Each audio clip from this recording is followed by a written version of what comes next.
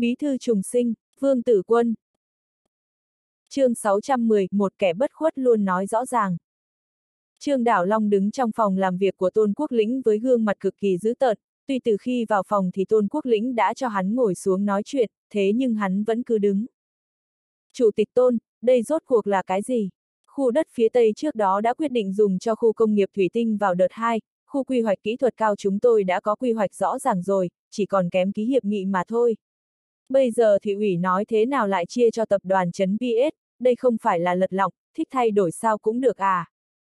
Lúc này Tôn Quốc Lĩnh cũng không phải là quan tòa, hắn cũng cực kỳ không thoải mái vì vấn đề này, thế nhưng Đồng Quốc Khánh đã cho ra quyết định ở hội nghị thường ủy thị ủy, vì vậy hắn căn bản khó thể nào làm gì được. Đào Long, hội nghị thường ủy đã cho ra quyết định với chuyện này, tập đoàn Trấn Phi sẽ đầu tư hơn chục tỷ vào khu quy hoạch kỹ thuật cao của thành phố chúng ta, Bí thư Đồng đã ký quyết định nhường khu đất kia cho tập đoàn Trấn Phi. Chủ tịch Tôn, dù là ai ký quyết định thì trò thay đổi xoành xoạch này cũng ảnh hưởng rất lớn đến hình tượng kêu gọi đầu tư của thành phố Đông Bộ chúng ta. Hơn nữa khu quy hoạch kỹ thuật cao chúng tôi vốn không chào đón hạng mục của tập đoàn Trấn Phi. Trương Đảo Long nói đến đây thì trầm giọng nói.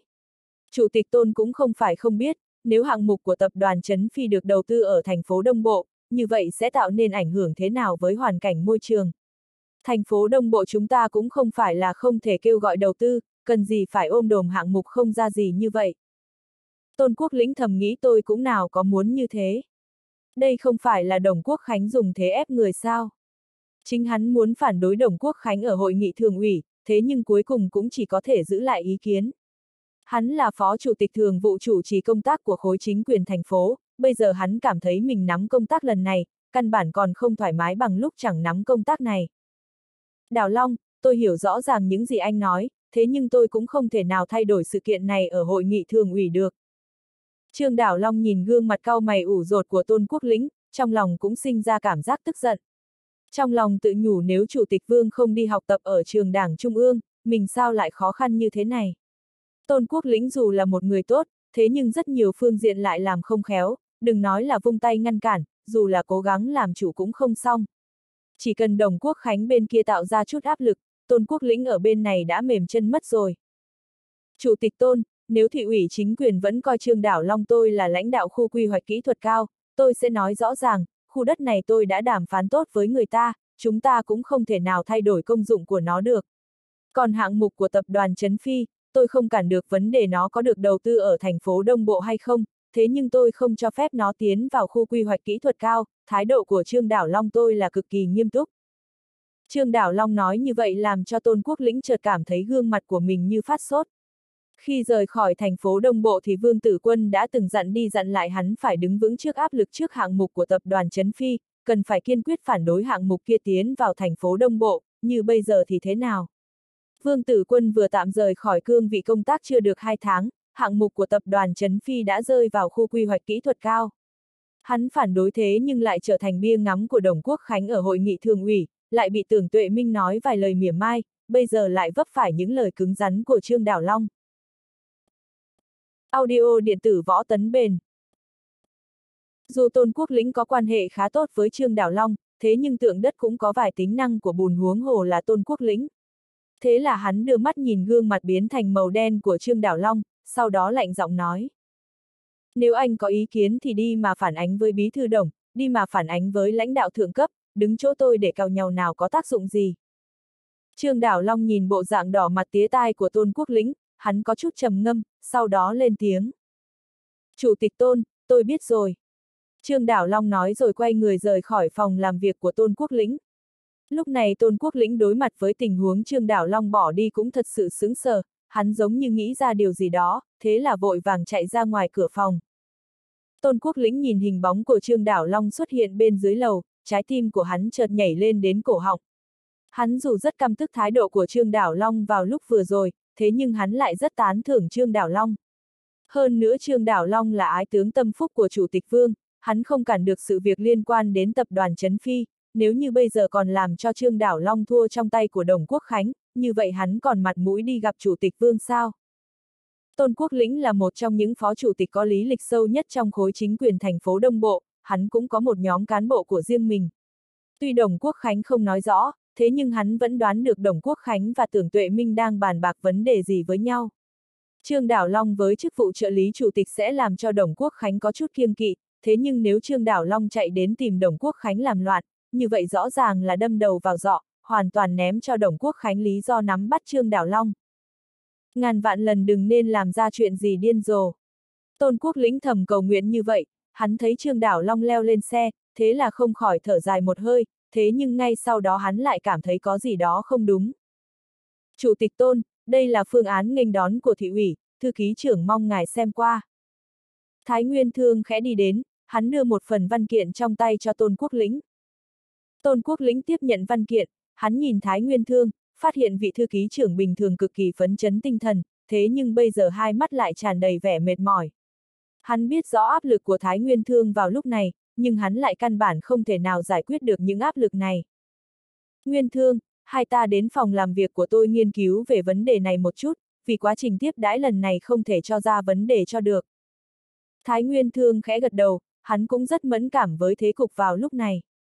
Hắn là đại quản gia của Chủ tịch Vương Tử Quân, thế nhưng nhìn Tôn Quốc Lĩnh liên tục lui ra phía sau dưới thế tấn công hùng mạnh của Đồng Quốc Khánh, hắn thật sự hoài niệm đến vị chủ tịch đang tham gia học tập ở thủ đô. Nguyên Thương, Chủ tịch Vương có dặn dò gì không? Sau khi Thái Nguyên Thương ngồi xuống thì Tôn Quốc Lĩnh dùng giọng không đầu không đuôi nói. Thái Nguyên Thương hiểu rõ ý nghĩ của Tôn Quốc Lĩnh, hắn cười khổ một tiếng nói. Chủ tịch Vương yêu cầu chúng ta cần nắm vững điểm mấu chốt, dù thế nào cũng không thể để cho hạng mục của tập đoàn Trấn Phi được phép đầu tư ở thành phố Đông Bộ. chương 612 kẻ bất khuất luôn nói rõ ràng. Nhưng tôi đã không nắm được điểm mấu chốt này. Tôn Quốc Lĩnh thở dài một hơi nói. Ngày hôm qua tôi đã nói ý nghĩ của mình với Bí Thư Bành, thế nhưng Bí Thư Bành chỉ nói những chuyện không liên quan, căn bản không chịu bàn bạc về vấn đề này. Khi Vương Tử Quân còn ở trong thành phố Đông Bộ thì Bành Quang Binh đi rất gần với nhóm Tôn Quốc Lĩnh, thế nhưng bây giờ Bành Quang Binh có thái độ như vậy thì hoàn toàn có thể thấy rõ thái độ của những người khác là thế nào. Thái Nguyên Thương nâng ly trà lên nhấp một ngụm, sau đó dùng giọng không lưu loát nói. Chủ tịch Tôn, tôi nghe nói trong tỉnh sắp có điều động lớn, Bí Thư Bành là phó bí thư thành phố Đông Bộ nhiều năm, vì sao lại không nghĩ biện pháp tiến lên cho được. Anh ấy lúc này thật sự không muốn chọc phiền toái lên người mình. Tôn Quốc Lĩnh khẽ gật đầu, hắn cũng không nói gì.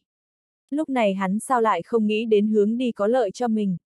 Thế nhưng hắn vừa mới được đề bạt làm phó chủ tịch thường vụ thành phố, căn bản không có khả năng tiếp tục được đề bạt. Đúng rồi, chủ tịch Tôn, thư ký trưởng đảng hôm qua đã nói chuyện với tôi, nói chúng ta nên chú ý một chút. Tuy anh ấy không nói quá rõ ràng, thế nhưng tôi cảm thấy bí thư đồng sắp có hành động gì đó rất lớn. Thái Nguyên Thương khẽ lên tiếng phá vỡ bầu không khí yên tĩnh. Hành động lớn, cũng chỉ là động vào vấn đề nhân sự mà thôi. Nguyên Thương, anh cũng không cần lo lắng, anh là thư ký trưởng căn bản không thể nào điều động được, cho dù hắn ta có sốt ruột thế nào cũng không thể gây khó cho Chủ tịch Vương. Tôn Quốc Lĩnh mở miệng trần an làm cho Thái Nguyên Thương có chút thất vọng, hắn không phải nói mình, hắn nói chính là vấn đề điều động các vị trí lãnh đạo quận huyện. Thái Nguyên Thương không tin Tôn Quốc Lĩnh không hiểu được điều này, mà đối phương không nói đến phương diện này, như vậy chứng tỏ Chủ tịch Tôn đang lựa chọn phương án trốn tránh.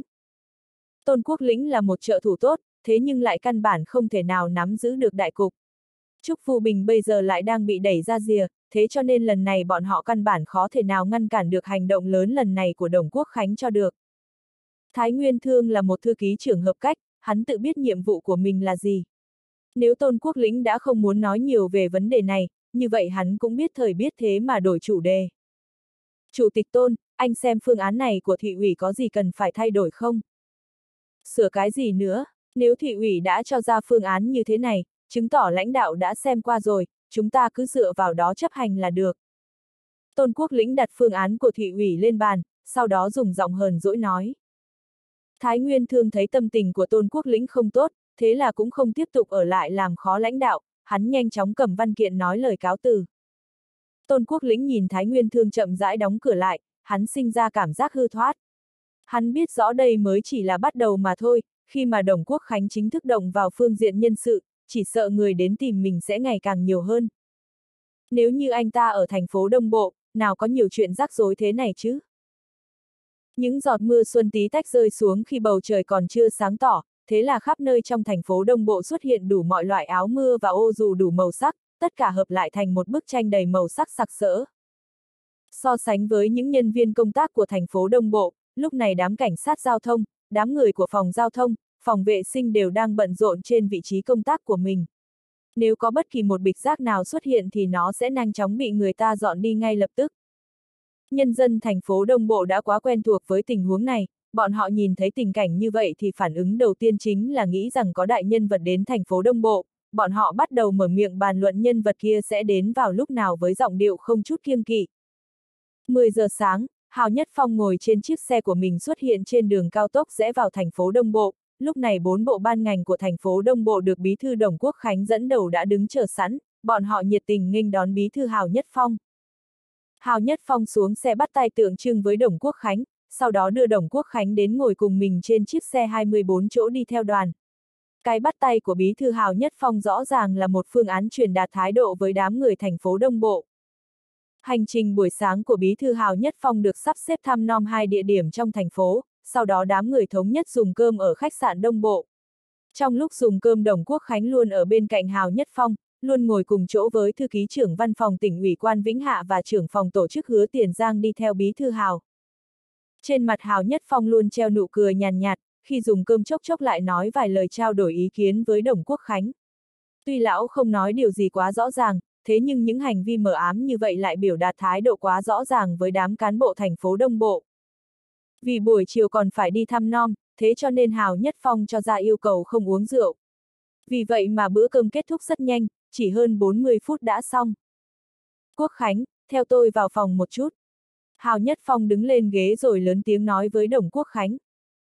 Bầu không khí vì sự có mặt của Hào Nhất Phong nên lặng ngắt như tờ, thế cho nên lời nói của bí thư Hào Nhất Phong lần này càng thêm vang dội.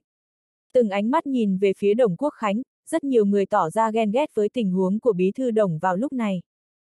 Đồng Quốc Khánh có thể cảm nhận được ánh mắt đến từ bốn phía, đồng thời hắn cũng hiểu bí thư Nhất Phong làm như vậy là cố ý, bí thư đang cố gắng nói cho mọi người biết mình được lãnh đạo coi trọng. Có sự giúp đỡ của Hào Nhất Phong, như vậy sau này hắn sẽ cực kỳ dễ dàng triển khai mở rộng công tác. Sau khi đi vào gian phòng nghỉ ngơi được sắp xếp rất tốt, nhân viên nhanh chóng dọn bánh trái ra bàn, sau đó cùng thư ký lui ra khỏi phòng, cuối cùng Hào Nhất Phong mới cười nói. Quốc Khánh, gần đây công tác của thành phố Đông Bộ thật sự cầu tiến rất lớn. Đồng Quốc Khánh hiểu ý của Hào Nhất Phong, hắn cười nói. Dưới sự giúp đỡ to lớn của Bí Thư và tỉnh ủy, ban ngành thành phố Đông Bộ chúng tôi thật sự cảm nhận được áp lực rất lớn, nếu không thể nào công tác cho ra thành tích, như vậy cũng xem như phải xin lỗi sự tín nhiệm của Bí Thư Nhất Phong. Thành phố Đông Bộ chúng tôi luôn luôn nhiệt tình, luôn tranh thủ để cho lãnh đạo không bị mất mặt. Hào Nhất Phong nở nụ cười, lão nghe rõ lời nói đầy ẩn ý của Đồng Quốc Khánh, đồng thời những lời này lại càng là thứ mà lão thích nghe được vào lúc này. Quốc Khánh, các anh công tác không phải là vì tôi, mà chính là vì sự giao phó và tín nhiệm của nhân dân thành phố Đông Bộ cho các anh. Ý nghĩ của các anh như vậy là không được, công tác cũng không nên để xuất hiện nhiều hiện tượng không hay. Hào Nhất Phong uống một ngụm nước rồi dùng giọng đầy ẩn ý nói. Đồng Quốc Khánh tất nhiên hiểu rõ ý nghĩ của Bí Thư Hào Nhất Phong, yêu cầu của Bí Thư chính là phải làm sao đến thời điểm người kia học tập quay về, lúc đó hắn phải nắm được hoàn toàn quyền khống chế ở thành phố Đông Bộ mới được. chương 610, ba kẻ bất khuất luôn nói rõ ràng. Bí Thư Nhất Phong cứ yên tâm, tôi nhất định sẽ nắm lấy thời cơ tốt ở thành phố Đông Bộ để chứng thực thật tốt ý đồ của ngài. Như vậy thì quá tốt, Quốc Khánh, anh nên buông tay buông chân công tác, tất cả đều có sự hậu thuẫn của tôi và tỉnh ủy. Hào Nhất Phong vung tay lên không trung, bộ dạng cực kỳ khí khái. Đồng Quốc Khánh nhìn vẻ mặt của Hào Nhất Phong, hắn càng cảm thấy tự tin thêm vài phần, đồng thời trong lòng càng thêm hâm mộ vì tình huống nắm chặt tỉnh Sơn Nam trong lòng bàn tay của Hào Nhất Phong. Lúc này Bí Thư Hào đặt chính mình trước tỉnh ủy, đây không phải là Bí Thư nói sai, đó là một cảm giác tự tin vì nắm thế cục trong tay. Chính Đồng Quốc Khánh là Bí Thư Thị ủy Đông Bộ, hắn nhất định cũng phải giống như Bí Thư Hào Nhất Phong, phải nắm thật chặt thế cục của thành phố Đông Bộ trong tay mình. Đồng Quốc Khánh tiếp tục báo cáo nhiều hạng mục công tác cho Bí Thư Hào Nhất Phong, sau đó hắn rời khỏi phòng của lãnh đạo. Khi hắn đi ra khỏi phòng thì thư ký của hứa Tiền Giang đã chờ sẵn bên ngoài. Bí Thư Đồng, trưởng phòng hứa mời ngài sang có việc cần bàn. Thư ký của hứa Tiền Giang cẩn thận đi đến bên cạnh Đồng Quốc Khánh, hắn khẽ nói. Đồng Quốc Khánh khẽ gật đầu, hắn theo sát thư ký của hứa Tiền Giang để đi đến phòng của lãnh đạo. Vì phục vụ lãnh đạo thật tốt mà khách sạn Đông Bộ đều sắp xếp những gian phòng hai gian rất rộng, khi Đồng Quốc Khánh đi vào trong phòng của trưởng phòng hứa Tiền Giang, hắn thấy trưởng phòng hứa còn chưa ngủ mà đang đánh bài với ba người đi cùng đoàn với Bí Thư Hào. Đồng Quốc Khánh đều biết ba người kia, một người là phó phòng tổ chức Quách Tiên Vi, một người là phó phòng sở xây dựng, mà người làm cho hắn cảm thấy giật mình chính là phó bí thư Bành Quang Binh của thành phố Đông Bộ. Sao Bành Quang Binh lại ở chỗ này? Tuy trong lòng có nghi vấn nhưng Đồng Quốc Khánh chỉ nhìn thoáng qua Bành Quang Binh, sau đó hắn đi đến trước mặt hứa Tiền Giang, cung kính nói một tiếng trưởng phòng hứa. Quốc Khánh đến đấy à? Cậu đánh đi, ván này bài của tôi rất tốt, cậu đừng đánh thua là được.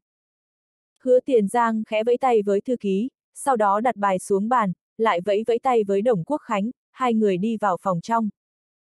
Hứa Tiền Giang lấy ra một gói thuốc, Đồng Quốc Khánh hiểu rõ tính cách lãnh đạo của mình, thế là đúng lúc trưởng phòng hứa rút thuốc ra thì hắn nhanh chóng dùng hột quẹt châm lửa. Quốc Khánh, cậu bàn bạc với bí thư nhất phong thế nào rồi? Hứa Tiền Giang rút một điếu thuốc ném cho Đồng Quốc Khánh, sau đó mỉm cười hỏi. Đồng Quốc Khánh nhận lấy điếu thuốc, sau đó hắn cười nói. Bí thư Nhất Phong rất thỏa mãn với những công tác gần đây của thành phố Đông Bộ, yêu cầu chúng tôi cần phải liên tục cố gắng để cho ra thành tích. Hứa Tiền Giang cũng không suy xét câu trả lời của Đồng Quốc Khánh, lão khẽ nằm dựa lưng lên ghế salon rồi nói. Quốc Khánh, có thể đi đến đây nói ra những lời như vậy đã là cực hạn của bí thư Nhất Phong với cậu rồi. Cậu nên biết sau lưng người kia không phải là không có ai cả, ít nhất chủ tịch thạch cũng không để cho cậu sống yên ổn. Đồng Quốc Khánh không nói gì, bộ dạng giống như chú tâm tiếp nhận lời chỉ bảo của lãnh đạo. Hắn hiểu tính tình của hứa tiền giang, bây giờ hắn có nhiều phương diện công tác cần sự giúp đỡ của trưởng phòng hứa, vì vậy đứng trước mặt trưởng phòng hứa thì hắn luôn xem mình là phó phòng thường vụ của phòng tổ chức như trước kia. Quốc Khánh, cậu có biết bây giờ mình đang thiếu nhất là thứ gì không? Hứa Tiền Giang rất thỏa mãn với thái độ của Đồng Quốc Khánh, thế cho nên thái độ của lão với Đồng Quốc Khánh cũng càng thêm thân mật. Đồng Quốc Khánh trầm ngâm giây lát, sau đó mới trầm giọng nói. Trưởng phòng hứa, tôi biết rõ khuyết điểm của mình là ở điểm nào, bước tiếp theo sẽ nhanh chóng bổ khuyết những lỗ hổng kia. Biết rõ là tốt rồi, Quốc Khánh, tuy bí thư nhất phong rất coi trọng cậu, thế nhưng anh ấy không thể nào mỗi lần gặp mặt đều nói như vậy. Chủ tịch Thạch gần đây có thể nói là nhìn chằm chằm vào cậu ở thành phố Đông Bộ, trước đó đã phá lệ một lần, đã nói không ít về vấn đề phát triển kinh tế ở thành phố Đông Bộ. Hứa Tiền Giang nói bằng giọng điệu có vài phần ẩn giấu, Đồng Quốc Khánh hiểu trưởng phòng Hứa Tiền Giang đang nhắc nhở mình chủ yếu là nắm chặt công tác kinh tế của thành phố Đông Bộ, thế nhưng còn có một tầng ý nghĩa ẩn giấu bên trong, chính là đừng nghĩ rằng trèo lên người Hào Nhất Phong thì có thể quên chính lão.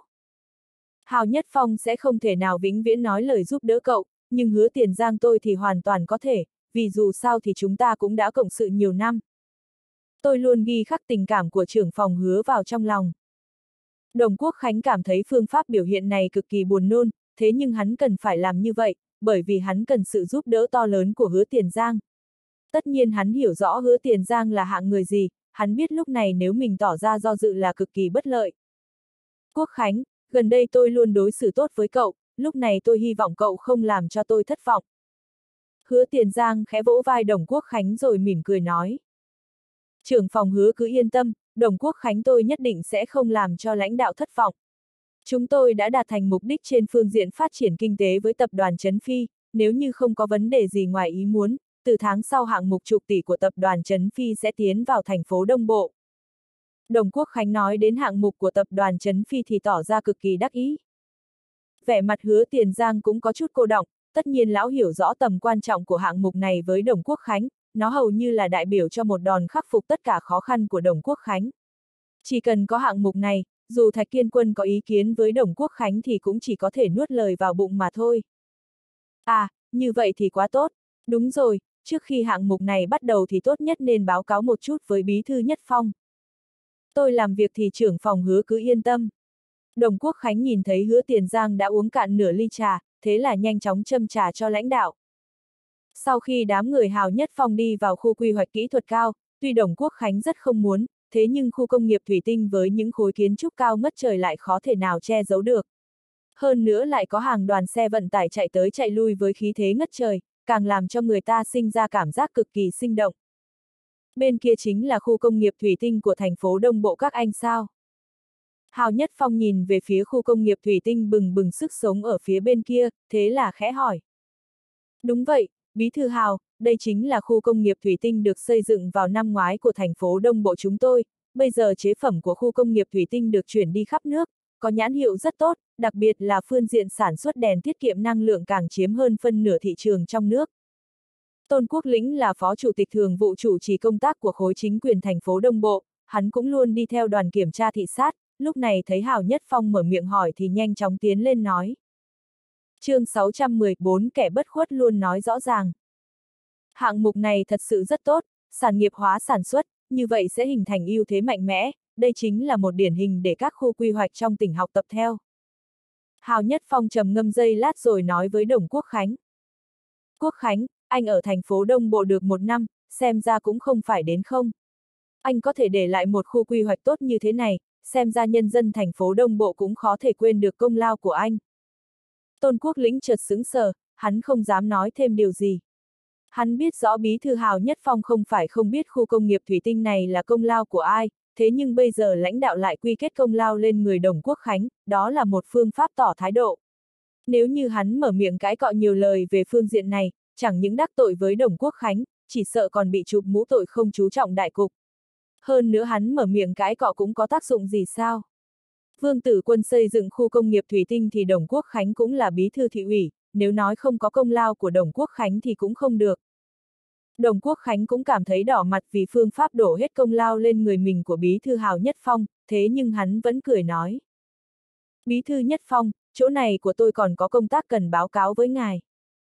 Hào Nhất Phong thật sự không ngờ mình lại gặp phải tình huống phản ánh như thế này, khi lão đang ngây người thì một người đàn ông có thân hình cao lớn đã đi đến. Hào Nhất Phong cũng căn bản không xa lạ gì với người đàn ông này, khi vừa tiến vào khu quy hoạch kỹ thuật cao thì Đồng Quốc Khánh đã giới thiệu người này, đối phương tên là Trương Đảo Long, chính là lãnh đạo Hiệp hội Quản lý Khu Quy hoạch. Trương Đảo Long, anh muốn gì? Đồng Quốc Khánh cũng xứng sờ vì biến cố bất ngờ này, hắn cũng không ngờ lúc này lại có người đứng ra phản ánh vấn đề cho Hào Nhất Phong. Đồng Quốc Khánh đang báo cáo công tác, mà Trương Đảo Long chợt xuất hiện phản ánh vấn đề, đây không phải đang làm khó hắn sao? Vì vậy hắn trầm ngâm dây lát sau đó lớn tiếng quát lên với Trương Đảo Long. Trương Đảo Long đã đi ra tất nhiên sẽ không thu hồi, hắn không những không lui về phía sau còn tiến lên một bước nói. Bí thư đồng, tôi là một đảng viên, chẳng lẽ không có quyền lợi chỉ điểm phản ánh vài vấn đề với bí thư hào sao? Anh! Đồng Quốc Khánh lúc này tuy cực kỳ tức giận nhưng cũng không dám nói Trương Đảo Long không có quyền lợi như vậy. Dù sao thì Hào Nhất Phong cũng đang ở bên cạnh, nếu như nói một câu không hay, như vậy chỉ sợ sẽ làm cho Hào Nhất Phong mất vui. Hào Nhất Phong đưa mắt nhìn Trương Đảo Long đang chăm chú nhìn mình, vẻ mặt lão chợt biến đổi vài lượt. Lúc này lão đang ở trước mặt nhiều người, lão căn bản không thể nào từ chối được, vì vậy một câu nói kia của Trương Đảo Long xem như đã phá tan đường lui của lão. Hào Nhất Phong khoát tay áo với Đồng Quốc Khánh, sau đó lão thản nhiên nói. Đồng chí Trương Đảo Long, anh có vấn đề gì cần phản ánh sao? Đồng Quốc Khánh dùng ánh mắt hung hăng nhìn Trương Đảo Long, hắn cũng không ngờ quá trình tiếp đãi viên mãn lại xuất hiện biến cố này, tất nhiên hắn sẽ khó thể tiếp nhận điều này xảy ra. Khi trong lòng hắn đang chửi mắng Trương Đảo Long thì lại nhận được ánh mắt của hứa tiền giang. Ánh mắt của trưởng phòng hứa tiền giang có vài phần trách móc, ánh mắt cực kỳ nghiêm khắc, lão đang trách Đồng Quốc Khánh vì sao lại để xuất hiện tình huống khó coi này. Vẻ mặt đám cán bộ đi kiểm tra thị sát cùng Đồng Quốc Khánh có biểu hiện cực kỳ khác nhau, cả đám đều cảm thấy sự kiện đột nhiên này thật sự khó tiếp nhận, dù sao thì bọn họ cũng cảm thấy nó không phải việc gì tốt. Tôn Quốc Lĩnh cảm thấy tay chân lạnh như băng, hắn biết rõ lúc này Trương Đảo Long muốn nói gì, thế nhưng dù Trương Đảo Long nói cái gì thì hắn cũng hiểu phương hướng kết quả sẽ ra sao. Tuy Hào Nhất Phong sẽ không nói ra ý kiến xử lý, thế nhưng Bí Thư Hào không nói sẽ không có nghĩa là Đồng Quốc Khánh không làm. Còn các vị thường ủy khác thì sao? Bọn họ sẽ làm gì với một Trương Đảo Long phá hoại quy trình tiếp đãi của Minhatep? Tôn Quốc Lĩnh thật sự không dám nghĩ, cũng không muốn nghĩ. Bí thư Nhất Phong, khu đất phía Tây mà ngài vừa đi xem đã được Thủy ủy phê chuẩn dành cho giai đoạn 2 của khu công nghiệp Thủy Tinh vào trước Tết, bây giờ có không ít xí nghiệp làm công tác trao đổi với khu quy hoạch kỹ thuật cao, thậm chí còn ký cả hợp đồng. Có thể nói sự việc đã được quyết định rõ ràng, bây giờ thị ủy lại chuyển giao khu đất này cho tập đoàn Trấn Phi, như vậy chúng tôi là những lãnh đạo đứng ra ký hợp đồng đầu tư lại xem như biến thành phế thải. Hào Nhất Phong không nói gì, lão chỉ lẳng lặng nhìn Trương Đảo Long, nhưng trong lòng đang cố gắng suy tư cách đối phó với cục diện vào lúc này. Nếu như chỉ là như vậy thì khu quy hoạch kỹ thuật cao chúng tôi cũng sẽ phục tùng chỉ thị của thị ủy chính quyền, thế nhưng chúng tôi kiên quyết phản đối hạng mục của tập đoàn Trấn Phi ngụ lại ở khu quy hoạch kỹ thuật cao. Chúng tôi đã điều tra tư liệu, biết được hạng mục của tập đoàn Trấn Phi gây ô nhiễm rất nặng nề, căn bản không thích hợp khi xây dựng ở vùng đất cách hồ Tây của thành phố Đông Bộ chỉ 4 km. Nếu như hạng mục này được xây dựng, chất lượng không khí của thành phố Đông Bộ sẽ bị phá hoại nghiêm trọng. Vẻ mặt Hào Nhất Phong dần trở nên lạnh lẽo, hắn nhìn Trương Đảo Long, sau đó trầm giọng nói.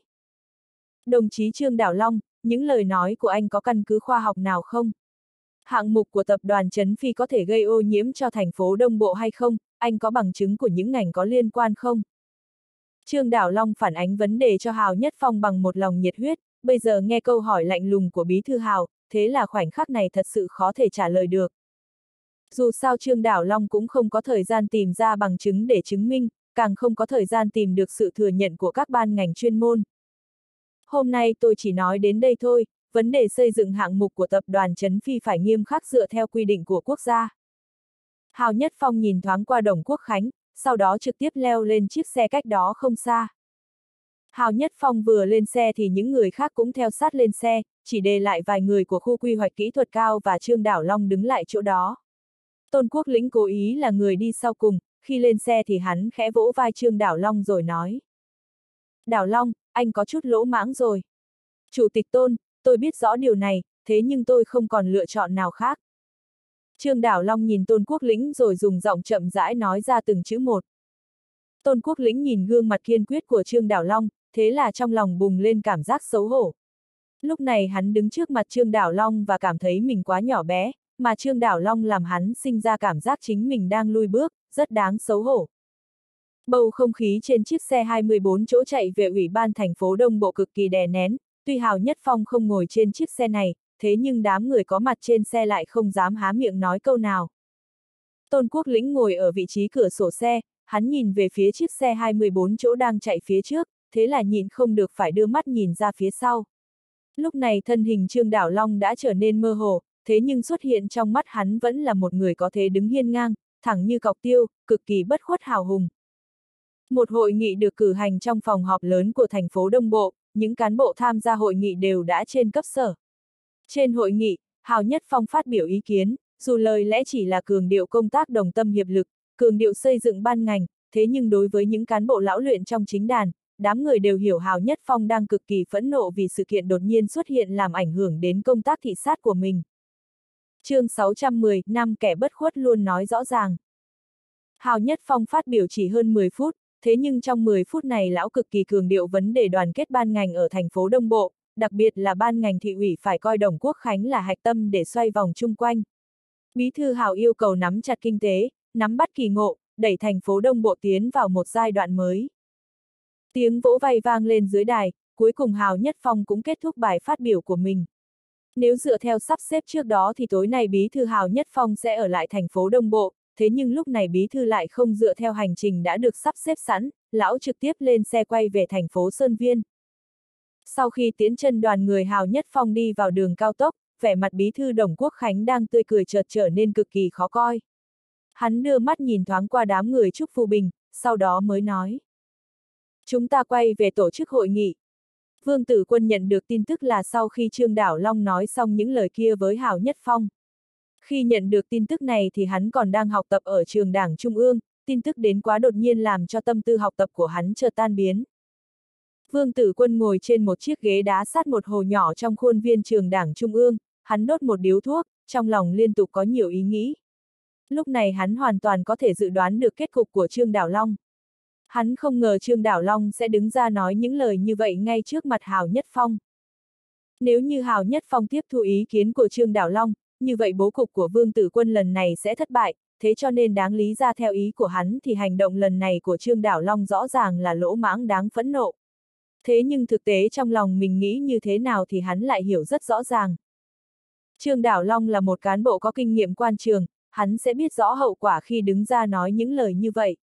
Tuy biết nhưng hắn vẫn đứng ra lên tiếng, như vậy chỉ có thể làm sáng tỏ một vấn đề, đó chính là hắn vẫn kiên định với quyết tâm của chính mình. Thật sự là một chiến sĩ bất khuất hùng hồn, không biết vì sao Vương Tử Quân lại cho ra ý nghĩ như vậy. Loại người như Trương Đảo Long cũng không nên vì một câu nói thẳng thừng mà nhận lấy những đả kích vốn không thuộc về mình. Nếu như Trương Đảo Long bị miễn chức thì sẽ là một lực đẩy mạnh mẽ cho kế hoạch của Vương Tử Quân, thế nhưng kế hoạch của hắn sẽ hoàn thành tốt đẹp khi phải bỏ ra cái giá là Trương Đảo Long rơi dụng gãy cánh sao. Hắn sau khi quay về vẫn có thể trọng dụng Trương Đảo Long, thế nhưng lý do này vẫn không an ủi được những chấn động trong lòng hắn. Vương Tử Quân lấy điện thoại ra khẽ bấm một dãy số quen thuộc, khi đầu bên kia vang lên âm thanh cung kính, Vương Tử Quân trầm giọng nói. Phu Bình, tôi chỉ nói một câu, tuyệt đối bảo trụ Trương Đảo Long. Chủ tịch, chuyện này. Trúc Phu Bình lên tiếng cực kỳ do dự, tuy hắn hiểu rõ yêu cầu của Vương Tử Quân nhưng vẫn cảm thấy cực kỳ khó xử. Dù sao sự việc mà Trương Đảo Long làm ra hôm nay thật sự có chút lỗ mãng, nếu muốn giữ lại Trương Đảo Long cũng thật sự không dễ dàng gì. Anh cứ cố sức đi làm, tất cả có tôi. Vương Tử Quân nói rồi cúp điện thoại. Vương Tử Quân liên tục gọi vài cuộc điện thoại, sau đó hắn mới chậm rãi nhắm mắt. Nhưng khi hắn định nhắm mắt nghỉ ngơi thì một ý nghĩ lóe lên trong đầu, thế là hắn lại cầm điện thoại lên, tìm ra một số điện thoại trong sổ tay của mình, sau đó bấm máy. Trong phòng họp thành phố Đông Bộ, bầu không khí thật sự trầm thấp. Đồng Quốc Khánh đã trầm mặt 3 phút không nói gì, các vị thường ủy khác cũng lẳng lặng uống nước, đợi chờ Đồng Quốc Khánh lên tiếng.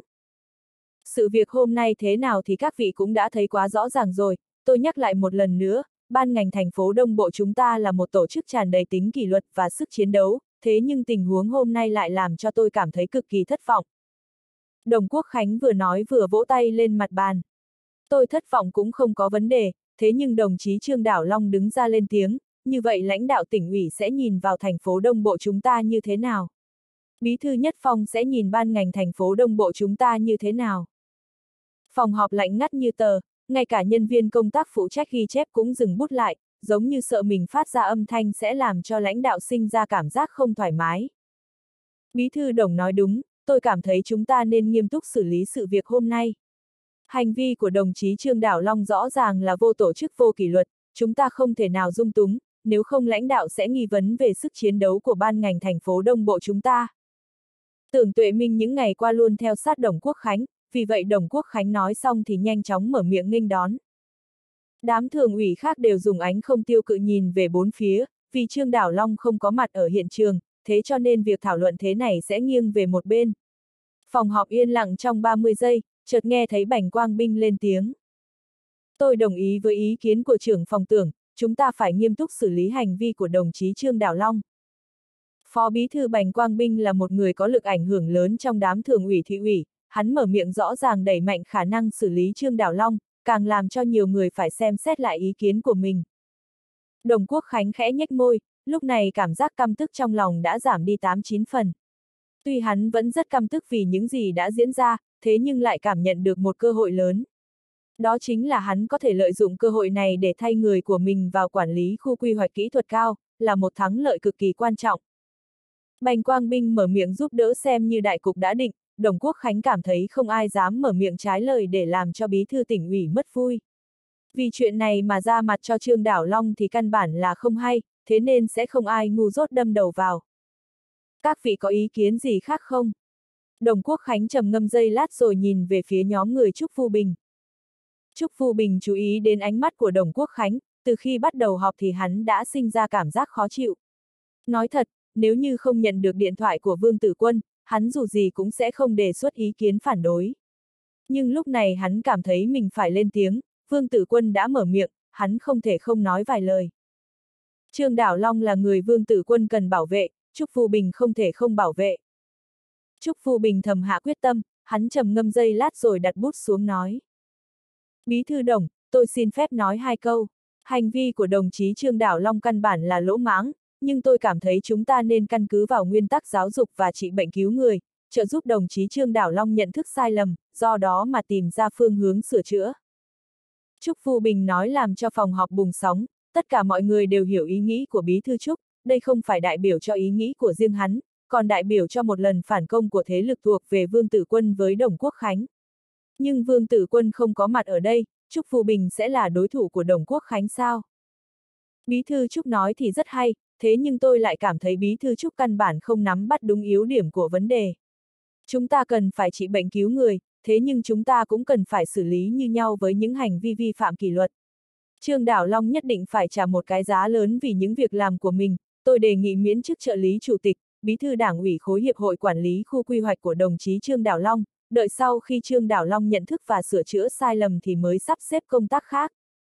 Tưởng Tuệ Minh thật sự không thèm nể mặt phó bí thư nắm công tác chính trị như Trúc Vu Bình, hắn trầm giọng nói. chương 611 một trong quan trường không có tình hữu nghị. Đề nghị của tưởng Tuệ Minh làm cho bầu không khí trong phòng chợt trở nên yên ắng. Miễn chức của Trương Đảo Long, có thể nói đây là trừng phạt mạnh mẽ nhất với Trương Đảo Long, còn có gì quan trọng hơn mũ ô sa của một người trong chốn quan trường. Hầu như chỉ sau nháy mắt đã có đủ mọi loại ánh mắt nhìn về phía Đồng Quốc Khánh, có ánh mắt dò xét, có ánh mắt khác thường. Vẻ mặt Đồng Quốc Khánh không chút biến đổi khi đối diện với những ánh mắt như vậy, lời nói của tưởng tuệ minh thật sự chạm đúng tâm khảm của hắn. Lúc này hắn cần nắm bắt Trương Đào Long, đây là hành vi nhất cử lưỡng tiện, nếu nắm bắt tên này sẽ tạo ra lực chấn nhiếp với những người khác, đám người có tâm tư khác thường sẽ không còn dám làm loạn, thậm chí trước khi làm gì đó cũng phải xem độ nặng của mình có phù hợp hay không. Nhưng lúc này Đồng Quốc Khánh căn bản chưa vội tỏ thái độ, hắn còn muốn xem lúc này trong thành phố Đông Bộ còn ai khăng khăng một mực giúp đỡ Vương Tử Quân. Ánh mắt Đồng Quốc Khánh di chuyển quanh quẩn vài lần, sau đó rơi xuống người vị phó bí thư ủy ban kỷ luật La Kiến Cường, sau đó nói. Bí thư La, anh thấy sự việc này thế nào? La Kiến Cường nhìn ánh mắt của Đồng Quốc Khánh thế nhưng trong lòng thầm tính toán về sự việc lần này. Tuy hắn không sợ đắc tội với Đồng Quốc Khánh, thế nhưng hắn là người luôn suy xét cho con đường làm quan của mình, hắn cũng không muốn đắc tội với người đứng sau lưng Đồng Quốc Khánh. La Kiến Cường gật đầu vô thức, hắn khẽ trầm giọng tỏ thái độ. Chuyện này tôi cho rằng đồng chí Trương Đảo Long cần phải trả giá vì những xúc động của mình. La Kiến Cường tuy nói không quá lớn nhưng ý nghĩa lại liên tục lóe lên trong lòng mọi người. La Kiến Cường đề nghị xử phạt Trương Đảo Long, điều này khôn di cốt nghĩa là vận mệnh của Trương Đảo Long coi như xong, càng đại biểu cho tình huống thế lực của Vương Tử Quân tan vỡ ở hội nghị thường ủy. Khóe môi Trúc Phù Bình chợt co giật nhưng lại không lên tiếng, nếu như lúc bắt đầu thì hắn vẫn còn có chút tin tưởng vào lời nói của Vương Tử Quân, như vậy bây giờ lòng tin của hắn đã tan biến sạch sẽ. La Kiến Cường có tình cảm khá tốt với Vương Tử Quân, điều này là nhiều người biết đến, nhiều khi La Kiến Cường cho ra giúp đỡ không nhỏ với Chủ tịch Vương. Lúc này thái độ của La Kiến Cường lại thay đổi, thật sự không phải chỉ đơn giản là một minh hữu mà thôi. Chủ tịch Tôn có ý kiến gì không? Đồng Quốc Khánh giống như đang trưng cầu ý kiến từng người, hắn trực tiếp đặt vấn đề với Tôn Quốc Lĩnh. Tôn Quốc Lĩnh nãy giờ luôn ngồi uống nước, tuy lúc này ly trà đã gần như cạn chưa đáy, thế nhưng hắn vẫn chậm rãi nhấp vài ngụm. Thấy Đồng Quốc Khánh hỏi mình, hắn đặt ly trà xuống đất, sau đó trầm ngâm nửa phút rồi trầm giọng tỏ thái độ. Tôi cảm thấy chỉ cần cho ra thông báo phê bình đồng chí Trương Đảo Long là được, phương thức xử lý của trưởng phòng tưởng thật sự có chút thô bạo. Đồng Quốc Khánh cười cười, Tôn Quốc Lĩnh trả lời rõ ràng không nằm ngoài dự đoán của hắn. Hắn nhìn thoáng qua Lữ Hạ Cường, cũng không hỏi Lữ Hạ Cường mà nói với Hạ Nham Châu. Bí thư Hạ, anh có ý kiến gì không? Hạ Nham Châu cũng thật sự cảm thấy khó khăn, hắn và Vương Tử Quân đi lại rất gần, nhưng sự việc này nếu mình tỏ thái độ không đúng thì chỉ sợ Đồng Quốc Khánh sẽ phản ánh lên trên. Nếu lãnh đạo tỉnh ủy có ấn tượng không tốt về mình, chỉ sợ sau này tương lai sẽ càng thêm xa vời. Hạ Nham Châu tuyệt đối không cho phép đùa giỡn với tương lai của mình, thế cho nên hắn cũng thầm nghĩ thật sự xin lỗi lời nhắc nhở của Vương Tử Quân, thế nhưng hắn vẫn phải nói ra rõ ràng. Trên quan trường căn bản không thể nói về vấn đề hữu nghị, vì tất cả đồng minh đều có chung lợi ích, người không vì mình trời chu đất diệt. Tôi đồng ý với ý kiến tiến hành xử lý nghiêm khắc đồng chí Trương Đảo Long. Hạ Nham Châu nói rất chậm, thế nhưng lời nói lại nghiêng về một bên, xem như đóng một cây đinh thật mạnh xuống sàn. Lữ Hạ Cường nãy giờ luôn tính toán số phiếu, tuy hắn cảm thấy hy vọng ở hội nghị thường ủy lần này là không quá lớn, thế nhưng sau khi La Kiến Cường, Bành Quang Binh và Hạ Nham Châu lên tiếng thì trong lòng hắn vẫn sinh ra cảm giác bi ai. Lúc này mọi người cùng nhau đẩy bức tường đổ, Chủ tịch Vương mới đi được vài ngày mà sự việc đã nhanh chóng diễn tiến như vậy. Lữ Hạ Cường nhận được điện thoại của Vương Tử Quân, hắn cảm nhận được đám người La Kiến Cường cũng nhận được điện thoại của Chủ tịch Vương, thế nhưng bọn họ vẫn cho ra phản ứng như vậy, điều này đã nói rõ vấn đề. Bây giờ có thể giữ được Trương Đảo Long hay không cũng chẳng còn là vấn đề quan trọng nữa rồi, quan trọng là lúc này quyền khống chế hội nghị thường ủy ở thành phố Đông Bộ đã rơi vào trong tay của Đồng Quốc Khánh. Sự việc xem như đang dần tiến triển theo xu hướng có lợi cho việc áp đặt ý chỉ của Đồng Quốc Khánh lên thành phố Đông Bộ. Bí thư Đồng, tôi xin phép nói một câu, tôi không đồng ý với ý kiến của trưởng phòng tưởng. Tôi cảm thấy chúng ta nên chú trọng phương án trị bệnh cứu người với đồng chí Trương Đảo Long, không thể dùng một gậy đánh chết đồng chí của mình được. Dù biết lời nói của mình có tác dụng không lớn, thế nhưng Lữ Hạ Cường vẫn trầm ngâm dây lát rồi trầm giọng nói. Đồng Quốc Khánh nhìn Đảng Hằng và vài vị thường ủy còn chưa lên tiếng, một cảm giác thắng lợi tràn ngập trong lòng. Hắn là một lãnh đạo thị ủy, lúc này hắn cảm nhận được toàn thành phố Đông Bộ đã rơi vào trong tay mình. Dù ba người Trúc Phu Bình lên tiếng phản đối, thế nhưng đám người này chỉ là số ít mà thôi, cũng không thể nào làm gì hơn được, sau này lực ảnh hưởng của đám người bọn họ sẽ ngày càng nhỏ xuống. Đồng Quốc Khánh không muốn để cho người khác tiếp tục lên tiếng, bây giờ tình hình đã quá thuận lợi, thế là hắn vỗ hai tay lên mặt bàn rồi trầm giọng nói. Các đồng chí vừa rồi đã phát biểu ý kiến của mình, ai cũng căn cứ vào những góc độ riêng, căn cứ vào vấn đề tập trung dân chủ, tôi cảm thấy nên là. Còn chưa dứt lời thì cửa phòng đã bị đẩy ra, thư ký của Đồng Quốc Khánh nhanh chóng đi vào. Khi thấy thư ký của mình thì vẻ mặt Đồng Quốc Khánh chợt phát lạnh, thế nhưng hắn biết rõ lúc này nếu mình mở miệng gian dạy thư ký thì cũng chỉ làm cho kẻ thù của mình thêm sảng khoái mà thôi, thế cho nên hắn mím môi không mở miệng. Bí thư Đồng, điện thoại của bí thư Nhất Phong. Thư ký vội vàng đi đến trước mặt hắn, sau đó cúi người xuống đưa điện thoại đến. Điện thoại của Hào Nhất Phong. Đồng Quốc Khánh có chút sững sốt, sau đó nhận lấy điện thoại trong tay thư ký. Hắn nhìn về phía đám người chung quanh, sau đó cố ý cao giọng nói. Chào Bí Thư Hào, tôi là Đồng Quốc Khánh. Âm thanh của Đồng Quốc Khánh không cao thế nhưng cũng không quá thấp, chợt nghe thấy giọng nói của Hào Nhất Phong từ bên kia truyền đến. Đồng chí Quốc Khánh, tôi nghe nói anh không chấp nhận người khác không đồng ý với ý kiến của mình thì phải. chương 611-2, trong quan trường không có tình hữu nghị. Hào Nhất Phong nói một câu không đầu không đuôi rồi cúp điện thoại. Đồng Quốc Khánh nghe thấy đầu dây bên kia vang lên những tiếng tút tút, thế là gương mặt trở trắng bệch. Đồng Quốc Khánh hiểu ý của bí thư Hào Nhất Phong, nhưng điều làm cho hắn cảm thấy lạnh lẽo chính là lần này xem như mình đã vỗ xuống đùi ngựa. Lúc này hắn xử lý Trương Đảo Long, chỉ sợ sẽ có người nói những lời không hay với bí thư Hào Nhất Phong.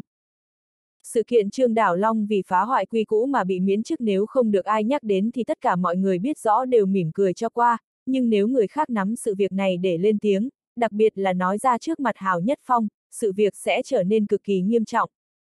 Mặc kệ Hào Nhất Phong xuất phát từ tâm lý gì, lúc này lão đều muốn ngăn cản sự việc này phát sinh. Nhưng Đồng Quốc Khánh thật sự không nghĩ ra là kẻ nào đến mở miệng nói này nọ trước mặt Hào Nhất Phong. Một bóng người chợt lóe lên trong đầu Đồng Quốc Khánh, nhưng lúc này hắn căn bản không có tâm tư suy nghĩ như vậy, điều hắn muốn làm chính là phải làm sao để vãn hồi uy tín của mình trong hội nghị thường ủy lần này. Tuy Đồng Quốc Khánh cảm thấy làm vậy chẳng có gì là khó với mình, thế nhưng thái độ trở mặt của mình lại giống như tự tát vào mặt mình, chỉ là dù có khó khăn thế nào thì hắn cũng phải làm theo chỉ thị của Hào Nhất Phong. Đồng Quốc Khánh đưa điện thoại di động cho thư ký, sau đó hắn ngồi xuống ghế nhìn thoáng qua đám thường ủy thị ủy, cuối cùng ho khan một tiếng rồi trầm giọng nói. Tôi cảm thấy ý kiến của mọi người vừa rồi là rất tốt, công tác của chúng ta chú trọng răn trước ngừa sau, trị bệnh cứu người. Tôi cho rằng sai lầm của đồng chí Trương Đảo Long chỉ là chút vấn đề trên phương diện trình tự, dù sao thì xuất phát điểm của đồng chí Trương Đảo Long cũng là rất tốt. Chúng ta cần phải tôn trọng những ý kiến trái ngược với mình, như vậy chúng ta mới có thể tiếp cận chân lý. Tôi đề nghị mọi người nên trợ giúp nhiều hơn với đồng chí Trương Đảo Long, cần phải xuất phát từ phương diện giáo dục để trợ giúp đồng chí của mình sửa chữa sai lầm. Vẻ mặt các vị thường ủy thị ủy chợt biến đổi, bọn họ dù không nghe rõ Hào Nhất Phong nói gì trong điện thoại với Đồng Quốc Khánh, thế nhưng Đồng Quốc Khánh vừa rồi có thái độ muốn ép chết Trương Đảo Long, thế nhưng bây giờ lại trở mặt, đây mới là vấn đề. Kết quả như vậy đủ để thấy rõ vừa rồi Bí thư Hào Nhất Phong căn bản không nói lời khích lệ gì với Đồng Quốc Khánh, Bí thư Đồng Quốc Khánh chợt có biến đổi như vậy chắc chắn có liên quan đến thái độ của Hào Nhất Phong. Mọi người không tiếp tục mở miệng thế nhưng suy nghĩ trong lòng lại không giống nhau, đặc biệt là nhóm người Trúc Phu Bình, thật sự muốn xem Vương Tử Quân thành thần. Chủ tịch Vương đã làm gì? Sao thể thể để Hào Nhất Phong gọi điện thoại nổi giận với Đồng Quốc Khánh, ép Đồng Quốc Khánh phải nuốt quả đắng vào trong bụng và nói ra những lời không hợp với suy nghĩ của mình. Hội nghị thường ủy kết thúc không một tiếng động, thư ký phụ trách ghi chép trong hội nghị đã đặt bút xuống ghi rõ thông qua phương án xử lý Trương Đảo Long của đồng chí Trúc Phu Bình, sau đó hội nghị xử lý Trương Đảo Long kết thúc. Khi đám người đồng quốc khánh đi ra khỏi phòng họp thì vẻ mặt cực kỳ khó coi, trong lòng bọn họ đang suy đoán xem có gì xảy ra, thế nhưng không ai dám tiến lên hỏi đồng quốc khánh. Dù sao bây giờ bí thư đồng cũng đang nổi giận, nếu tiến lên tự biến mình thành nơi chút giận cũng rất mất mặt. Tin tức của hội nghị thường ủy được lan truyền rất nhanh, những biến hóa trong hội nghị lại càng giống như mọc cánh truyền đi khắp các cơ quan ban ngành trong thành phố Đông Bộ. Đủ mọi tin đồn liên tục xuất hiện giống như cây cối đâm chồi nảy lộc trong mùa xuân. Trương Đảo Long quay về khu quy hoạch kỹ thuật cao thì liên tục nhốt mình trong phòng, trước kia phòng làm việc của hắn luôn có nhiều người đến báo cáo công tác, nói là báo công tác, thực chất đó là đám người đến làm thân mà thôi. Nhưng sau khi sự việc phát sinh thì phòng làm việc của Trương Đảo Long chợt trở nên cực kỳ yên tĩnh, có lẽ đã hơn một giờ trôi qua mà căn bản không có bất kỳ kẻ nào đến gõ cửa. Trương Đảo Long thoát khỏi trạng thái trầm ngâm, hắn cảm thấy mình cực kỳ khát nước, thế là mới chợt nhớ từ khi quay về mình căn bản chưa uống giọt nước nào. Vì sinh lý áp bức mà chủ tịch Trương mới cầm ly đi về phía máy nước nóng. Trương Đảo Long vặn nước, nước chảy xuống nửa ly thì dừng lại. Hắn nhìn gian phòng chợt trở nên có hơi tối, thế là hiểu vấn đề, đó là cúp điện. Trương Đảo Long nâng ly lên uống cạn, sau đó hắn khôi phục lại tinh thần của mình. Hắn đã có dự đoán với kết quả của sự kiện lần này, thế cho nên sau khi đặt ly xuống thì hắn bắt đầu cầm bút ghi chép. Lần này Trương Đảo Long ghi ra những công tác còn chưa hoàn thành của khu quy hoạch kỹ thuật cao, chuẩn bị dùng nó cho công tác giao tiếp. Khi thời gian dần trôi qua thì ánh sáng trong phòng làm việc của Trương Đảo Long dần rút đi. Nếu là dĩ vãng, không cần hắn lên tiếng, chỉ cần xảy ra vấn đề thì khoa sự vụ cơ quan sẽ dùng tốc độ nhanh nhất để chạy đến phục vụ cho mình. Cốc cốc cốc, tiếng gõ cửa vang lên, thư ký tiểu ngô nhanh chóng đi vào, khi thấy Trương Đảo Long đang ghi chép thì vội vàng tiến lên mở đèn. Sau khi phát hiện không có điện, hắn mới lên tiếng. Bí thư Trương, tôi sẽ gọi điện thoại cho khoa quản lý sự vụ cơ quan. Tiểu ngô vừa nói vừa nhanh chóng bấm điện thoại của khoa quản lý sự vụ cơ quan. Nhưng 5 phút trôi qua, đừng nói là có điện, thậm chí còn không thấy bóng dáng của người nào. Tiểu ngô nhìn gian phòng càng ngày càng tối, thế là không nhịn được phải cầm điện thoại lên tiếp tục gọi đi. Tiểu ngô, không cần gọi điện thoại cho bọn họ, có lẽ bọn họ đang rất bận. Trương Đảo Long nhìn vẻ mặt tức giận mà méo sịch của Tiểu Ngô, hắn cười cười nói lời an ủi. Tiểu Ngô cũng là cán bộ công tác cơ quan lâu năm, cũng biết rõ phương diện lòng người dễ thay đổi. Nhưng lúc này lãnh đạo của mình còn chưa bị điều động mà bọn họ đã có gan làm như vậy, xem ra khinh người quá đáng. Bí thư trương, tôi phải gọi điện thoại mắng đám người của khoa sự vụ cơ quan vài câu mới được. Tiểu ngô vừa nói vừa bấm điện thoại. Cái gì, phòng làm việc của bí thư trương bị mất điện sao? Thư ký ngô, ngài yên tâm, tôi sẽ phái người đi sửa ngay. À, vừa rồi tôi tìm không ra được người nào, thật sự đã chậm trễ, cái gì, hôm nay xảy ra nhiều vấn đề, phòng làm việc của các vị lãnh đạo đều mất điện, nếu ngài gọi điện thoại sớm cho tôi thì tôi sẽ dễ sắp xếp hơn. Trường khoa của khoa sự vụ cơ quan trong Hiệp hội Quản lý khu quy hoạch là một lão quan trường, thế cho nên chỉ cần nói vài câu đã ép câu nói bực tức của tiểu ngô vào bụng. Tiểu ngô oán hận cúp điện thoại, sau đó hắn nhìn ra ngoài cửa sổ. Lúc này không gian ngoài cửa sổ dần tối, nhưng ánh đèn huỳnh quang trắng noãn phía bên kia lại quá rõ ràng, nhờ vào ánh đèn có thể thấy các phòng khác đều có điện. Xem ra nhân tình ấm lạnh, lòng người dễ thay đổi. chương 611-3 trong quan trường không có tình hữu nghị. Tiểu ngô lúc này xem như càng thêm hiểu rõ vấn đề, hắn nhìn thoáng qua Trương Đảo Long, lại phát hiện bí thư Trương đã buông bút, vẻ mặt vô cùng thoải mái. Tiểu ngô, chúng ta thu dọn thôi, chuẩn bị về nhà. Trương Đảo Long cười cười điềm nhiên như không với tiểu ngô, sau đó chuẩn bị cầm cặp của mình. Đúng lúc này tiếng gõ cửa vang lên, khi tiểu ngô ra mở cửa thì chủ nhiệm văn phòng đi vào, trong bàn tay mập mạp như béo phì của viên chủ nhiệm văn phòng là ba cây nến đã châm lửa, hắn vừa đi vừa trầm giọng nói lời kiểm điểm với Trương Đảo Long. Bí thư Trương, anh hầu của khoa quản lý sự vụ cơ quan không biết làm ăn kiểu gì mà phòng làm việc của ngài bị cúp điện nhưng lại chẳng biết gì. Tôi thấy anh ta không nên tiếp tục ngồi trên cương vị được nữa rồi. Vị chủ nhiệm văn phòng vừa nói vừa vẫy tay với Tiểu Ngô, tỏ ý để Tiểu Ngô giúp mình đặt những câu nến lên bàn làm việc của Trương Đảo Long. Khi Tiểu Ngô đang bận rộn thì tiếng gõ cửa lại vang lên.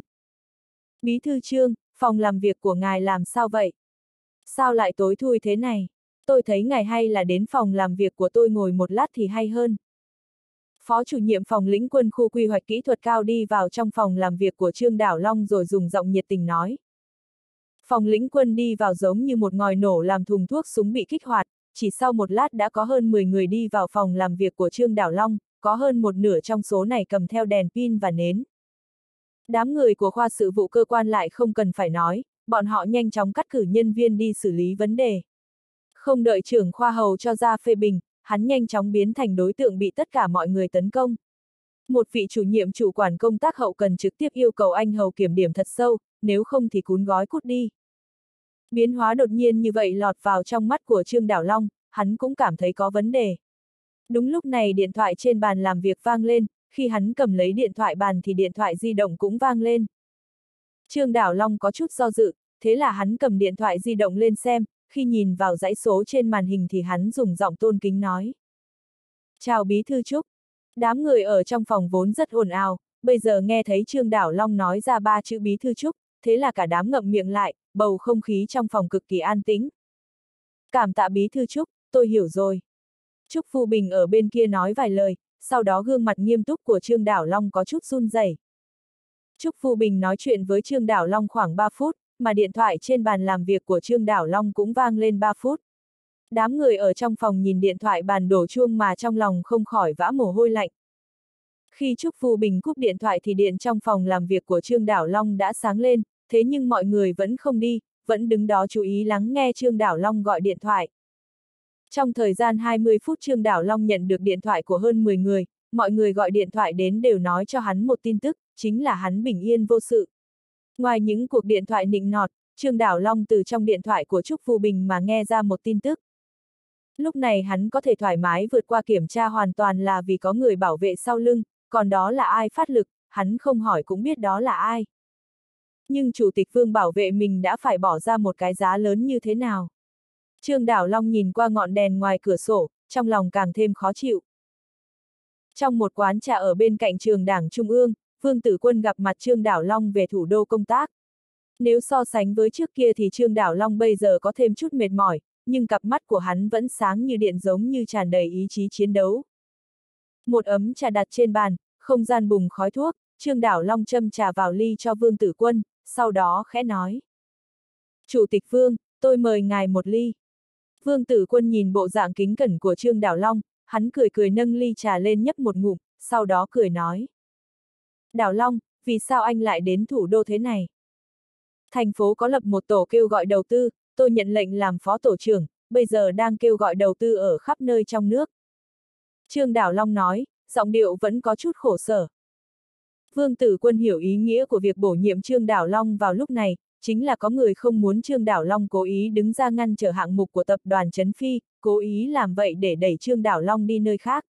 Vương Tử Quân rất muốn an ủi Trương Đảo Long hai câu, thế nhưng cuối cùng hắn vẫn thản nhiên nói. đào Long, tất cả sẽ tốt lên thôi. Chủ tịch Vương, tôi biết tất cả sẽ tốt, lần này tôi đến chủ yếu là muốn cảm tạ ngài. Trương đào Long nói rồi đứng lên khỏi ghế. Vương Tử Quân nhìn vẻ mặt kính cẩn của Trương đào Long, hắn khẽ vỗ bàn nói. đào Long, anh muốn làm gì vậy, mau ngồi xuống cho tôi.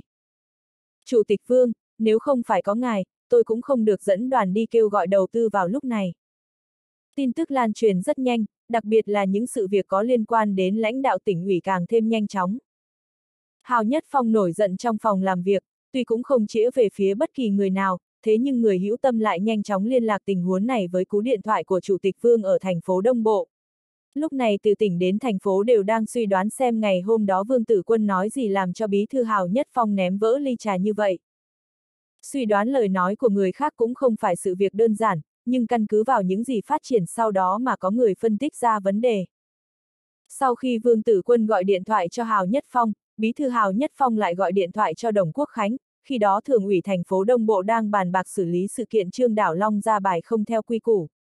Cuối cùng Đồng Quốc Khánh nhận được điện thoại của Hào Nhất Phong thì tự tát vào mặt mình, thu lại phương án xử lý có lợi cho mình, chỉ tiến hành phê bình Trương Đảo Long mà thôi. Dựa vào tin tức này có thể phân tích được lời nói của Vương Tử Quân thật sự giúp đỡ cho Trương Đảo Long, hơn nữa ít nhất cũng phải là những lời ảnh hưởng đến thần kinh của Bí Thư Hào Nhất Phong. Chủ tịch Vương, vì tôi mà làm cho ngài, thật sự không đáng. Trương Đảo Long nhìn Vương Tử Quân, hắn trầm ngâm một lát rồi dùng giọng động tình nói. Cái gì mà đáng hay không, Đảo Long, anh như vậy là không được. Vương tử quân cười phá lên ha hả, hắn nâng bình trà lên châm đầy nước vào ly cho Trương Đảo Long. Trương Đảo Long nhìn gương mặt bình tĩnh của Vương Tử Quân, trong lòng chợt sinh ra cảm động. Hắn trầm ngâm giây lát, sau đó dùng giọng có vài phần cuột cường nói. Chủ tịch Vương, chỉ sợ tính tình này của tôi là không đổi được. chương 611-4 trong quan trường không có tình hữu nghị. Vương Tử Quân không nói thêm điều gì, tuy hắn muốn Trương Đảo Long sửa đổi tính tình, thế nhưng trên thực tế hắn lại rất thích người đàn ông có gan đứng ra bênh vực lẽ phải trước mặt Hào Nhất Phong. Nếu anh muốn tiến xa hơn, như vậy anh phải sửa lại tính tình của mình. Vương Tử Quân nhìn Trương Đảo Long vài phút rồi trịnh trọng nói. Trương Đảo Long tất nhiên không muốn nói thêm điều gì ở phương diện này, hắn nhìn vẻ mặt bình thản của Vương Tử Quân, đột nhiên hắn lên tiếng. Chủ tịch Vương, tôi muốn biết sốt cuộc anh nói gì với Bí Thư Nhất Phong. Thật ra cũng không có gì. Vương Tử Quân khoát tay áo cười nói. Tôi chỉ nói với Bí Thư Nhất Phong, nếu có người đề xuất ý kiến với Bí Thư thì bị miễn chức, xem ra Bí Thư Nhất Phong làm quan cực kỳ bá đạo rồi. Trái tim của Trương Đảo Long chợt run lên, hắn chưa từng hối hận vì những lời nói của mình với Hào Nhất Phong, hơn nữa trong lòng lại thầm cảm thấy tự hào. Nhưng lúc này hắn nghe được lời nói tùy ý của Vương Tử Quân, hắn cảm thấy mình và Vương Tử Quân căn bản là chênh lệch quá lớn. Vương Tử Quân nói như vậy căn bản không phải là khuyên người, thật sự là mắng chửi và uy hiếp người ta. Tuy lời nói của Chủ tịch Vương cực kỳ hàm xúc, thế nhưng lại ẩn giấu nhiều ý nghĩa, Trương Đảo Long nghe cũng hiểu nói gì đến Hào Nhất Phong. Trương Đảo Long nhìn bộ dạng không thèm quan tâm của Vương Tử Quân, thế nhưng lời nói cũng không nói ra khỏi miệng. Có những lời cảm tạ phải nói ra khỏi miệng, thế nhưng có những lời cảm tạ lại chỉ có thể đặt sâu trong lòng. Nhạc nhẹ vẫn vang lên trong phòng trà, sau khi lẳng lặng uống một ly trà thì Trương Đảo Long đột nhiên nói.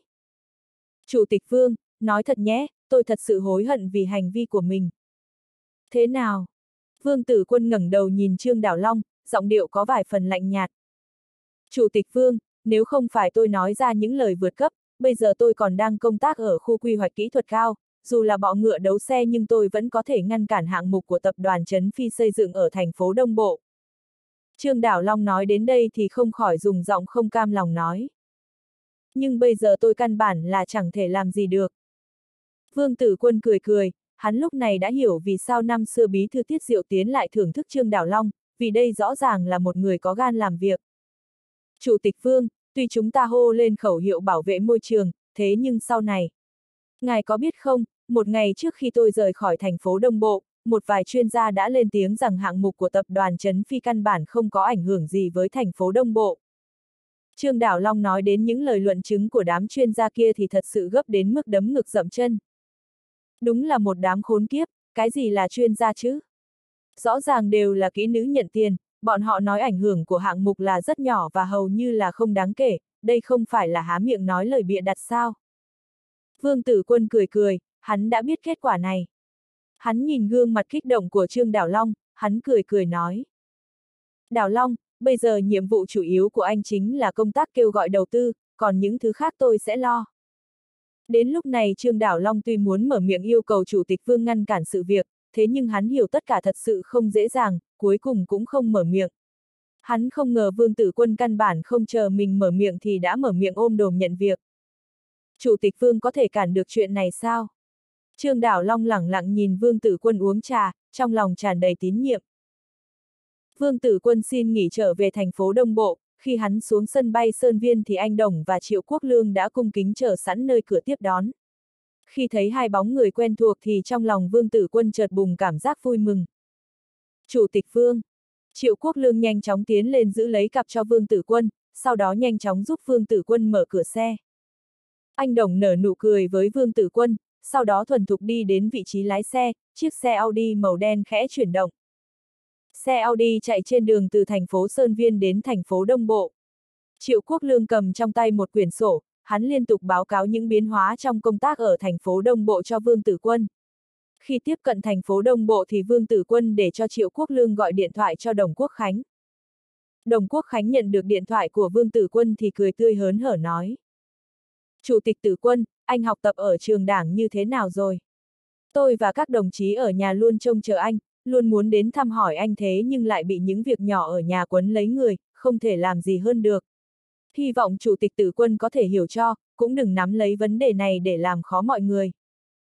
Vương tử quân cười đáp lại những lời thân mật của Đồng Quốc Khánh. Bí thư Đồng, xem lời nói của ngài kia, như vậy là quá khách khí rồi. Tôi biết rõ ngài bận rộn, tôi đi lần này đều đã ném tất cả trọng trách lên người ngài, nếu nói thẳng ra thì tôi học tập ở trường đảng là quá nhàn nhã rồi. Hai người Vương Tử Quân và Đồng Quốc Khánh nói chuyện điện thoại với nhau rất khách khí giống như hai người bạn đã lâu không gặp lại. Sau khi nói thêm vài lời khách sáo thì Vương Tử Quân cười nói. Tôi biết rõ đồng chí bí thư bận rộn, thế cho nên mới từ trường đảng quay về an ủi các đồng chí đang chiến đấu ở nhà. Bí thư đồng, trưa nay ngày có sắp xếp nào không?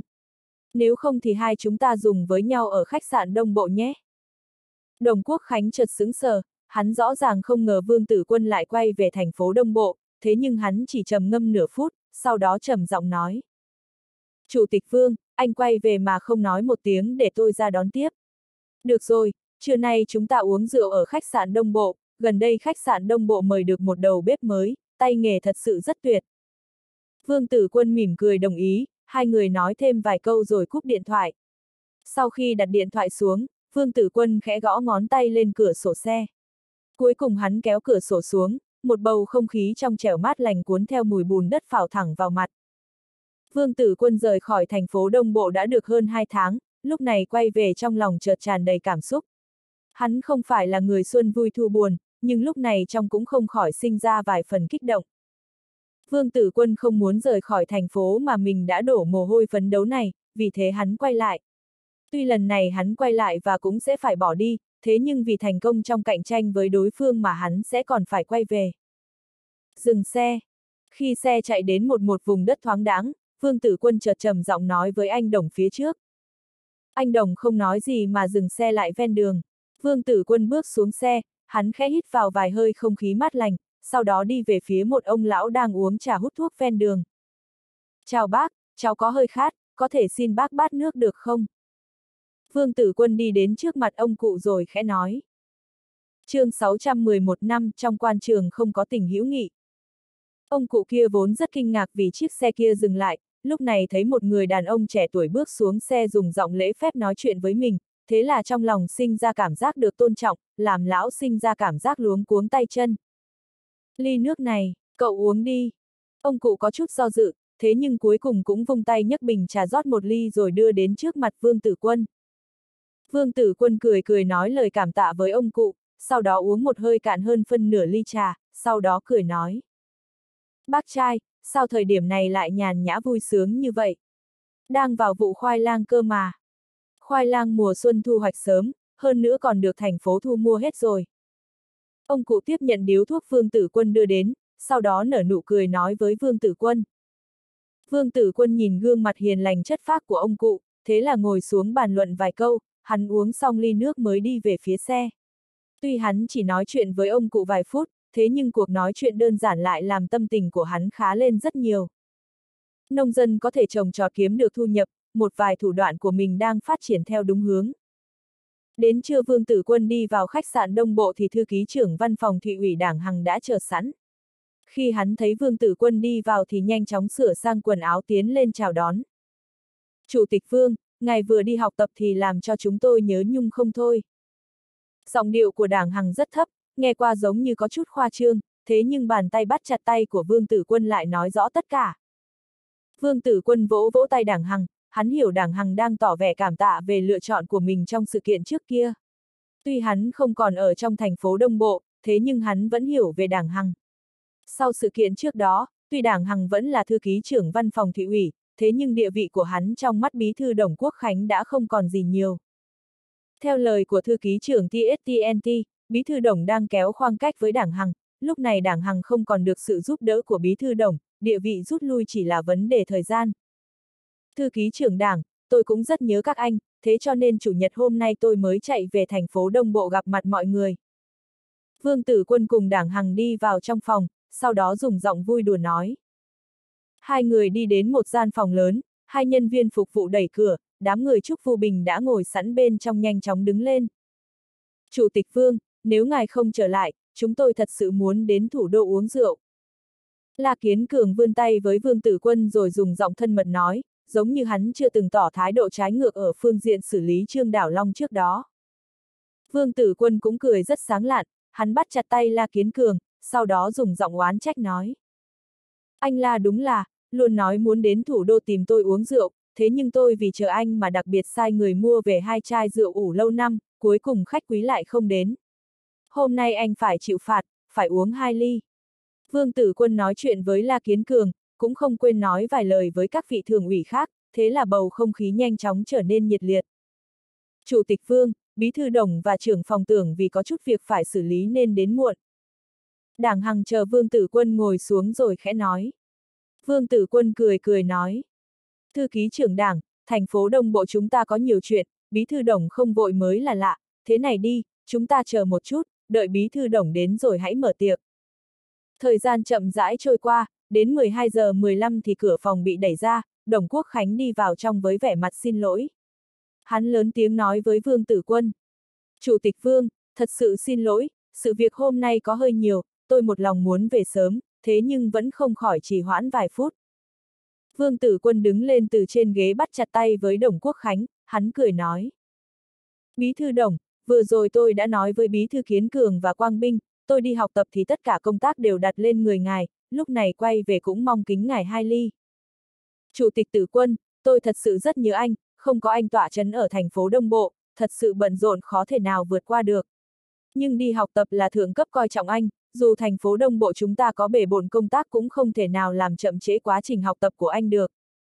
Đồng Quốc Khánh nói rồi ngồi xuống vị trí chủ vị. Tưởng Tuệ Minh đến cùng Đồng Quốc Khánh, hắn chờ Đồng Quốc Khánh ngồi xuống, sau đó cười nói với Vương Tử Quân. Chủ tịch Vương, chúng tôi thật sự nhớ đến ngài, nhưng Bí Thư Đồng nói đúng, chúng tôi dù bận rộn thế nào cũng không thể ảnh hưởng đến sự nghiệp học tập của ngài được. Dù sao ngài đi học tập lần này cũng là đại biểu cho cán bộ trẻ tỉnh Sơn Nam chúng ta. Vương Tử Quân có thể nghe rõ ý nghĩa ẩn giấu bên trong lời nói của tưởng tuệ minh, thế nhưng hắn cũng không thèm chấp nhất tưởng tuệ minh. Hắn khẽ gật đầu với tưởng tuệ minh, sau đó khẽ nói. Hôm nay chúng ta tụ tập với nhau thì thoải mái uống một bữa, thư ký trưởng, cho người đưa thức ăn lên. Lãnh đạo thành phố Đông Bộ đến đây dùng cơm, thế cho nên đám lãnh đạo khách sạn Đông Bộ cũng vội vàng chạy đến hầu hạ. Đảng Hằng phân phó một tiếng, chỉ 3 phút sau thức ăn đã được bày đặt lên bàn. Vì Vương Tử Quân và Đồng Quốc Khánh đều tươi cười vui vẻ nên lúc này bầu không khí rất nhiệt liệt, nhưng Vương Tử Quân có thể cảm nhận trong bầu không khí nhiệt liệt có nhiều người biểu hiện xa lạ với mình. Tuy những người này cố gắng tỏ ra nhiệt tình, thế nhưng cảm giác xa lạ đó khó thể nào nói một hai câu mà có thể che giấu đi được.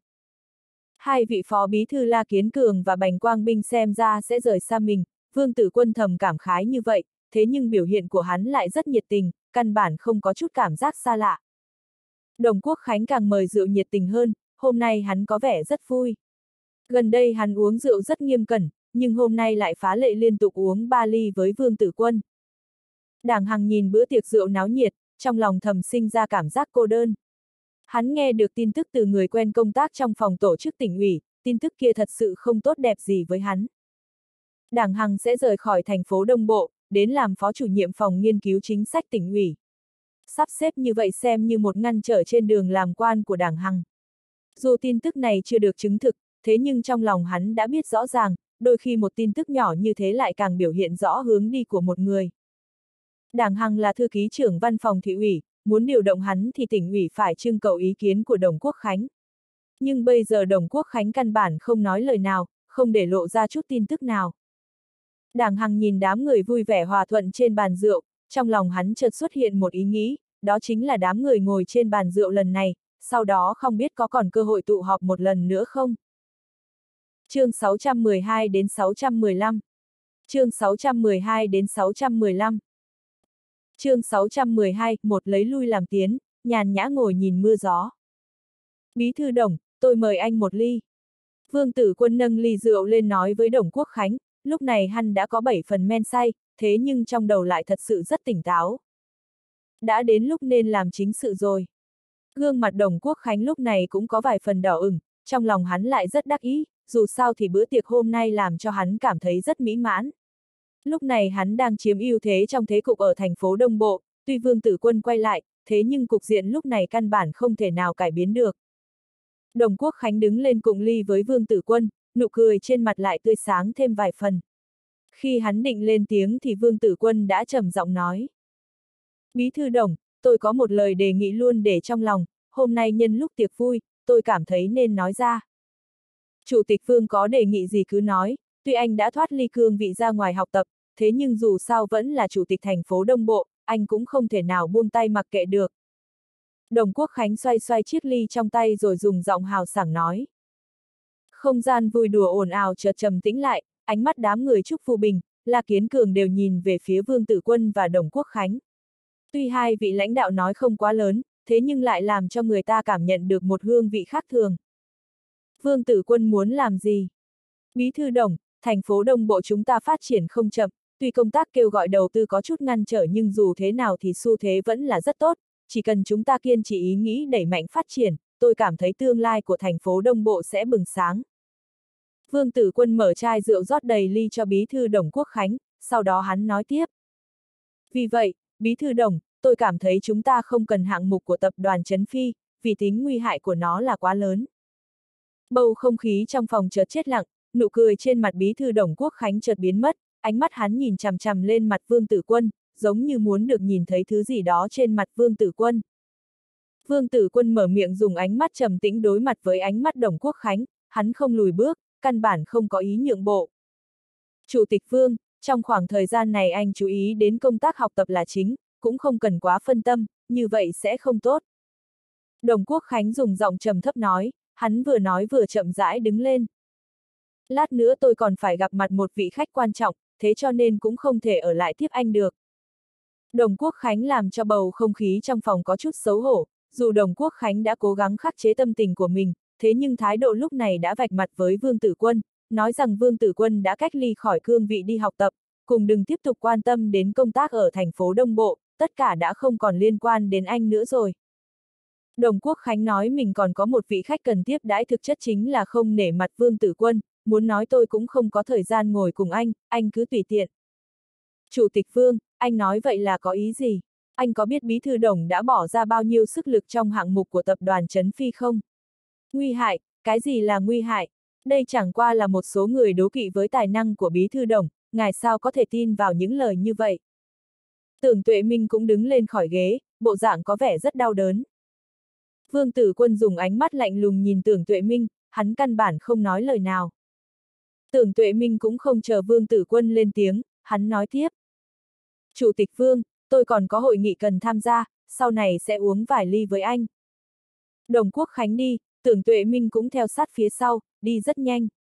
Trúc Phu Bình nhìn Vương Tử Quân đứng đó, trong lòng cũng sinh ra chút hương vị khác thường. Thế nhưng dù hắn là người lão luyện quan trường, vào thời điểm này hắn cũng không biết mình nên nói gì cho phải. Chúng ta cạn một ly. Vương Tử Quân vẫn lộ ra nụ cười nhàn nhạt, hắn khẽ cười nói với mọi người. Khi mọi người cho rằng Vương Tử Quân đang cười khổ, thực tế lúc này Vương Tử Quân đang cười thật lòng. Dù sau khi bày ra bố cục này thì trong lòng hắn vẫn có chút vướng mắc nho nhỏ, thế nhưng bây giờ tất cả đã biến mất sạch sẽ. Đồng Quốc Khánh dù lúc ban đầu quảng cáo dùm beng về lợi ích đại chúng của hạng mục, thế nhưng hắn làm như vậy chỉ là vì mình, nếu một người như vậy không có sự trói buộc, tình huống nguy hại sẽ khó thể nào vãn hồi. Thành phố Đông Bộ cuối cùng cũng có mưa. Mưa xuân như tơ rơi ngoài cửa sổ, Vương Tử Quân ngồi trong một gian phòng trang nhã, đối diện hắn là Lý Cẩm Hồ. Hắn nhìn vị cấp dưới có vẻ tiều tụy của mình rồi cười cười nói. Cẩm Hồ, công tác không thể nào làm cho hết được, thế nhưng sức khỏe cần phải giữ gìn. Nếu anh cứ gắng sức như vậy, căn bản là không chịu trách nhiệm với chính bản thân mình. Lý Cẩm Hồ lúc này có tâm tình rất nặng nề, hắn miễn cưỡng cười nói. Chủ tịch Vương, tôi nhất định nhớ kỹ những lời dạy bảo của ngài, sẽ tách biệt công tác và cuộc sống. Lý Cẩm Hồ dù đang cười nhưng Vương Tử Quân vẫn có thể nhìn vào đó mà thấy được vẻ sầu lo. Hắn biết rõ Lý Cẩm Hồ đang lo lắng về vấn đề gì, thế là hắn rút gói thuốc ra, tự châm một điếu, sau đó ném cho Lý Cẩm Hồ. Tôi đã thấy nhiều người sầu khổ vì mất chức, thế nhưng lại lần đầu tiên thấy một người được đề bạt mà tỏ ra lo lắng bất an. Lý Cẩm Hồ tùy ý rút một điếu thuốc, hắn châm lửa hít vào một hơi thật sâu, lúc này mới nói. Chủ tịch Vương, tôi phát hiện con người của mình căn bản không hợp với quan trường. Vương Tử Quân không nói gì, hắn chỉ lặng lặng nhìn Lý Cẩm Hồ, cổ vũ đối phương nói tiếp. Lý Cẩm Hồ thở dài một hơi nói. Tôi làm quan cũng không quá quan tâm đến phương diện thuận lợi, từ thành phố Hồng Ngọc đến huyện Lô Bắc, nếu như không phải có chủ tịch vương ở đó, tôi căn bản không thể nào trở thành thường ủy của huyện Lô Bắc. Sau đó ngài rời khỏi huyện Lô Bắc, tôi thật sự không thể nào tiếp tục phát triển ở huyện Lô Bắc. Bây giờ tôi theo ngài đến thành phố Đông Bộ, đã công tác với ngài một thời gian, học được khá nhiều thứ, bây giờ xem ra những gì tôi học được còn kém rất xa. Ha ha, cảm khái rất sâu, bí thư huyện ủy trẻ tuổi nhất thành phố Đông Bộ chúng ta lại nói ra những lời cảm khái như vậy, cũng không biết có bao nhiêu người nói rằng anh chiếm được tiện nghi còn nói này nói nọ. Vương Tử Quân khẽ gạt tàn rồi dùng giọng trêu chọc nói với Lý Cẩm Hồ. Lý Cẩm Hồ dùng sức hít vào một hơi thuốc, hắn khẽ uống một ngụm trà, sau đó dùng giọng không tập trung nói. Chủ tịch Vương, tôi cũng không cần chức vụ bí thư huyện ủy này. chương 612, 2, lấy lui làm tiến, nhàn nhã ngồi nhìn mưa gió. Vì sao lại không cần? Người ta đã dâng hai tay lên cho chúng ta, vì sao chúng ta lại không cần? Vương tử quân cười một tiếng nói. Cẩm hồ, anh làm người thật sự quá tốt, thế nhưng tính tiến công lại hơi yếu. Lý Cẩm Hồ hiểu khuyết điểm của mình, chính mình muốn thành thật công tác, căn bản chưa từng có ý nghĩ sẽ vung tay áp chế những mối uy hiếp với chính mình. Thế cho nên hắn luôn ra chiêu sau đối phương, thậm chí luôn tìm biện pháp để hòa giải chứ không tiến công. Hóa giải tốt nhất nhiên sẽ xong việc, nếu như không thể hóa giải thì xem như chính mình chịu thiệt. Ví dụ như khi còn công tác ở huyện Lô Bắc, chính mình chưa từng nghĩ đến phương diện chủ động ra chiêu chống lại Tiếu Tử Đông. Lý Cẩm Hồ nghĩ đến Tiếu Tử Đông mà ánh mắt không khỏi rơi lên người Vương Tử Quân, hắn nhìn vẻ thản nhiên của Chủ tịch Vương, thế là trong lòng chấn động. Theo những gì hắn hiểu về thế cục ở thành phố Đông Bộ, bây giờ người có áp lực lớn nhất là Vương Tử Quân. Lúc này Đồng Quốc Khánh được Hào Nhất Phong giúp đỡ, hầu như đã kéo được nhiều người, lúc này chỉ cần hạng mục của tập đoàn Trấn Phi đầu tư vào thành phố Đông Bộ, Đồng Quốc Khánh sẽ có thành tích nổi bật. Là một hạng mục đầu tư hơn vài chục tỷ, như vậy còn ai dám nói Đồng Quốc Khánh không có năng lực ở phương diện phát triển kinh tế.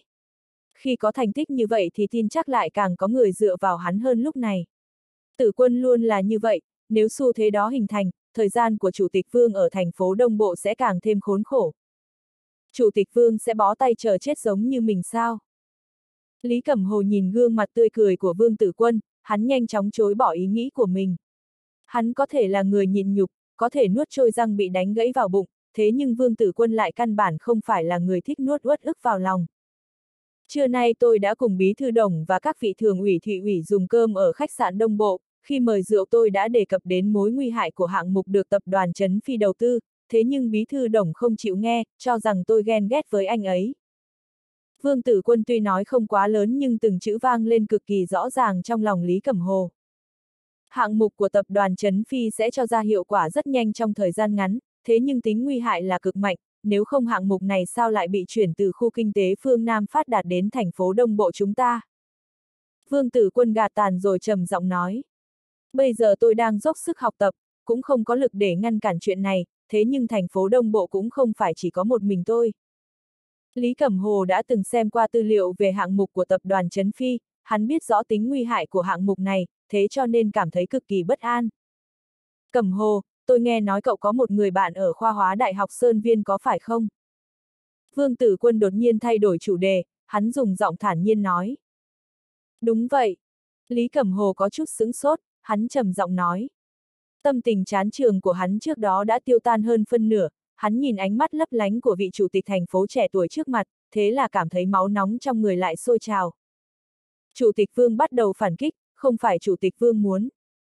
Lý Cẩm Hồ không tiếp tục suy nghĩ sâu vào sự việc, thế nhưng trong lòng hắn hiểu rõ, chỉ cần kế hoạch của chủ tịch Vương thành công, không những hạng mục kia phải sinh non, hơn nữa còn làm cho thế cục ở thành phố Đông Bộ biến đổi nghiêng trời lệch đất.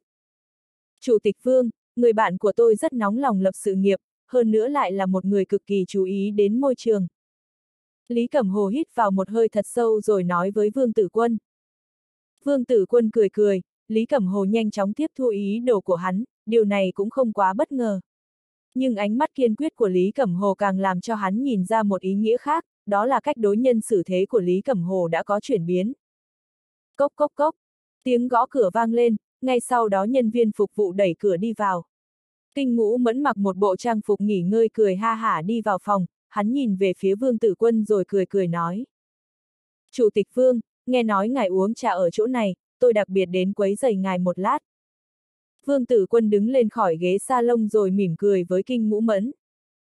Chủ tịch Kinh, mời anh ngồi, tôi và Lý Cẩm Hồ nói chuyện có hơi lạnh, bây giờ có anh thì xem ra càng vui hơn. Nhân viên phục vụ đi đến châm trà đầy ly cho ba người Vương Tử Quân, sau đó lại tiếp thêm nước nóng, cuối cùng lặng lẽ lui ra ngoài. Kinh Ngũ Mẫn nâng ly trà trước mặt lên uống một ngụm, sau đó mới dùng giọng cực kỳ có hương vị nói. Chủ tịch Vương, tôi bình sinh thích nói chuyện với người khác, bây giờ có thể nói chuyện với ngài là vinh hạnh với tôi.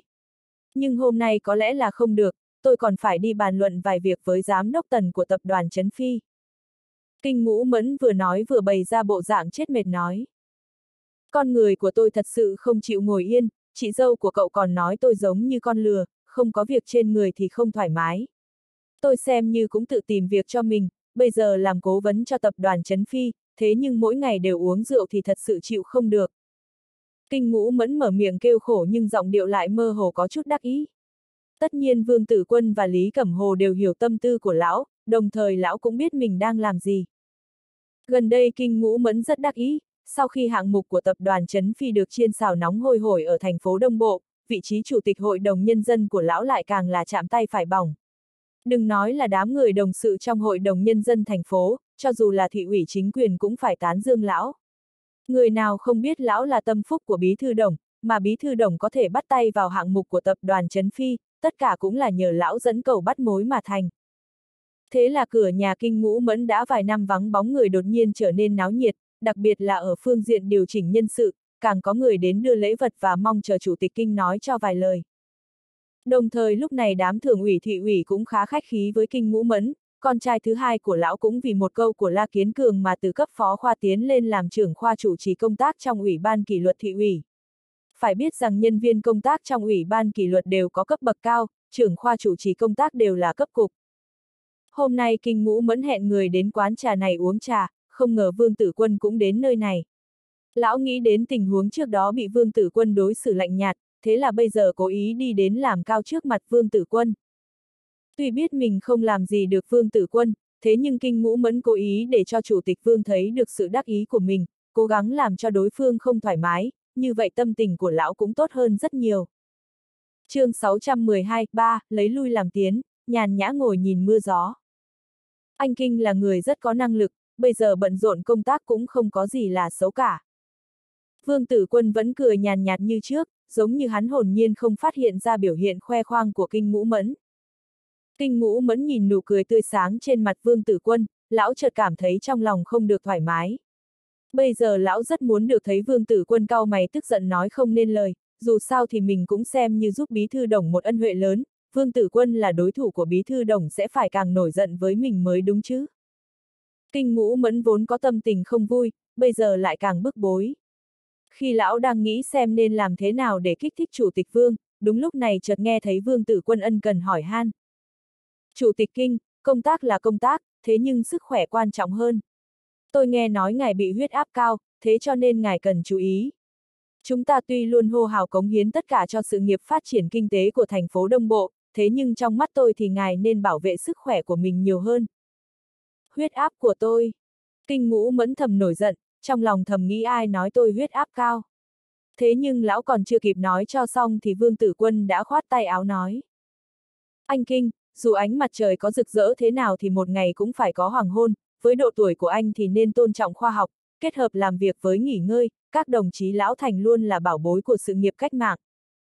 Lời nói của Vương Tử Quân truyền vào trong tai làm cho kinh ngũ mẫn ngửi thấy hương vị khác thường. Lão cảm thấy đầu óc có hơi chấn động, có hơi chóng mặt. Chủ tịch kinh, anh nên nghỉ ngơi một chút, anh đấy, nên về nhà nghỉ ngơi vài ngày mới được. Cầm hồ, chút nữa anh gọi điện thoại cho Thái Nguyên Thương, nói rằng tôi yêu cầu phía Hội đồng Nhân dân sắp xếp cho anh Kinh nghỉ ngơi một thời gian, sao có thể ép các đồng chí lão thành công tác cao độ thế này được. Lý Cẩm Hồ cười thầm, hắn nghe chỉ thị của Vương Tử Quân thì cười nói.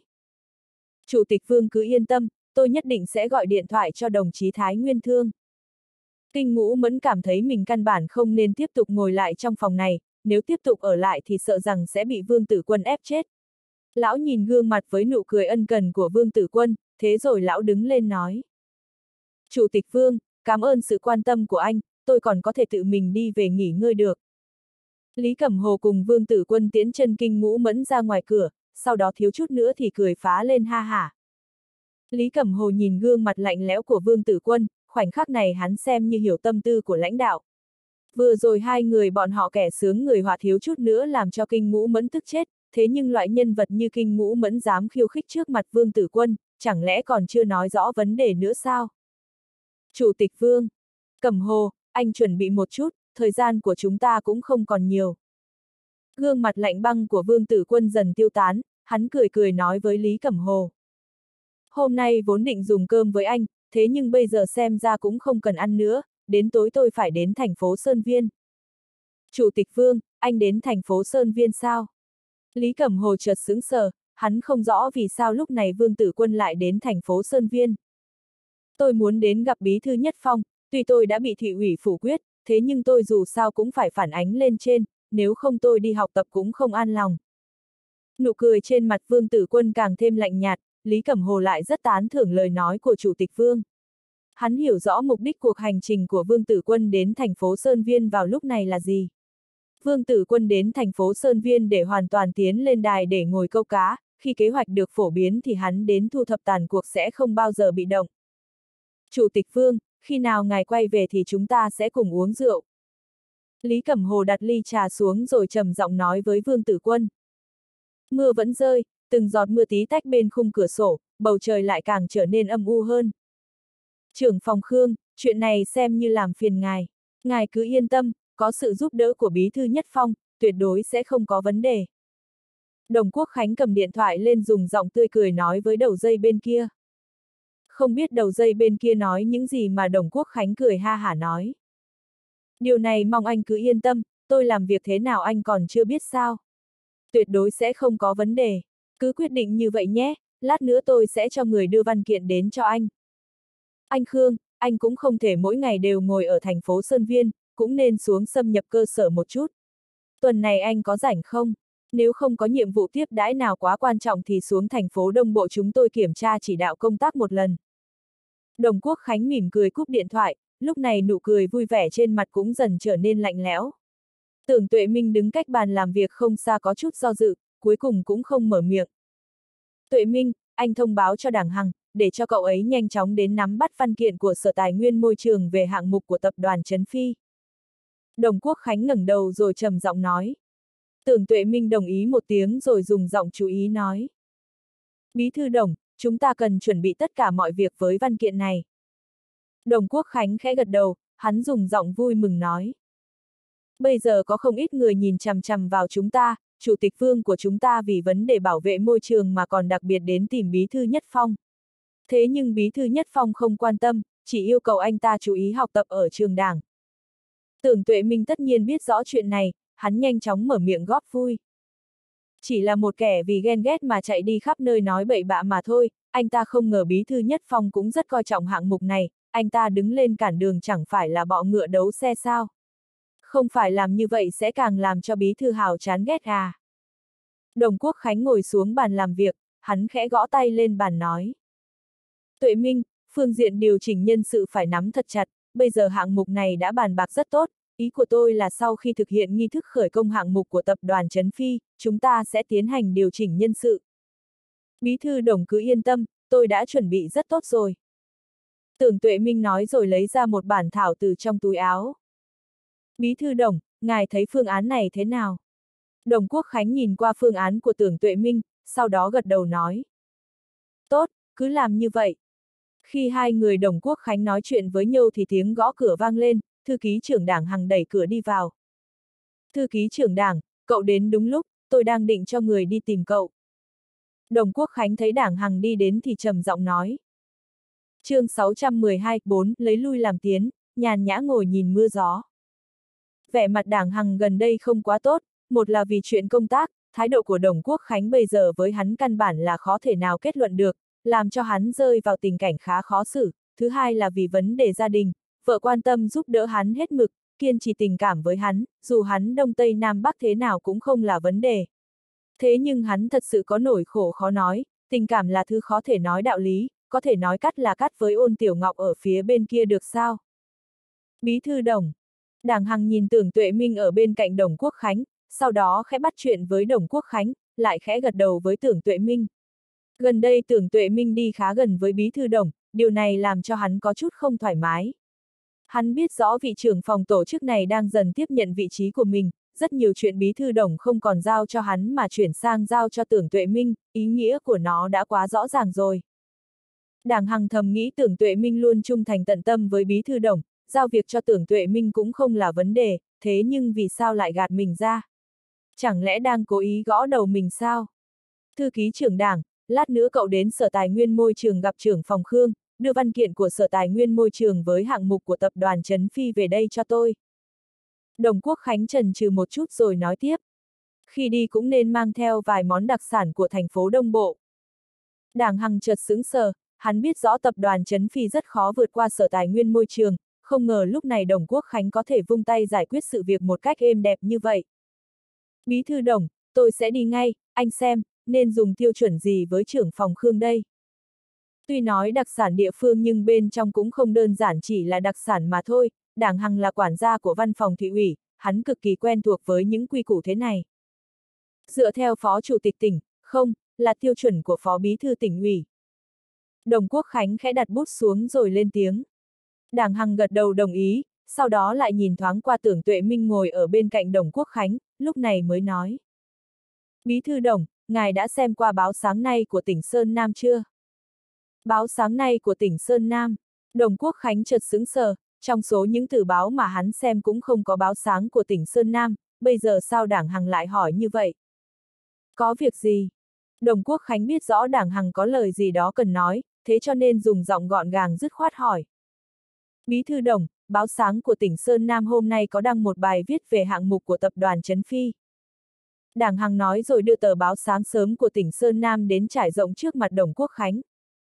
Thật ra bản tin này cũng không phải chỉ có Đảng Hằng được đọc, thật ra là một vị phó chủ nhiệm văn phòng thị ủy đọc qua, cảm thấy sự việc không nhỏ, thế cho nên vội vàng báo cáo cho hắn, thế cho nên hắn mới xem qua bài viết này và đến báo cáo cho Đồng Quốc Khánh. Đồng Quốc Khánh nhìn bài viết chuyên nghiệp trên tờ báo mà vẻ mặt trầm hẳn xuống. Tuy bài viết kia dùng ngôn ngữ học thuật để giới thiệu tình huống nguy hại và biện pháp phòng ngừa của hạng mục của tập đoàn Trấn Phi, thế nhưng bài viết này lại làm cho Đồng Quốc Khánh giống như bị người ta đâm lên lưng. Đặt xa nội thành, đặt xa chỗ đông người, Đồng Quốc Khánh nhìn những dòng chữ như vậy mà cảm thấy đó không phải là điều kiện hạn chế với hạng mục của tập đoàn Trấn Phi, rõ ràng muốn đá hạng mục này ra khỏi bàn tay của hắn. Đồng Quốc Khánh thầm suy tư, sau đó lạnh giọng nói. Thư ký trưởng đảng, bài viết này là sao? Đối phương muốn gì? Đúng là quá bừa bãi. Đảng Hằng nhìn vẻ mặt của Đồng Quốc Khánh, hắn biết rõ bí thư Đồng đã bị bài viết kia chọc tức, thế là trầm ngâm dây lát rồi nói. Tôi đã cho người điều tra sơ lược về tác giả của bài viết này, hình như là một vị giáo sư chuyên khoa hóa của Đại học Sơn Viên. Thư ký trưởng đảng, cậu đến thành phố Sơn Viên, cũng thuận tiện giải quyết vụ này cho tôi. Đồng Quốc Khánh khẽ vỗ đầu rồi trầm giọng nói với Đảng Hằng. Giải quyết chuyện này, Đảng Hằng có chút sững sốt, sau đó dùng ánh mắt xin chỉ thị nhìn Đồng Quốc Khánh. Dù anh làm thế nào cũng được, tôi không muốn vị giáo sư kia tiếp tục nói những lời ẩu tả như vậy trên mặt báo nữa. Đồng Quốc Khánh vung tay lên lạnh giọng nói. Bài viết của anh ta rõ ràng có thái độ cực đoan không chịu trách nhiệm với thành phố Đông Bộ chúng ta, rõ ràng muốn phá hoại tình thế phát triển kinh tế của thành phố chúng ta. Đảng Hằng biết lúc này dù nói thế nào thì Đồng Quốc Khánh cũng không nghe lọt tai, thế cho nên nhanh chóng gật đầu xem như đồng ý. Tút tút tút, tiếng chuông điện thoại vang lên rồn rập, Đồng Quốc Khánh nhìn thoáng qua số điện thoại gọi đến, sau đó khẽ gật đầu với Đảng Hằng. Đảng Hằng nhìn thoáng qua Đồng Quốc Khánh, sau đó hắn nhấc điện thoại lên nói. Alo, chào anh, tôi là Đảng Hằng. Thư ký trưởng đảng, có vài vị giảng viên của trường cao đẳng Đông Bộ đến thị ủy, nói là muốn gặp bí thư đồng. Một vị phó chủ nhiệm văn phòng thị ủy ở đầu dây bên kia trầm giọng báo cáo với Đảng Hằng. Bọn họ muốn gặp bí thư đồng có chuyện gì? Đảng Hằng tuy cảm thấy sự kiện này có liên quan đến bài viết trên báo vào ngày hôm nay, thế nhưng vẫn trầm giọng hỏi. Thư ký trưởng, bọn họ nói muốn phản ánh với bí thư đồng về hạng mục của tập đoàn Trấn Phi. Đầu dây bên kia không chút trần trừ mà dùng giọng dồn dập nói. Sợ gì gặp đó? Đảng Hằng thầm mắng một câu, hắn nói một câu biết rồi với đầu dây bên kia, sau đó cúp điện thoại. Vẻ mặt đồng quốc khánh trở nên cực kỳ âm trầm, tuy hắn không nghe rõ những lời báo cáo từ đầu dây bên kia, thế nhưng hắn vẫn đoán được vài phần dựa vào phản ứng của đảng Hằng. Sau khi nghe đảng Hằng báo cáo thì hắn trầm ngâm nói. Anh thông báo cho hiệu trưởng trường cao đảng Đông Bộ, để bọn họ cùng đi qua gặp trưởng phòng tường. Tưởng tuệ minh cười cười nói. Bí thư đồng, tôi cảm thấy đám giảng viên giáo sư kia bị người ta che mắt, chỉ cần nói rõ sự việc là bọn họ sẽ quay về mà thôi. À, trưởng phòng tưởng, anh nói cho hiệu trưởng triệu của trường cao đẳng Đông Bộ biết, bọn họ là một trường sắp tiến lên đại học của thành phố Đông Bộ, việc bọn họ cần làm chính là cố gắng đẩy mạnh chất lượng dạy và học, những thứ khác cũng đừng nên quan tâm. Đồng Quốc Khánh nói đến đây thì tiếp tục lên tiếng. Nếu như chất lượng dạy và học của trường không đi lên, ngược lại còn tham dự vào những sự việc không liên quan, tôi xe đề nghị tỉnh thay người. Chất lượng giáo dục chỉ là một cái cớ khai đao mà thôi, tưởng tuệ minh và đảng hằng đều hiểu, ý nghĩ của Đồng Quốc Khánh chính là hiệu trưởng triệu nếu không áp chế được đám giảng viên kia, lão sẽ không ngại thay người. Đảng Hằng nhanh chóng rời khỏi phòng làm việc của bí thư Đồng Quốc Khánh, khi tưởng tuệ minh chuẩn bị đi thì Đồng Quốc Khánh chợt nói. Trường phòng tưởng, chuyện này nhất định phải giải quyết dứt khoát, mau chuẩn bị cho tốt, trong thời gian 10 ngày phải tổ chức nghi thức khởi công, miễn cho những tình huống xấu diễn ra. chương 612, năm, lấy lui làm tiến, nhàn nhã ngồi nhìn mưa gió. Trong thời gian 10 ngày, toàn bộ thành phố Đông Bộ giống như lên dây cót xung quanh hạng mục của tập đoàn Trấn Phi. Hai khối ban ngành đảng ủy chính quyền thành phố Đông Bộ dưới sự tọa chấn của Đồng Quốc Khánh đã nhanh chóng thúc đẩy hạng mục của tập đoàn Trấn Phi phát triển. Khi cả thành phố Đông Bộ đang bận rộn vì hạng mục của tập đoàn Trấn Phi, hiểu biết của dân chúng về hạng mục của tập đoàn Trấn Phi càng thêm rõ ràng. Khi báo sáng của tỉnh Sơn Nam liên tục đăng bài về hạng mục này, toàn thành phố Đông Bộ bắt đầu dậy sóng với đủ mọi lời nghị luận. Vào một buổi sáng sớm, trên con đường bán điểm tâm sầm uất, một tên thanh niên hơn 20 tuổi đi vào một quán cháo ven đường, hắn vừa ngồi xuống thì chợt nghe thấy có người hỏi.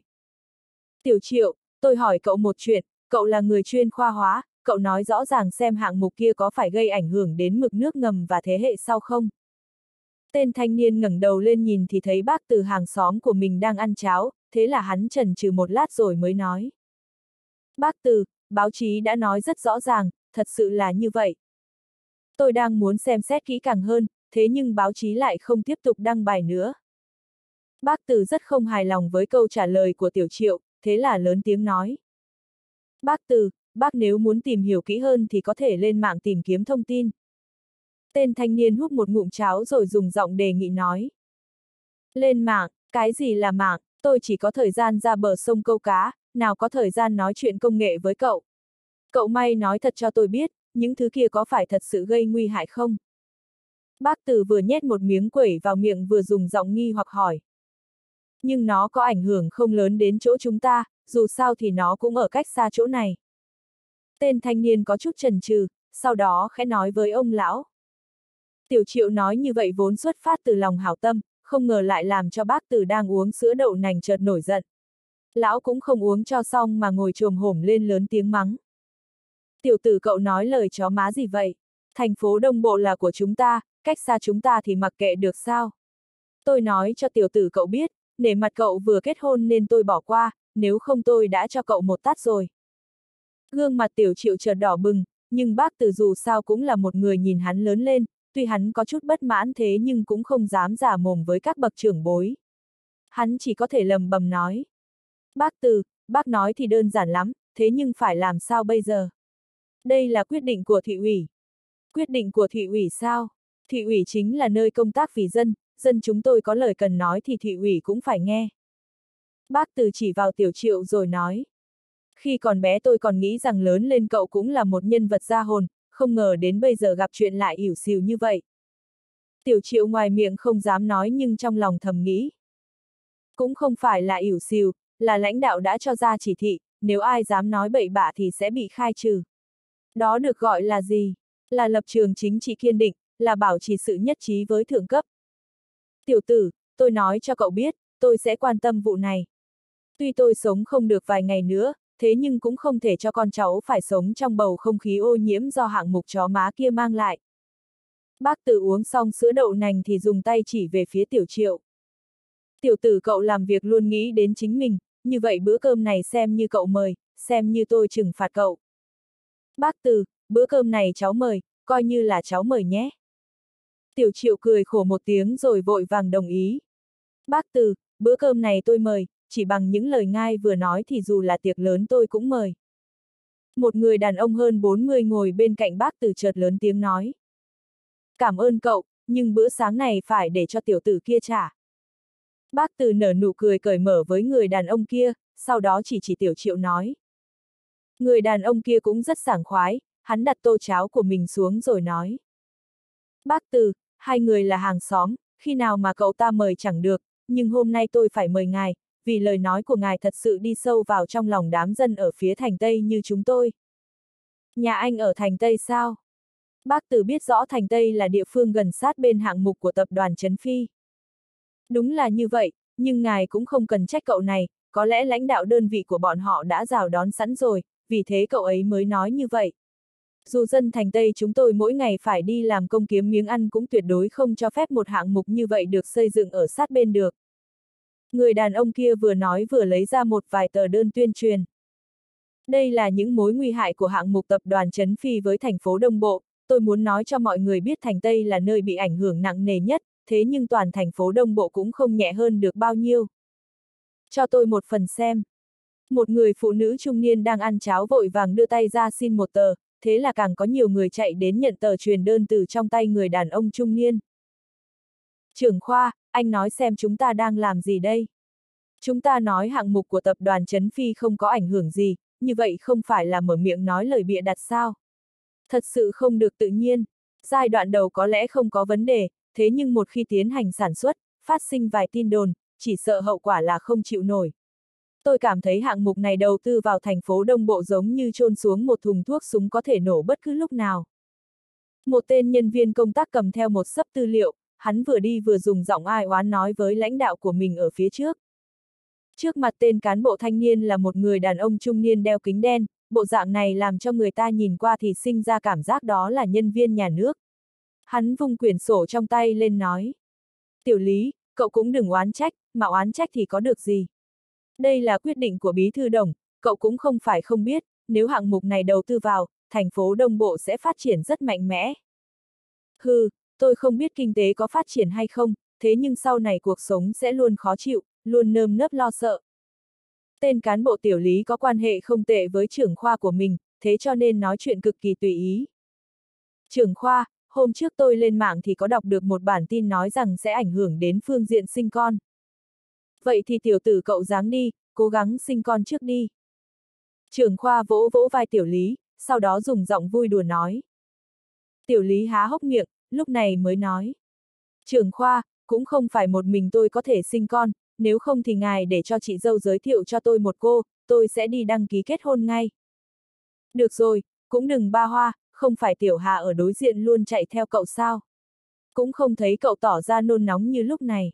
Tục ngữ nói nam theo đuổi nữ thì dù cách một quả núi cũng tình nguyện chạy qua, nhưng nữ theo nam thì chỉ cách một lớp giấy cũng không biết phải làm sao, dũng khí của tiểu hà người ta cũng không đơn giản, cậu cũng không thể nào không quan tâm được.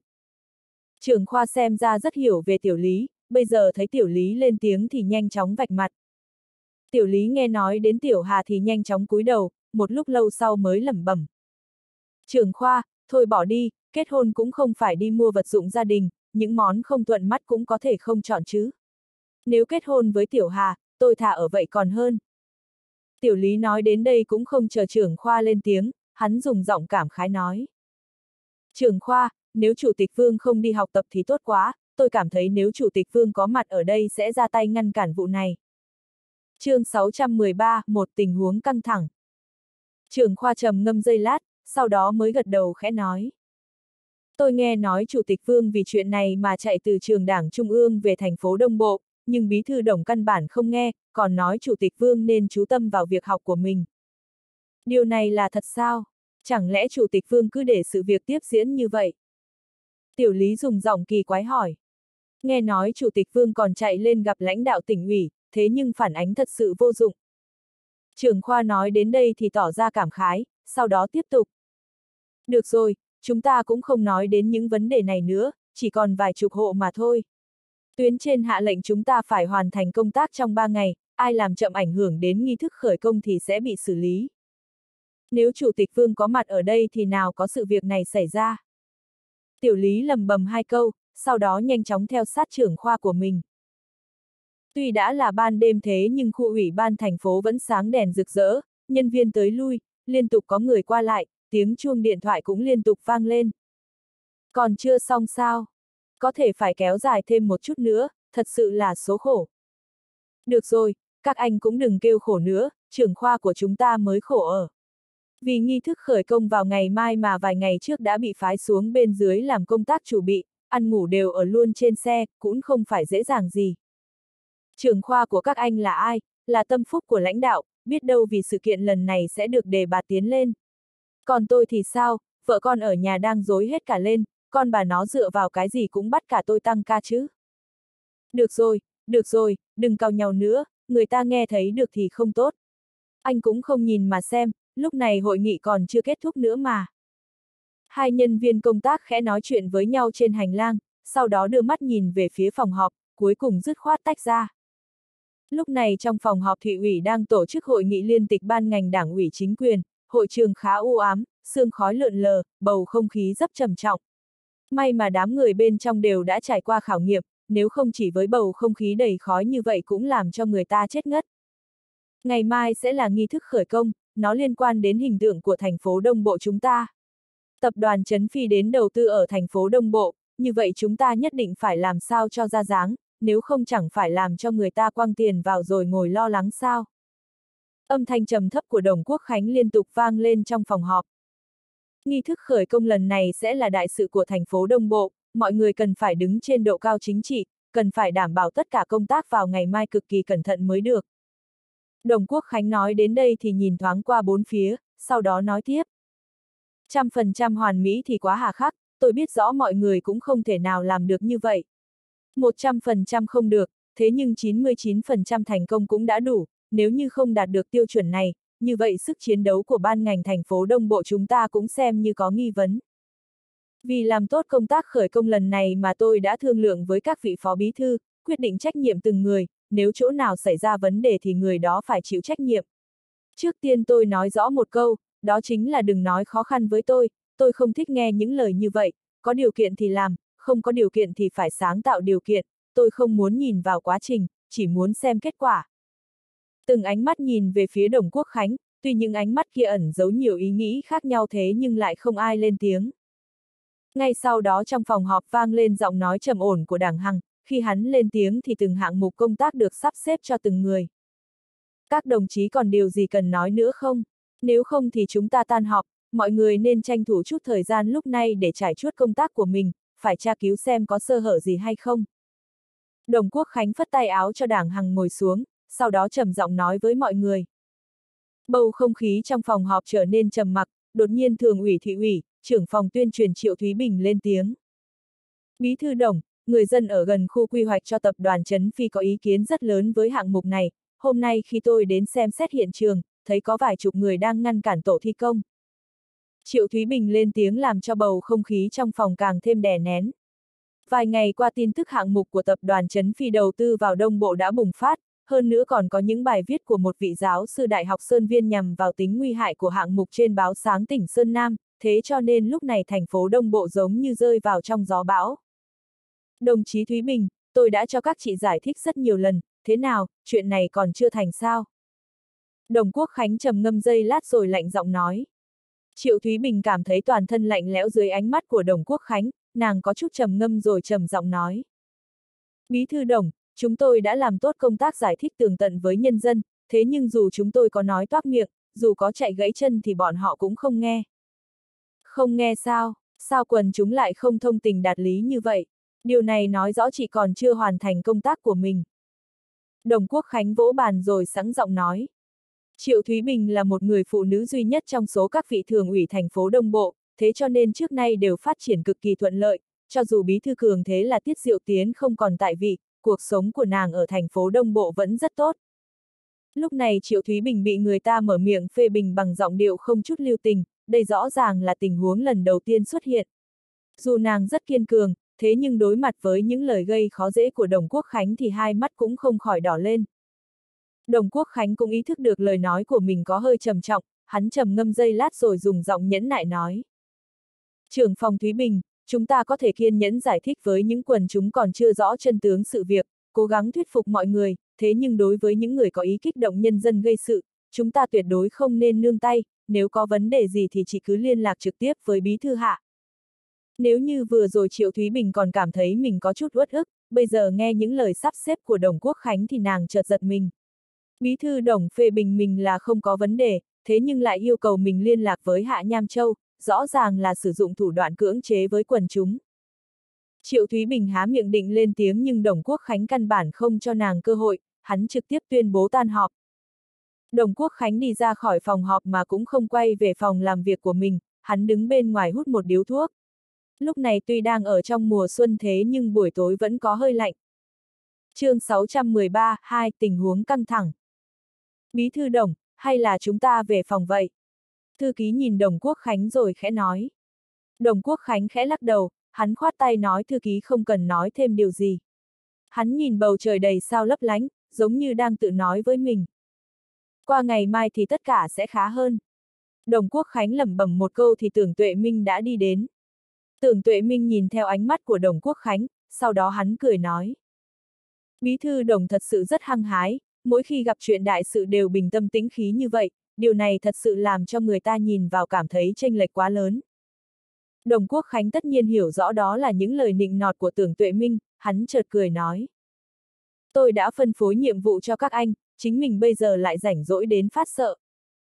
Những ngày qua tâm tình của Đồng Quốc Khánh thật sự không được tốt, ăn ngủ không ngon, ai bảo hắn gánh vác tâm lý quá nặng nề. Trong lòng hắn luôn là hạng mục của tập đoàn Trấn Phi, hắn biết rõ hạng mục này có áp lực và nguy hiểm ở mức độ nào, hắn phải tự thừa nhận điều này. Hạng mục này thật sự quá trầm trọng, nếu không thì cần gì hắn phải trăm phương ngàn kế vung tay vận tác. Trước khi hạ quyết tâm thì hắn đã suy xét rất kỹ về hai phương diện lợi và hại, trên thế giới thật sự không có bữa cơm trưa miễn phí, mưu cầu chiến tích thường sẽ có tổn thương, quan trọng là cái gì nặng cái gì nhẹ, lợi nặng hại nhỏ thì hoàn toàn có thể vung tay vận hành. Bí thư đồng, ngày mai sẽ đặt nghi thức khởi công, nghe nói chủ tịch Thạch không đến được, sẽ là phó chủ tịch Trương đến tham dự. Tưởng Tuệ Minh rất thức thời khi không đi sâu vào vấn đề này, hắn nhanh chóng thay đổi chủ đề. Ừ. Đồng Quốc Khánh khẽ gật đầu, hắn đi về phía trước hai bước, sau đó trịnh trọng nói với Tưởng Tuệ Minh. Lãnh đạo đến thì chúng ta phải làm tốt công tác, lãnh đạo không đến chúng ta cũng phải làm sao cho tốt, nếu làm tốt thì thành tích căn bản không chạy đi đâu được. Tôi tin tưởng chỉ cần chúng ta làm tốt, như vậy lãnh đạo sẽ nhìn thấy rõ ràng. Tưởng Tuệ Minh đi theo vào phòng làm việc của Đồng Quốc Khánh, hắn biết rõ ý nghĩ lúc này của Đồng Quốc Khánh là gì. Đáng lý ra Hào Nhất Phong sẽ tham gia nghi thức khởi công, thế nhưng Hào Nhất Phong tạm thời có việc và giao cho Thạch Kiên Quân, nhưng bây giờ Thạch Kiên Quân cũng không đến, điều này không khỏi làm cho Đồng Quốc Khánh sinh ra cảm giác bức bối. Các anh đến thì tôi cũng làm tốt, các anh không đến tôi vẫn làm tốt, lúc này Đồng Quốc Khánh đang cần một hành động làm cho người ta phải chú ý, hoặc là nói hắn cần một thành tích lớn. Hạng mục của tập đoàn Trấn Phi chính là một bệ phóng cho hắn, lúc này có bao nhiêu người đến cũng là như vậy mà thôi, mục đích vẫn là như nhau. Trong một quán lẩu ở thủ đô, Vương Tử Quân đang ăn lẩu thịt dê. Trương Đảo Long ngồi ở phía đối diện với Vương Tử Quân đang ăn uống vã mồ hôi hột, bộ dạng ngon miệng thật sự làm cho người ta sinh ra cảm giác thèm ăn. Đảo Long, cũng không ngờ anh thích ăn cay. Vương Tử Quân đặt đũa uống rồi nâng ly nước uống một ngụm nói. Trương Đảo Long vừa ăn vừa dùng giọng hàm hồ suy đoán nói. Chủ tịch Vương, con người của tôi thích ăn cay, phải thật cay ăn mới sướng.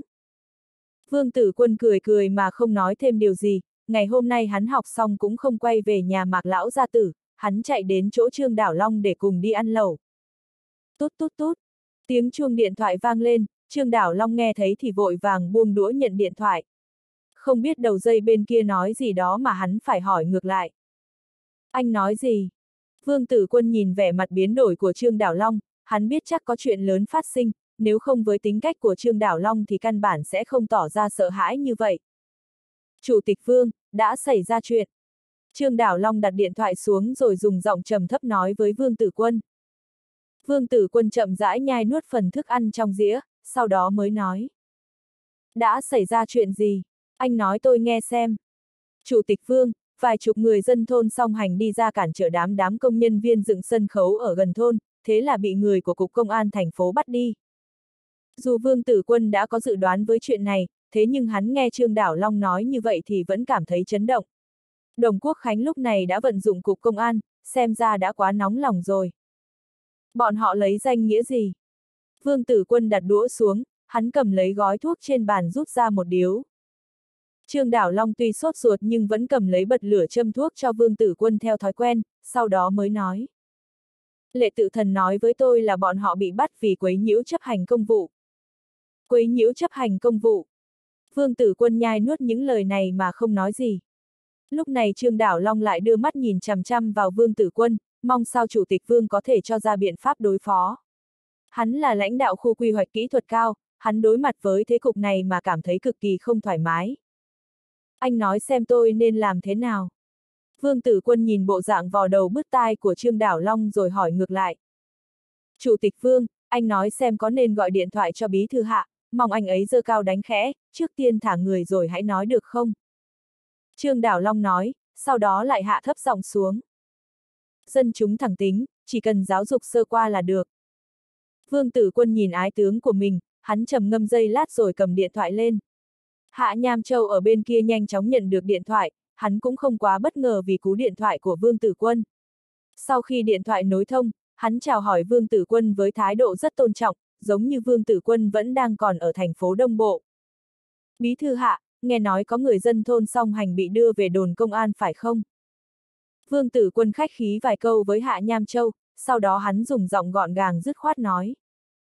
Chủ tịch Vương, là thế này, từ sáng sớm hôm nay đã có vài người dân đến hiện trường khởi công hạng mục của tập đoàn Trấn Phi để cản trở thi công, quấy rối nhân viên công tác của chính quyền, phá hủy tiến độ thực hiện nghi thức. Thế là Cục Công an cho ra chỉ thị mời những người kia về đồn nói rõ vấn đề. Hạ Nham Châu trở thành Cục trưởng Cục Công an nhiều năm, tất nhiên nói chuyện cũng cực kỳ cẩn thận. Vương Tử Quân cười cười, hắn cũng không muốn chọc phá chút thủ đoạn của Hạ Nham Châu, dù sao thì Bí Thư Hạ cũng đang vì công tác mà thôi. Bí thư hạ, tôi cho anh một lời đề nghị thế này, anh xem có thể thả bọn họ ra được không? Bây giờ trời đã tối, ngày mai điều tra cũng không muộn. Lãnh đạo thượng cấp cho ra lời đề nghị nào cũng là chỉ thị, hơn nữa Vương Tử Quân là chủ tịch thành phố Đông Bộ, đề nghị của hắn với Hạ Nham Châu cũng là chỉ thị, thế nhưng Hạ Nham Châu lại không dám áp dụng chỉ thị của Vương Tử Quân. Chủ tịch Vương, chuyện này, anh xem, có phải nên liên hệ với thị ủy hay không?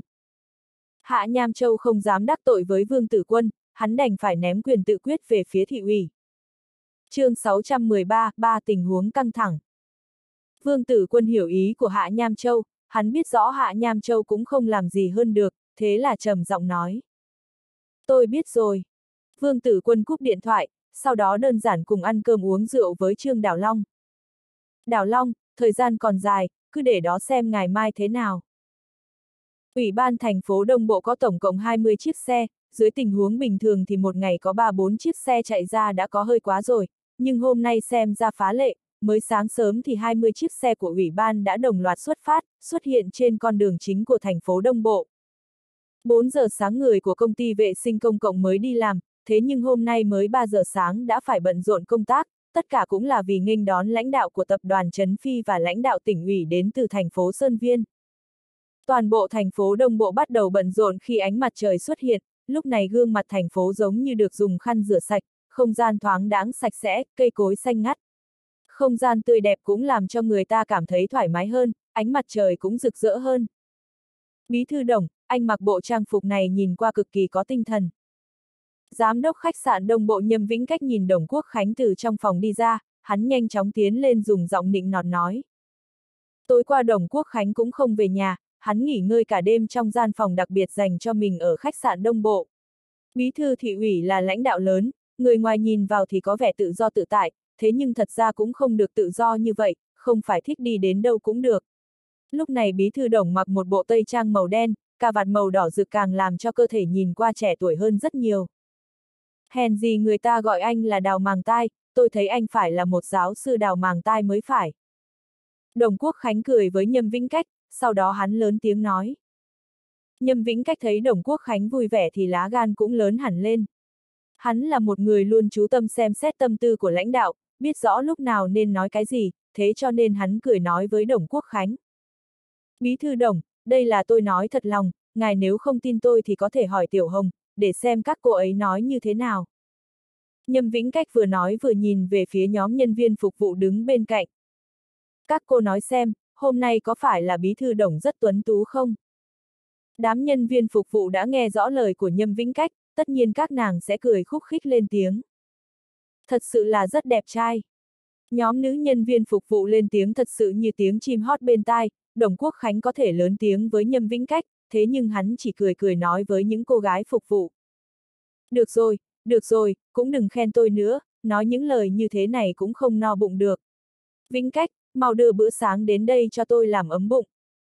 Bữa sáng của Bí thư Đồng Quốc Khánh đã được khách sạn Đông Bộ chuẩn bị xong, đối với Nhâm Vĩnh Cách thì phục vụ lãnh đạo chính là nguyên tắc quan trọng nhất. Sau khi nghe lời phân phó của Đồng Quốc Khánh, hắn lập tức đưa lãnh đạo đến nhà hàng trong khách sạn. Đồng Quốc Khánh ăn một lồng bánh bao, một tô cháo nóng hổi, cuối cùng mới buông đũa. Khi hắn tiếp nhận khăn tay từ Nhâm Vĩnh Cách, đúng lúc này thư ký trưởng Đảng Hằng đã nhanh chóng đi đến. Đảng Hằng, bây giờ tất cả ban ngành chuẩn bị thế nào rồi? Đồng Quốc Khánh vừa vung tay cho Đảng Hằng ngồi xuống vừa khẽ nói. Lúc này hai mắt Đảng Hằng đầy tơ máu, tối qua hắn chỉ ngủ hai tiếng, bây giờ xem ra thiếu ngủ quá nghiêm trọng. Nhưng dù hắn có mệt mỏi thế nào cũng không dám xem thường, hắn là quản gia của văn phòng thị ủy, có rất nhiều chuyện phải xử lý cho tốt. Bí thư đồng, tất cả ban ngành đã chuẩn bị rất tốt, Cục Công an thành phố còn triệu tập cả lực lượng cảnh sát cơ động, bảo đảm nghi thức khởi công sẽ được tiến hành thuận lợi. Đảng Hằng cầm một cái bánh bao cắn một miếng, sau đó nhanh chóng báo cáo với Đồng Quốc Khánh. Đồng Quốc Khánh khẽ gật đầu, sau đó cười nói. Thư ký trưởng đảng, cậu dùng cơm gì, hai ngày qua cậu thật sự bận rộn nhiều rồi, đợi son việc tôi sẽ cho cậu nghỉ hai ngày. Đúng rồi, trong tỉnh có tin tức gì không? Khi nào thì Chủ tịch Trương đến? Chủ tịch Trương đã xuất phát rồi, có lẽ một giờ sau sẽ rời khỏi đường cao tốc. Đảng Hằng trả lời rất lưu loát, rõ ràng nắm giữ hành tung của Chủ tịch Trương như trong lòng bàn tay. Một giờ sau, Đồng Quốc Khánh khẽ nhắc lại một câu, sau đó nói tiếp. Người của tập đoàn Trấn Phi khi nào thì đến. Một giờ sau người của tập đoàn Trấn Phi cũng sẽ đến, giám đốc của bọn họ còn nói sẽ cùng ngay đi đón Chủ tịch Trương. Đảng Hằng nói đến giám đốc của tập đoàn Trấn Phi thì có chút trào phúng, hắn thật sự không có cảm tình gì với người này, vì hắn quy kết tất cả những vấn đề đang xảy ra ở thành phố Đông Bộ cho đám người tập đoàn Trấn Phi này. Tiếng chuông vang lên lúc 8 giờ, Đồng Quốc Khánh chậm rãi đi về phía khu văn phòng thị ủy, khi hắn chuẩn bị leo lên xe thì điện thoại của đảng Hằng vang lên rồn rập. Đảng Hằng tiếp nhận điện thoại, hắn nhanh chóng chạy về phía xe của Đồng Quốc Khánh. Sau khi Đồng Quốc Khánh hạ kính xe xuống thì hắn khẽ nói. Bí thư Đồng, không tốt rồi, người dân thôn song hành kéo đến thành phố kêu oan, bây giờ đã tiến vào thành phố rồi. Đồng Quốc Khánh chợt sững sờ, vẻ mặt càng trở nên âm trầm. Anh đi xử lý chuyện này cho tôi, nhớ kỹ, nhất định phải làm cho tất cả nhân dân quay về nhà trước 9 giờ. Đồng Quốc Khánh nhìn chằm chằm vào đảng Hằng rồi nói ra từng chữ một. Khuyên bảo người dân đến biểu tình chỉ trong thời gian hơn nửa giờ. Đảng Hằng chợt cảm thấy nhức đầu, hắn vừa định nói với Đồng Quốc Khánh rằng sự việc rất khó khăn thì cửa sổ xe đã đóng lại. Hắn chỉ có thể thở dài rồi gọi tài xế của Minh đến chạy về phía ủy ban thành phố. Đảng Hằng liên tục liên lạc cho lãnh đạo ban ngành khu quy hoạch kỹ thuật cao, để cho bọn họ nhanh chóng đến trước cổng ủy ban thành phố khuyên nhủ người dân thôn song hành quay về nhà. Hắn gọi điện thoại cho chủ nhiệm khu quy hoạch kỹ thuật cao và dùng giọng cực kỳ nghiêm khắc để phân phó công tác. Có thể chạy nhanh một chút không? Đảng Hằng đặt điện thoại xuống rồi trầm giọng nói với lái xe. Trước kia Đảng Hằng căn bản chưa từng cho ra lời nói nào ép buộc lái xe chạy theo ý mình, nhưng bây giờ hắn lại phá lệ lên tiếng. Lái xe khẽ gật đầu, hắn nhấn mạnh chân ga, xe chạy như bay về phía trước. Khi xe đến cổng ủy ban thành phố, Đảng Hằng chợt phát hiện có hơn ngàn người tụ tập ở cổng ủy ban, quần chúng giơ nhiều biểu ngữ trong tay. Hắn nhìn lướt qua, tuy nội dung cũng không giống nhau thế nhưng ý nghĩa lại tương đồng, đó chính là cự tuyệt hạng mục ô nhiễm, không đồng ý khởi động hạng mục của tập đoàn Trấn Phi. Thư ký trưởng đảng, anh đã đến rồi. Phó phòng văn thư Lỗ Hà Côn thấy đảng Hằng đi đến thì giống như gặp cứu tinh, hắn tranh thủ thời gian tiến lên đón chào. chương 613, 4 tình huống căng thẳng. Sự việc khẩn cấp thế này là cực kỳ khó chơi, quần chúng kéo đến kêu oan giống như một khối đậu hũ đặt trên mặt đất, đánh không được, đập không xong, thế cho nên lỗ hà côn vã cả mồ hôi hột. Khi thấy đảng Hằng đi đến thì hắn cuối cùng cũng thở vào một hơi, dù sao thì chức quan của đảng Hằng cũng lớn hơn hắn, trời sập cũng có lãnh đạo đứng trên cao chống đỡ. Tình huống thế nào? Đảng Hằng cũng không có tâm tư bắt tay với Lỗ Hà Côn, hắn nhìn thoáng qua đám người rồi trầm giọng hỏi. Lỗ Hà Côn vội vàng nói. Chúng ta đã khai thông công tác với người dân, thế nhưng bọn họ vẫn không đi, ngược lại càng ngày càng tụ tập đông đúc hơn. Nếu như không có phương án phù hợp, tôi chỉ sợ sẽ có sai lầm lớn phát sinh. Thư ký trưởng đảng, bây giờ chúng ta nên làm gì đây? Trưởng phòng lỗ, tâm tính của anh như vậy là không được. Anh là lãnh đạo phòng văn thư, anh phải làm sao để phân ưu giải ạn cho lãnh đạo đảng ủy chính quyền chứ không phải đụng việc là khóc lóc kêu khổ thế này. Đảng Hằng trừng mắt nhìn Lỗ Hà Côn rồi trầm giọng nói. Lỗ Hà Côn vội vàng ngậm miệng, thế nhưng trong lòng lại thầm nói.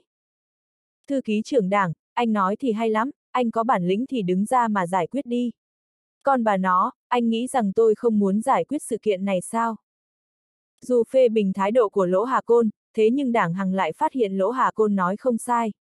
Khi hai người bọn họ đang định tiến hành thương lượng cho ra đối sách thì càng có thêm nhiều quần chúng gia nhập vào đội ngũ kêu oan. Các hương thân phụ lão, tôi là đảng Hằng, mọi người có ý kiến gì cứ cử đại biểu ra nói với tôi. Tôi biết rõ mọi người đều thông tình đạt lý, bất đắc dĩ lắm mới đến đây mà thôi. Đảng Hằng nhận lấy loa phóng thanh trong tay của nhân viên công tác, sau đó hắn cất bước đi về phía cổng ủy ban nói. Lúc này cổng ủy ban thành phố đã có trên trăm cảnh sát đứng chặn lại, đảng Hằng vừa lên tiếng đã làm cho bầu không khí rối loạn trở nên bình tĩnh. Thư ký trưởng đảng, chúng tôi cũng không muốn quấy nhiễu công tác của ủy ban thành phố, thế nhưng chúng tôi thật sự không có biện pháp gì khác, nếu chúng tôi không làm thế này thì cuộc sống về sau sẽ không được đảm bảo. Có nhiều quần chúng chợt lên tiếng. Thư ký trưởng đảng, anh đứng nói chuyện sẽ không đau lưng, nếu anh đứng trong môi trường ô nhiễm cả ngày, anh có chịu được không? Thư ký trưởng đảng, anh không làm chủ được, chúng tôi không bàn chuyện với anh, chúng tôi muốn nói với Chủ tịch Vương, với Bí Thư Đồng, chúng tôi yêu cầu lập tức dừng hạng mục của tập đoàn Trấn Phi. Những lời nói ồn ào làm cho đảng Hằng cảm thấy có chút nhức đầu, khi hắn đang cố gắng khống chế cục diện đối thoại với quần chúng thì lại càng có nhiều người tham gia vào đoàn biểu tình, thế là giao thông trước cổng ủy ban xem như bị tê liệt. Thời gian dần trôi qua, đảng Hằng dù nói đến mức đỏ mặt tía tai thì quần chúng chúng không có chút thay đổi. Quần chúng đến đây chỉ có một yêu cầu, đó là yêu cầu ủy ban dừng ngay hạng mục của tập đoàn Trấn Phi lại, thế nhưng đảng Hằng cảm thấy lúc này không thể nào dừng hạng mục lại được. Đồng Quốc Khánh đã tiến vào quá sâu trong hạng mục này, nếu như muốn cho Đồng Quốc Khánh thu tay, căn bản là nước đổ khó hốt. Các vị, tôi hiểu rõ tâm tình của mọi người, thế nhưng tôi cũng muốn nói cho mọi người rõ ràng, trước khi hạng mục được khởi công thì ban ngành thành phố đã yêu cầu Sở Tài nguyên Môi trường kiểm tra xem xét, cuối cùng cho ra kết luận không có mối nguy hại nào, mong mọi người cứ yên tâm. Dù có loa phóng thanh thế nhưng đảng Hằng vẫn cảm thấy cổ họng khô rát khó chịu, nhưng thời gian đang dần trôi qua, hắn nhất định phải nói, phải làm tốt công tác của mình. Lát nữa xe của Chủ tịch Trương và Giám đốc Triệu sẽ tập trung trước cổng ủy ban, nếu như vấn đề này không được giải quyết, chỉ sợ sẽ là một cái tát vang dội vào mặt thành phố Đông Bộ. Thư ký trưởng đảng, là điện thoại của Bí Thư Đồng. Khi đảng Hằng đang khuyên bảo nhân dân đến mức miệng đắng lưỡi khô, lái xe của hắn đột nhiên chạy đến nói. Điện thoại của Đồng Quốc Khánh, đảng Hằng không cần nghe cũng hiểu có ý gì, hắn có chút trần trừ, cuối cùng cũng nhận điện thoại trong tay lái xe. Mất bao lâu nữa mới có thể giải tán quần chúng biểu tình. Đồng Quốc Khánh vẫn dùng giọng bình tĩnh nói, thế nhưng đảng Hằng là người quen thuộc bí thư đồng, hắn biết lời nói bình tĩnh của lãnh đạo có hương vị gì. Đồng Quốc Khánh bây giờ đang rất căm giận, đang cực kỳ nén giận. Đảng Hằng phân tích suy nghĩ trong lòng của Bí Thư Đồng, sau đó hắn trầm giọng nói. Bí Thư Đồng, chúng tôi đang cố gắng khuyên bảo. Tôi không cần quá trình, tôi chỉ muốn xem kết quả. 20 phút sau xe của Chủ tịch Trương sẽ rời khỏi đường cao tốc, chỉ còn 20 phút cho cậu mà thôi. Thư ký trưởng đảng, Hạ Nham Châu đang chạy về phía cậu, yêu cầu của tôi là 20 phút phải xử lý cho xong chuyện này. Đồng Quốc Khánh nói, giọng điệu đã thật sự rất lạnh lẽo. Phải giải quyết vấn đề trong thời gian 20 phút, Đảng Hằng cảm thấy đầu óc nổ ầm lên, nhiều người như vậy mà giải quyết trong 20 phút sao? Thế nhưng Đồng Quốc Khánh bên kia căn bản không muốn nghe thêm điều gì, trực tiếp cúp điện thoại. Nói đến Hạ Nham Châu thì hai phút sau người này đã xuất hiện trước mặt Đảng Hằng, cùng đi với Hạ Nham Châu có ba bốn chục tên cảnh sát được trang bị võ trang đầy đủ. Thư ký trưởng đảng, tình huống thế nào? Hạ Nham Châu đi đến trước mặt đảng Hằng, sau đó hắn trầm giọng hỏi. Nếu là trước kia thì đảng Hằng sẽ nhiệt liệt chào hỏi Hạ Nham Châu, thế nhưng lúc này hắn cũng không còn tâm tư nào khác. Hắn chỉ tay về phía đám người đang hỗn loạn ở phía trước, thế là trầm giọng nói. Tình thế không lạc quan, quần chúng tụ tập ngày càng nhiều. Hạ Nham Châu híp mắt nhìn qua bốn phía, sau đó hắn trầm giọng nói.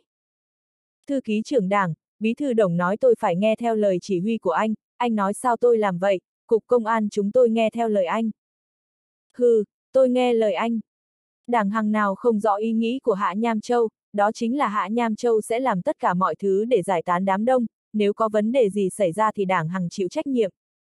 Dù đảng Hằng rất tức giận thế nhưng cũng không có thời gian nói nhiều với Hạ Nham Châu, bây giờ thứ hắn cần chính là thời gian, Đồng Quốc Khánh yêu cầu có kết quả sau 20 phút, hắn phải giải quyết sự việc trong thời gian 20 phút. Bí thư Hạ, mong anh nói ra vài chính sách với dân chúng, khuyên bảo bọn họ rời khỏi chỗ này.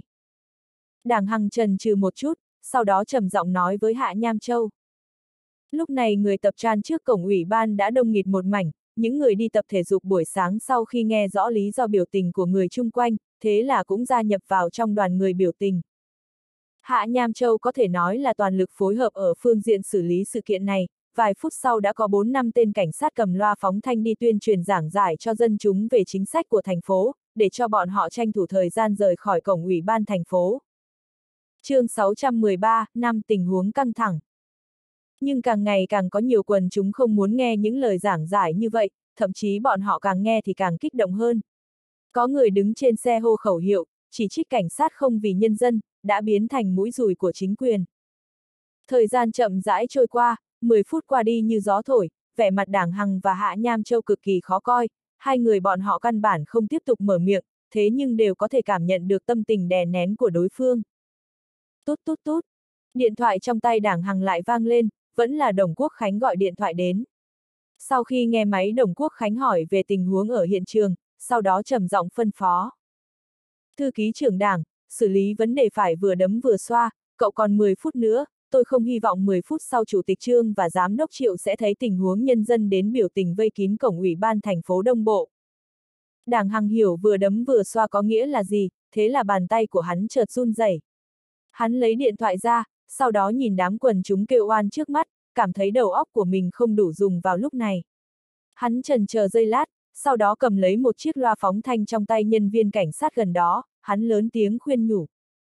Các vị hương thân, đây không phải là chỗ nói chuyện, chúng ta không bằng tìm một chỗ rộng rãi hơn để bàn bạc về vấn đề này. Không được, chúng tôi phải ở chỗ này, hôm nay nếu không cho ra câu trả lời thuyết phục, chúng tôi sẽ không bỏ đi. Đúng, thư ký trưởng đảng, anh đừng lừa gạt chúng tôi, chúng tôi không nghe lời anh. Anh để cho Đồng Quốc Khánh ra đây, chúng tôi trực tiếp đối thoại với anh ấy. Chúng tôi muốn hỏi anh ta xem, mỗi ngày anh ấy phát biểu rằng dân chúng là cơm cha áo mẹ của cán bộ, như vậy vì sao bây giờ lại muốn cho cha mẹ mình sinh hoạt trong môi trường ô nhiễm? Như vậy anh ta có còn nghe lời cha mẹ của mình nữa không? Quần chúng kêu oan giống như cũng cảm nhận được tâm tình kích động của đảng Hằng, thế là mọi người cũng trở nên kích động theo, nhiều biểu ngữ được răng lên, càng nhiều lớn tiếng hô hào. Đảng Hằng vẫn cố gắng khuyên giải thế nhưng quần chúng căn bản vẫn thờ ơ như trước. 5 phút trôi qua, điện thoại của hắn lạ đổ chuông đồn dập. Lúc này Đồng Quốc Khánh đã không còn tỉnh táo, hắn mở miệng mắng. Đảng Hằng, anh đang làm gì vậy? Vấn đề như vậy mà không xử lý được, anh còn muốn làm thư ký trưởng nữa không? Đồng Quốc Khánh luôn là người rất ẩn nhẫn, Đảng Hằng là người ở bên cạnh lãnh đạo, tất nhiên càng hiểu rõ tâm tình của lãnh đạo vào lúc này. Hắn tuy đang có một bụng lửa giận thế nhưng cũng phải cố gắng áp chế. Bí thư đồng, chuyện này. Đảng Hằng, tôi hiểu làm công tác với quần chúng là không dễ dàng, thế nhưng bây giờ anh cần phải giải tán quần chúng ngay lập tức. Hạ Nham Châu đã triệu tập hơn phân nửa lực lượng cảnh sát thành phố, đám cảnh sát kia ăn không dừng mỡ sao. Đồng Quốc Khánh dùng giọng trầm thấp nói, ý nghĩa lời nói càng thêm rõ ràng hơn. Đảng Hằng đã hiểu ý nghĩ của Đồng Quốc Khánh, vào thời điểm này đầu óc hắn như muốn nổ tung. Nếu như làm theo những gì Đồng Quốc Khánh vừa nói, nếu mâu thuẫn hai bên thêm gay gắt, hậu quả sẽ là khó tưởng. Thế là hắn trầm ngâm giây lát, sau đó dùng giọng hung ác nói. Bí thư đồng, tôi cho rằng sự việc lần này còn chưa đạt đến độ cao như vậy, quần chúng chỉ là đến phản ánh vấn đề, bọn họ. Đảng hăng, bọn họ đến phản ánh vấn đề phải thông qua con đường chính đáng, không phải là đến vây quanh cổng ủy ban thành phố. Tôi nói cho cậu biết, lúc này xe của Chủ tịch Trương và đại biểu của tập đoàn Trấn Phi đã sắp đến rồi, chỉ sau 3 phút nữa sẽ rời khỏi đường cao tốc, cậu mau chóng hành động cho tôi. Đồng Quốc Khánh dùng giọng chém đinh chặt sắt nói, giọng điệu chân thật đáng tin. Đảng Hằng có thói quen tiếp nhận mệnh lệnh của Đồng Quốc Khánh, hai bàn tay hắn lúc này trở nên run rẩy. Thật lòng hắn rất muốn chấp hành mệnh lệnh của Đồng Quốc Khánh, dù sao thì chuyện này là Đồng Quốc Khánh cho ra sắp xếp, nếu như có việc gì xảy ra cũng không liên quan đến đảng Hằng hắn. Chỉ cần sự việc làm xong, biết đâu hắn sẽ lại lấy được sự tín nhiệm của Đồng Quốc Khánh. Nhưng đảng Hằng có thể làm như vậy sao? Hắn nhìn quần chúng vì kích động với cuộc sống sau này mà kéo đến phản ánh vấn đề, hắn thật sự có thê vì chỉ lệnh của Đồng Quốc Khánh để cho ra hành vi bạo ngược cưỡng chế nhân dân sao? Cưỡng chế nhân dân. Bí thư Đồng, phương án cưỡng chế giải tán quần chúng. Đảng Hằng cắn môi nói ra từng chữ, hắn cảm thấy mình căn bản không có gì là vĩ đại thế nhưng ở phương diện này vẫn có chủ ý của riêng mình. Hắn đã là thư ký trưởng nhiều năm, hắn đã làm nhiều việc nhỏ nhặt, bây giờ là lúc nên làm việc lớn. Chấp hành quyết định của tôi.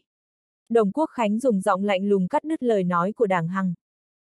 Giọng điệu của Đồng Quốc Khánh sắc bén như dao, trong lời nói càng có đầy đủ khí thế của một vị bí thư thị ủy.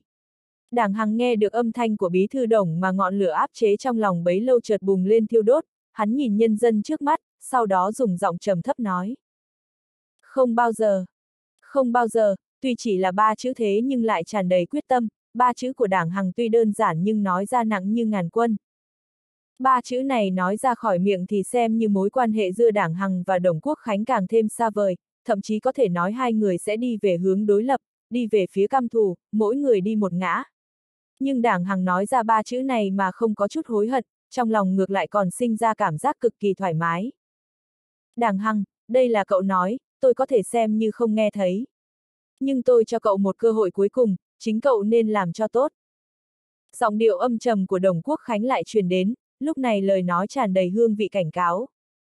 Đảng Hằng đưa điện thoại ra xa lỗ tai của mình, sau đó hắn dùng ngón tay cái bấm nút tắt. Đi con bà mày. Đảng Hằng mở miệng mắng một câu thô tục, sau đó trực tiếp đặt điện thoại vào trong túi. Đảng Hằng lấy lại tinh thần, hắn chậm rãi đi về phía nhân dân đang đứng kêu oan. Khi hắn chuẩn bị lên tiếng thì chợt nghe thấy có nhiều người hét lên.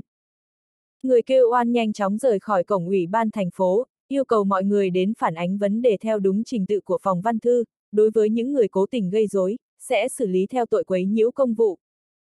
Đảng Hằng thấy Hạ Nham Châu với gương mặt lạnh lùng và nghiêm túc đứng cách mình không xa, bên cạnh bí thư Hạ là một người đàn ông trung niên, người này đang hét lên với nhân dân đứng bên ngoài. Bí thư Hạ, anh làm như vậy. Đảng Hằng có chút sững sốt, sau đó nhanh chóng chạy về phía Hạ Nham Châu. Hạ Nham Châu nhìn Đảng Hằng, sau đó thản nhiên nói. Thư ký trưởng đảng, tôi chấp hành quyết định của bí thư đồng. Hạ Nham Châu cũng không chờ Đảng Hằng lên tiếng, hắn vung tay lên với người đàn ông trung niên mặc đồng phục cảnh sát ở bên cạnh. Vài chục tên cảnh sát võ trang đi ra ngoài, trong tay bọn họ chính là khiên chống bạo động, bọn họ xếp thành một hàng dài. Bí thư hạ, anh làm như vậy rất nguy hiểm, vô ý sẽ sinh ra sự cố lớn. Đảng Hằng lớn tiếng nói, tuy giọng nói của hắn không nhỏ nhưng bị âm thanh ồn ào lấn át, hơn nữa người của cục công an lại không nghe lời hắn. Khi hắn tiếp tục lên tiếng thì đám người kia đã hành động. Không gian yên lặng sau giây lát, ngay sau đó có người bắt đầu tán đi. Hạ Nham Châu nhìn những người bỏ đi mà cười nói với đảng Hằng. Thư ký trưởng đảng, anh xem, có một số việc anh nên. Khi Hạ Nham Châu mới nói được một nửa thì những âm thanh va chạm vang lên, hơn 100 tên đàn ông từ trong đám người phẫn nộ lao về phía hàng rào của cảnh sát, hiện trường bắt đầu rối loạn, mất kiểm soát. chương 614 một khi chúng bạn xa lánh thì phải ảm đạm rời đi. Vương Tử Quân nghe Tôn Quốc Lĩnh báo cáo trong điện thoại, hắn chợt cau mày. Dù trước khi rời khỏi thành phố Đông Bộ thì hắn cũng nghĩ đến tình huống hôm nay, hơn nữa còn có chút trợ giúp sự việc tiến triển, thế nhưng hắn cũng không ngờ sự việc lại diễn tiến đến cục diện không thể vãn hồi như vậy. Cũng may không có chuyện lớn gì xảy ra. Vương Tử Quân thầm thở dài một hơi, chợt nghe thấy Tôn Quốc Lĩnh nói. Chủ tịch Vương, lúc này thế cục đã ổn định, thế nhưng khi còn chưa cho ra câu trả lời thuyết phục, sự việc sẽ chưa thể nào giải quyết được hoàn toàn. À, Chủ tịch quốc lính, cố gắng ổn định thế cục, ngàn vạn lần đừng cho mâu thuẫn trở nên gay gắt, nếu không sẽ phát sinh sự cố lớn, như vậy chứng tỏ ban ngành của thành phố Đông Bộ có vấn đề. Vương Tử Quân dùng giọng chăm chú cho ra sắp xếp với Tôn Quốc Lĩnh. Tôn Quốc Lĩnh gật đầu nói. Chủ tịch Vương, điều này tôi hiểu rõ, thế nhưng quần chúng chỉ tin lời anh, nếu ngài không mở miệng thì khó thể nào đảm bảo được. Mình nói lời đảm bảo sao? Vương tử quân nghe xong câu nói của tôn quốc lĩnh mà chợt sững sờ, nhưng trong lòng lại có chút cảm động. Tử quân, thành phố Đông Bộ yêu cầu anh quay về sao? Mạc Tiểu Bắc đứng bên cạnh Vương Tử Quân, nàng khẽ hỏi. Lúc này nàng đã rất mập, nhìn qua thật sự tràn đầy bản năng của người mẹ. Vương Tử Quân cười cười khẽ dán tai lên bụng Mạc Tiểu Bắc. Không có, trong đầu anh đều là vợ và con, hơn nữa thành phố Đông Bộ cũng không yêu cầu anh quay về, anh cũng không phải xe cứu hỏa cứ chạy qua chạy lại chữa cháy được. Mạc Tiểu Bắc dùng ánh mắt hờn dỗi nhìn Vương Tử Quân, sau đó vươn tay đẩy bàn tay của hắn đang đặt trên bụng mình ra. Trong phòng họp của tỉnh ủy Sơn Nam, các vị thường ủy đều tụ tập ở chỗ này, bầu không khí cực kỳ đè nén. Thư ký trưởng quan Vĩnh Hạ đang báo cáo những gì xảy ra ở thành phố Đông Bộ. Nói cái gì mà phát triển kinh tế khó tránh khỏi ô nhiễm, làm cho quần chúng ngày càng sung túc không quan tâm đến ô nhiễm, người ngoài sợ ô nhiễm nhưng nội địa thì không, thành phố Đông Bộ đây là muốn làm gì? Theo tôi thấy đây là vấn đề của đám quan lại vì chiến tích mà bất chấp tất cả. Kêu gọi đầu tư để phát triển kinh tế là không đáng trách, thế nhưng cũng không vì ích lợi trước mắt mà tiếp tay cho đám người gây ô nhiễm môi trường được, đây rõ ràng cho thấy lực khống chế của ban ngành lãnh đạo thành phố Đông Bộ có vấn đề. Phó Bí Thư Lưu Truyền Thụy đưa mắt nhìn đám thường ủy tham gia hội nghị không nói lời nào, thế là dùng giọng lạnh lùng nói. Lưu Truyền Thụy là một người trước nay không thích phát biểu, hơn nữa luôn chú trọng trạng thái ung dung bình tĩnh, thế nhưng hôm nay lại lên tiếng rất khác thường, trực tiếp chụp mũ lên đầu Đồng Quốc Khánh một cách không chút khách khí. Thế nhưng đám người ngồi trong phòng đều biết hành động của Lưu Truyền Thụy lần này rõ ràng chính là ông say không phải vì rượu, đây là mượn đề tài của người để nói chuyện của mình. Lời nói của lão quá sắc bén, nhằm vào hứa tiền giang đứng sau lưng Đồng Quốc Khánh, thậm chí là chĩa vào cả Hào Nhất Phong. Vì vậy Lưu Truyền Thụy lên tiếng và không có người đáp lại, bầu không khí trở nên cực kỳ trầm mặc. Thỉnh thoảng có người ngẩng đầu lặng lẽ đưa mắt nhìn hứa tiền giang hoặc Hào Nhất Phong, sau đó lại cúi đầu.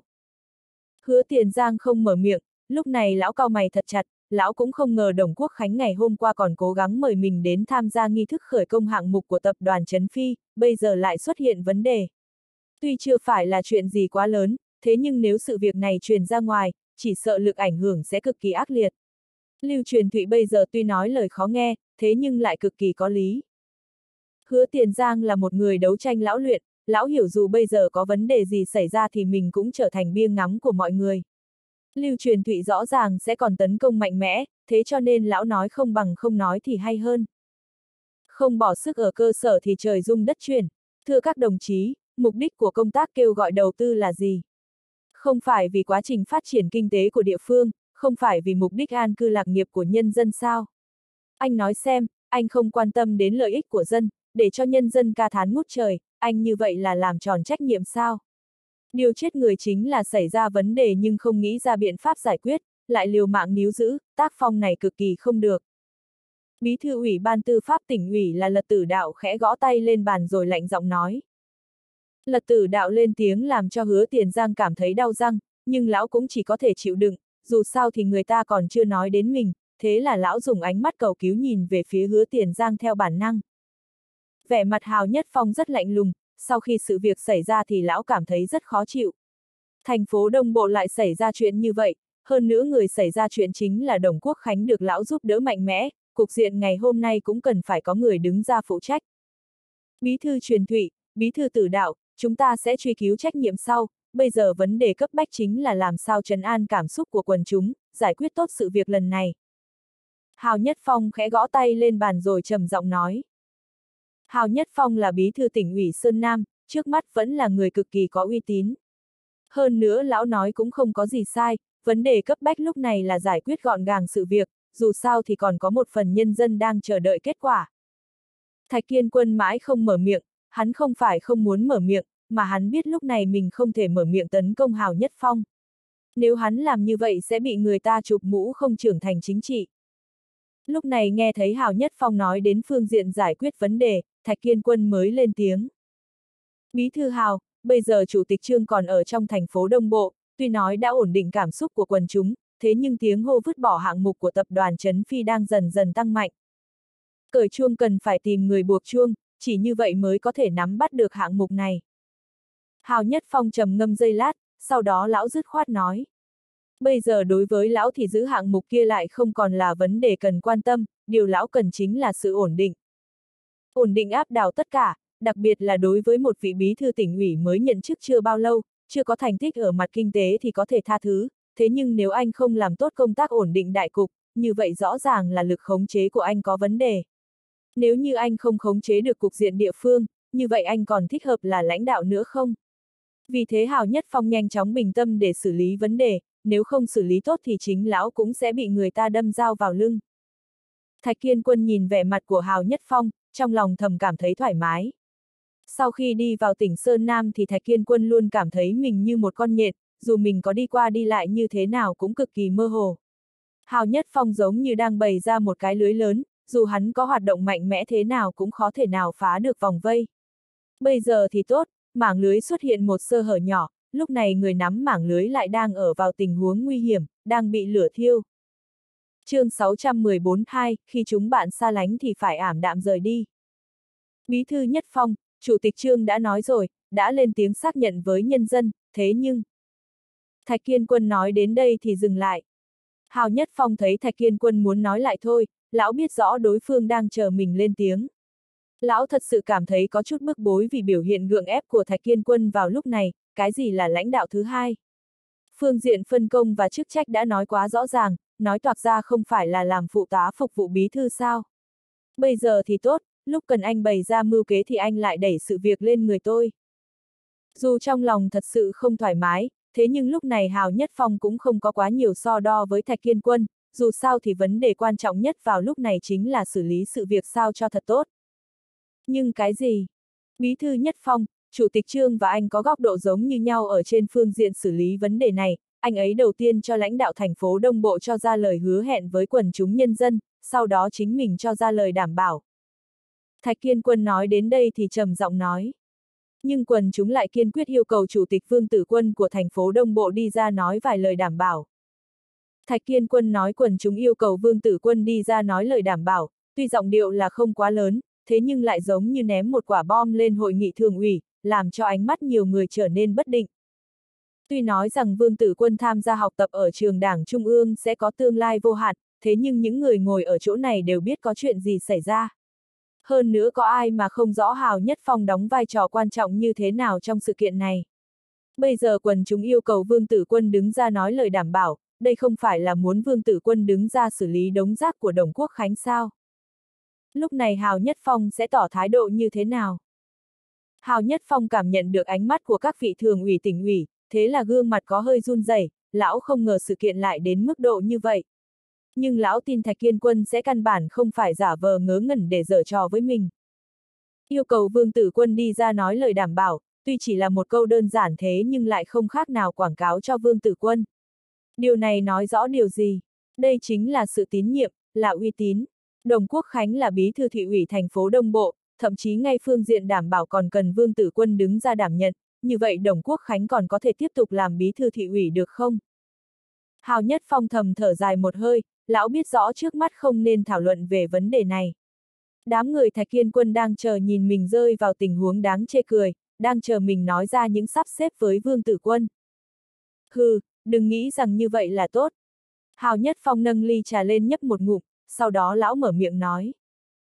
Nếu quần chúng đã yêu cầu như vậy thì cứ cho Vương Tử Quân về thành phố Đông Bộ một chuyến, cậu ta làm chủ tịch thành phố Đông Bộ, bảo trì sự phát triển và sự ổn định của thành phố Đông Bộ là một trách nhiệm khó thể nào xa rời được.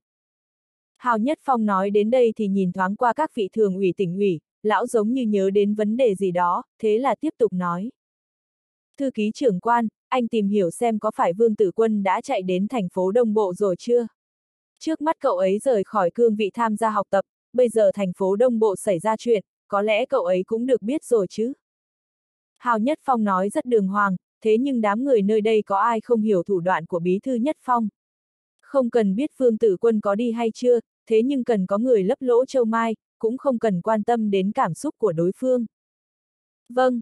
Quan Vĩnh Hạ đồng ý một tiếng, sau đó hắn lấy điện thoại ra gọi cho Vương Tử Quân. Điện thoại được nối thông rất nhanh, khi bên kia vang lên âm thanh của Vương Tử Quân thì Quan Vĩnh Hạ cố ý mở loa ngoài của điện thoại nói. Chủ tịch Tử Quân, tôi là Quan Vĩnh Hạ, anh đang ở đâu vậy? Chào thư ký trưởng, tôi đang ở thủ đô. Vương Tử Quân giống như rất bất ngờ vì nhận được điện thoại của thư ký trưởng quan Vĩnh Hạ, thế nhưng hắn vẫn có thể dùng giọng bình thản nói. Thư ký trưởng, ngài có gì cần căn dặn sao? Quan Vĩnh Hạ không nói gì, lão chỉ đưa mắt nhìn Hào Nhất Phong, mà Hào Nhất Phong lại khoát tay áo, tỏ ý bảo quan Vĩnh Hạ đưa điện thoại cho mình. Đồng chí Tử Quân, sao cậu lại như vậy, thành phố Đông Bộ xảy ra chuyện lớn, cậu sao có thể thờ ơ? Bây giờ cậu còn lòng dạ học tập sao? Tôi cũng không biết một đồng chí là chủ tịch thành phố như cậu ném trách nhiệm đi nơi nào rồi. Hào Nhất Phong nói rất trầm thấp, thế nhưng lời nói chụp mũ lại bủa vây lên người Vương Tử Quân. Theo như lời của lão thì giống như Vương Tử Quân chính là đầu sỏ của sự việc đang diễn ra ở thành phố Đông Bộ vậy. Chủ tịch Tử Quân, cậu là chủ tịch thành phố, sao bây giờ còn chưa phân biệt rõ ràng nặng nhẹ? Bây giờ tôi lệnh cho cậu lập tức trở về thành phố Đông Bộ giải quyết vấn đề. Lúc này Hào Nhất Phong mở miệng cho ra sắp xếp, giọng điệu thật sự rất chân thật đáng tin. Thạch Kiên Quân nghe những lời chụp mũ của Hào Nhất Phong mà thật sự sinh ra vài phần kính trọng vị lãnh đạo của mình, bản lĩnh trả đũa của Bí Thư Hào thật sự còn mạnh hơn cả chư bát giới. Bây giờ Hào Nhất Phong chỉ cần nói vài lời đã đẩy Vương Tử Quân từ vị trí một người không có bất kỳ vấn đề gì vào vòng vây không chú tâm đến đại cục, bị đánh giá không biết nặng nhẹ, giống như dòng sông cuồn cuộn sóng đang phóng về phía Vương Tử Quân với tốc độ tối đa. Bây giờ đang ở trong hội nghị thường ủy, nếu như Vương Tử Quân có bất kỳ lời nói nào mâu thuẫn với mệnh lệnh của Hào Nhất Phong, như vậy tất cả thường ủy sẽ nghe được. Nếu Vương Tử Quân nói lời gì đó quá khích, như vậy Hào Nhất Phong có thể mượn cớ để nắm bắt lấy Vương Tử Quân. Trong phòng họp lúc này cũng không phải chỉ có một người tỏ ra lo lắng cho Vương Tử Quân, đối với những người có quan hệ tốt với Vương Tử Quân như Lưu Truyền Thụy, lão đang thầm đổ mồ hôi lạnh cho Vương Tử Quân. Lão sợ Vương Tử Quân trả lời không tốt, như vậy chiếc mũ không chú trọng đến đại cục sẽ từ đầu Đồng Quốc Khánh chuyển sang cho Vương Tử Quân. Điều này, điều này, Bí thư Nhất Phong, có phải là đồng chí Quốc Khánh xảy ra chuyện gì rồi không? Có nghiêm trọng hay không?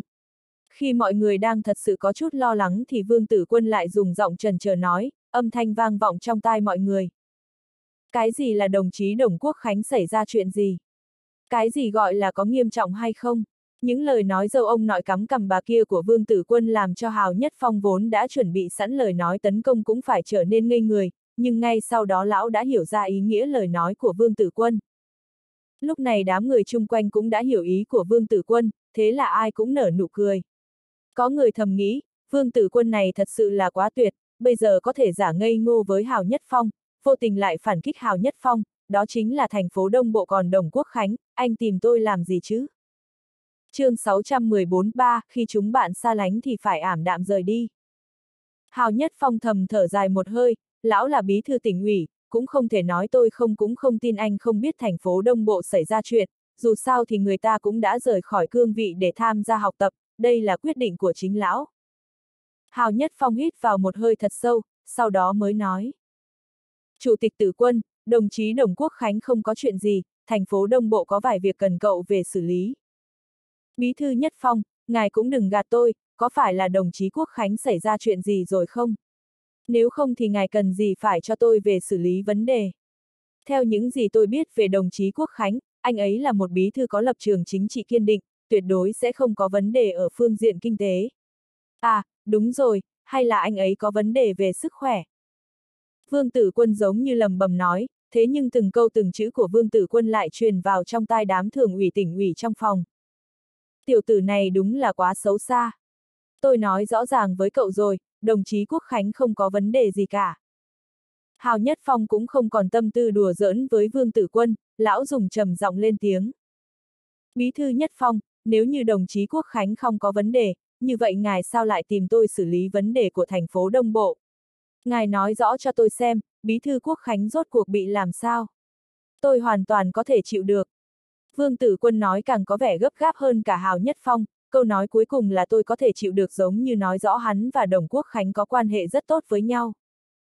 Hào Nhất Phong giống như đã sắp bùng nổ đến nơi, thế nhưng lão vẫn cắn răng nuốt những lời sắp bộc phát vào bụng. Lão hít vào một hơi thật sâu, lúc này mới trầm giọng nói. Lát nữa tôi sẽ cho các đồng chí ở thành phố Đông Bộ báo cáo chuyện gì xảy ra với cậu, bây giờ cậu chuẩn bị quay về thành phố Đông Bộ cho tôi. Hào Nhất Phong nói xong thì cúp điện thoại, lão xanh mặt nhìn khắp bốn phía, phát hiện gương mặt vài người chợt run rẩy. Những người kia vì sao lại có biểu hiện như vậy? Hào Nhất Phong tất nhiên biết rất rõ, nhưng lúc này lão thật sự không muốn tìm phiền phức cho mình. Sau khi xem như tất cả mọi người không tồn tại, lão khẽ nói với quan Vĩnh Hạ. Thư ký trưởng quan, anh gọi điện thoại cho đồng chí thành phố Đông Bộ, để bọn họ thông báo sự việc cho Vương Tử Quân, sau đó đốc thúc cậu ấy nhanh chóng quay về giải quyết vấn đề. Quan Vĩnh Hạ đồng ý một tiếng, sau đó rời khỏi phòng đi gọi điện thoại, lúc này trong phòng vẫn không có bất kỳ ai lên tiếng. Bí thư Nhất Phong, tôi đã thông báo cho đồng chí đảng hằng của thành phố Đông Bộ, anh ấy sẽ báo cáo sự việc cho Chủ tịch Vương Tử Quân. Quan Vĩnh Hạ đi vào phòng rồi lên tiếng, điều này không khỏi làm cho Hào Nhất Phong thả lỏng một chút. Lão đưa mắt nhìn khắp bốn phía, sau đó thản nhiên nói. Đối với sự việc ở thành phố Đông Bộ thì chúng ta nhất định phải xử lý thật nghiêm, đặc biệt là xem xét trách nhiệm cụ thể của từng người. Có một vài đồng chí biết rõ có chuyện gì xảy ra, thế nhưng lại có trách nhiệm kém, căn bản không nhìn vào đại cục.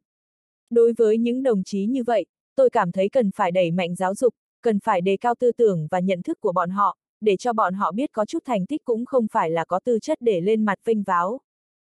Hào Nhất Phong tuy không điểm danh người nào nhưng mọi người đều biết đang nói đến ai, nhưng Hào Nhất Phong đang nổi nóng nên cũng không ai dám lên tiếng, vì vậy Thạch Kiên Quân trầm ngâm dây lát, cũng không mở miệng.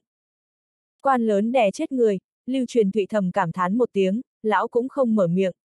Lão cũng không xa lạ gì chuyện này, tuy Vương Tử Quân căn bản đã xem như không liên quan, thế nhưng Hào Nhất Phong mở miệng thì vẫn có chút liên hệ. Hào Nhất Phong dùng giọng lưu loát nói thêm vài lời, cuối cùng mới cảm thấy thoải mái hơn một chút. Hào Nhất Phong thầm nghĩ Vương Tử Quân này xem ra không phải không có tác dụng, có thể là một lựa chọn tốt cho mình hả giận. Khi Hào Nhất Phong chuẩn bị tiếp tục nghiên cứu sự việc xảy ra ở thành phố Đông Bộ thì điện thoại trong túi vang lên. Lão là bí thư tỉnh ủy, lão có nhiều bộ điện thoại, thế nhưng trên người chỉ có một chiếc điện thoại, hơn nữa số điện thoại này chỉ có vài người thân cận được biết mà thôi, ngay cả Thạch Kiên Quân cũng không biết dãy số này. Hào Nhất Phong lấy điện thoại ra, lão định tiện tay tắt đi, thế nhưng sau khi nhìn thấy số điện thoại gọi đến thì nhanh chóng nở nụ cười. Lão đứng lên bấm nút nghe, sau đó trầm giọng nói. Chào trưởng Ban Dương. Có thể làm cho Hào Nhất Phong phải cung kính chào một tiếng trưởng Ban Dương, như vậy cũng chỉ có trưởng ban tổ chức Trung ương Dương Độ Lục mà thôi. Hào Nhất Phong vừa tiếp điện thoại của Dương Độ Lục vừa đi ra ngoài, lão thấy trong phòng cũng không phải địa điểm nghe điện thoại của lãnh đạo.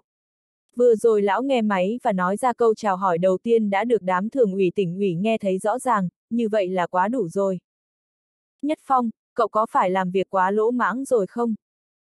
Một âm thanh nhàn nhạt nhưng vẫn thân thiết vang lên trong tai Hào Nhất Phong, điều này không khỏi làm cho lòng hắn chấn động. Có phải quá lỗ mãng rồi không? Những lời này nếu rơi vào trong tai cán bộ trẻ, như vậy chẳng qua chỉ là trẻ tuổi lông bông mà thôi, thế nhưng Hào Nhất Phong là nhân vật thế nào? Lão là bí thư tỉnh ủy, nếu như bị Dương Độ Lục phê bình là lỗ mãng, như vậy thật sự là một sai lầm khó thể tha thứ được. Hào Nhất Phong có chút trầm ngâm, lão thầm nghĩ vấn đề có lẽ nằm ở thành phố Đông Bộ, dù sao thì sự việc nơi đó vẫn chưa được giải quyết cho tốt. Lão nghĩ vậy và nhanh chóng lên tiếng chặn lại. Trưởng Ban Dương, tôi đã không làm tốt công tác, thế nhưng tôi xin đảm bảo với lãnh đạo, sẽ nhất định dùng tốc độ nhanh nhất để xử lý sự việc lần này. Nhất Phong, bây giờ cậu là bí thư tỉnh ủy, nhất định phải có lòng bao dung. Tuy người ta là hạ cấp, thế nhưng anh cũng phải tôn trọng người ta một chút mới thích hợp. Dương Độ Lục ở bên kia xem như đã bắt đầu xem xét từ ngữ, khẽ lên tiếng nói với Hào Nhất Phong. Lúc này Hào Nhất Phong mới biết mình tính sai, lão nghe lời nói của Dương Độ Lục, lúc này mới ngửi được hương vị không đúng. Lúc này không phải là lãnh đạo đang nói đến Vương Tử Quân sao? Anh là lãnh đạo tỉnh ủy, càng không thể cho người ta cầm lấy cán, có một số việc cũng đừng nên làm quá mức.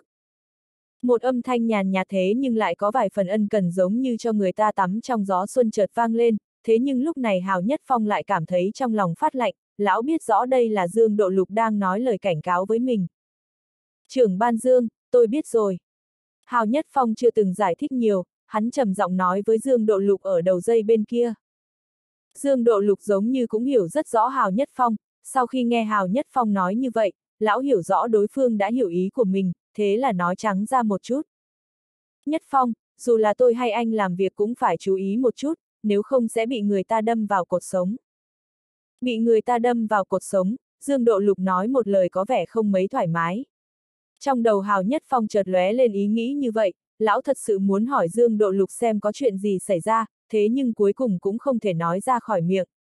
Trưởng ban Dương không phải là người giống như năm xưa, trên nhiều chuyện mình cũng chẳng thế nào được tùy ý như năm xưa được nữa. chương 614-4 khi chúng bạn xa lánh thì phải ảm đạm rời đi. Dương Độ Lục nói thêm hai câu, sau đó lão khẽ cúp điện thoại. Tuy lão nói không nhiều thế nhưng lại làm cho Hào Nhất Phong bùng sóng trong lòng, thật sự không thể nào an tĩnh. Hào Nhất Phong trầm ngâm dây lát, sau đó lão bấm một số điện thoại. Ngay khi điện thoại nối thông, lão tươi cười nói. Cậu Lý, cậu có bận rộn gì không? Tôi là Hào Nhất Phong, có thuận tiện nói vài lời không? Người đàn ông ở đầu dây bên kia khẽ cười một tiếng nói. Chào Bí Thư Nhất Phong, bây giờ trưởng ban đang nói chuyện với khách, tôi đang thu thập tài liệu. Cậu Lý, chuyện liên quan đến anh em của cậu đã được tôi sắp xếp rất tốt rồi. Hào Nhất Phong cười cười dùng giọng có vẻ tùy ý nói. Vậy thì đa tạ bí thư Nhất Phong, ngày hôm qua cậu em họ của tôi gọi điện thoại đến nói rằng khi nào ngài rảnh thì nhất định phải đến cảm tạ.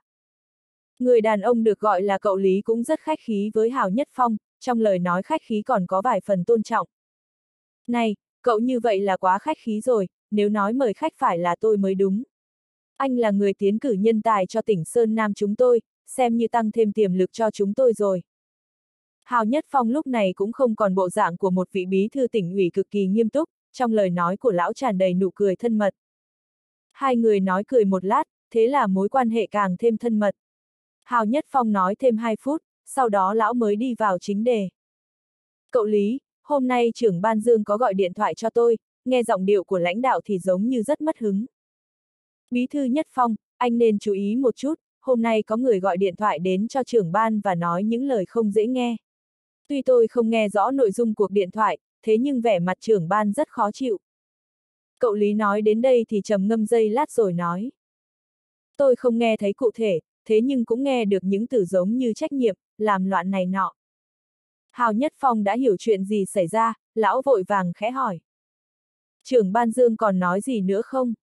Trưởng ban Dương nói lời đảm bảo với đầu dây bên kia, tuyệt đối không có chuyện này, cũng mong lão lãnh đạo yên tâm, nếu có chuyện này xảy ra, anh ấy nhất định sẽ điều tra đến cùng, sẽ tuyệt đối không nuông chiều. Lúc này Hào Nhất Phong xem như đã hoàn toàn hiểu rõ chuyện gì xảy ra, thế là bàn tay của lão có chút run rẩy, thì ra sự việc là như vậy, trưởng ban dương cũng không hoàn toàn biểu hiện ra tất cả trước mặt mình. Thế nhưng khi lão vung tay quá mức, như vậy chỉ sợ trưởng ban dương ở bên kia sẽ gõ bút xuống đầu mình. Tuyến trên có người phát lực, nếu như mình xử lý không tốt sự việc ở thành phố Đông Bộ, như vậy hậu quả đối với Hào Nhất Phong sau này là rất nghiêm trọng. Sau khi cúp điện thoại thì Hào Nhất Phong bắt đầu châm thuốc hít vào một hơi thật sâu, khói thuốc làm cho gương mặt lão như ẩn như hiện. Sau khi hút được một nửa điếu thuốc, lão trực tiếp rụi tàn thuốc, sau đó nhanh chóng đi về phía phòng họp. Lúc này các vị thường ủy vẫn đang chờ trong phòng họp, thế nhưng những lời nghị luận ồn ào lại liên tục vang lên. Thạch Kiên Quân đang nói chuyện với Lưu Truyền Thụy, khi thấy Hào Nhất Phong đi vào thì hai người tất nhiên sẽ nhanh chóng kết thúc chủ đề. Những người khác thấy Hào Nhất Phong đi vào cũng nhanh chóng ngậm miệng, bộ dạng chờ đợi bí thư lên tiếng. Thư ký trưởng Vĩnh Hạ, bây giờ tình huống của thành phố Đông Bộ là thế nào rồi? Hào Nhất Phong lại ngồi xuống vị trí của mình, sau đó nói với quan Vĩnh Hạ. Quan Vĩnh Hạ cũng không trần chờ, hắn lên tiếng. Bí thư Nhất Phong, bây giờ tình huống ở thành phố Đông Bộ vẫn đang rất rằng co, mà phía Chủ tịch Vương. Hào Nhất Phong không chờ quan Vĩnh Hạ nói tiếp, lão lên tiếng chặn lại. Không phát sinh biến hóa gì là tốt rồi, anh nói cho Chủ tịch Trương biết, phải đảm bảo làm sao cho tình hình không trở nên gay gắt. Còn nói cho Chủ tịch Trương làm tốt công tác khai thông tư tưởng, Chủ tịch Vương Tử Quân sắp từ thủ đô chạy về Đông Bộ, để cho bọn họ kiên nhẫn chờ đợi. Giọng điệu và từ ngữ của Hào Nhất Phong chợt biến đổi, lời nói lọt vào trong tai đám thường ủy tỉnh ủy cũng không phải chỉ là chút khác biệt về cách dùng từ, lúc này bọn họ chợt ý thức được có gì đó đang thay đổi. Quan Vĩnh Hạ cũng ý thức được điểm này, thế nhưng hắn không nói mà lên tiếng đồng ý. Vẻ mặt đám người bốn phía căn bản không thể nào gạt được ánh mắt của Hào Nhất Phong, thế nhưng vừa rồi lão tỏ ra hung hăng, bây giờ cũng chỉ có thể xem như chưa từng có gì phát sinh mà thôi. Lão uống một ngụm nước trà, sau đó tiếp tục nói. Các đồng chí, xét thấy thành phố Đông Bộ có vấn đề, tôi đề nghị để cho Chủ tịch Vương toàn quyền xử lý, chỉ như vậy mới có thể triệt để giải quyết vấn đề được. Thạch Kiên Quân tuy không rõ vì sao Hào Nhất Phong lại có chuyển biến lớn như vậy, thế nhưng tóm lại hắn tình nguyện nhìn vào chuyển biến này. Dù sao thì hắn cũng là minh hữu của Vương Tử Quân, hắn vẫn hy vọng minh hữu của mình thu được lợi ích lớn nhất. Tôi đồng ý với ý kiến của Bí thư Nhất Phong. Thạch Kiên Quân trầm ngâm giây lát, sau đó hắn trầm giọng nói lời giúp đỡ với Hào Nhất Phong.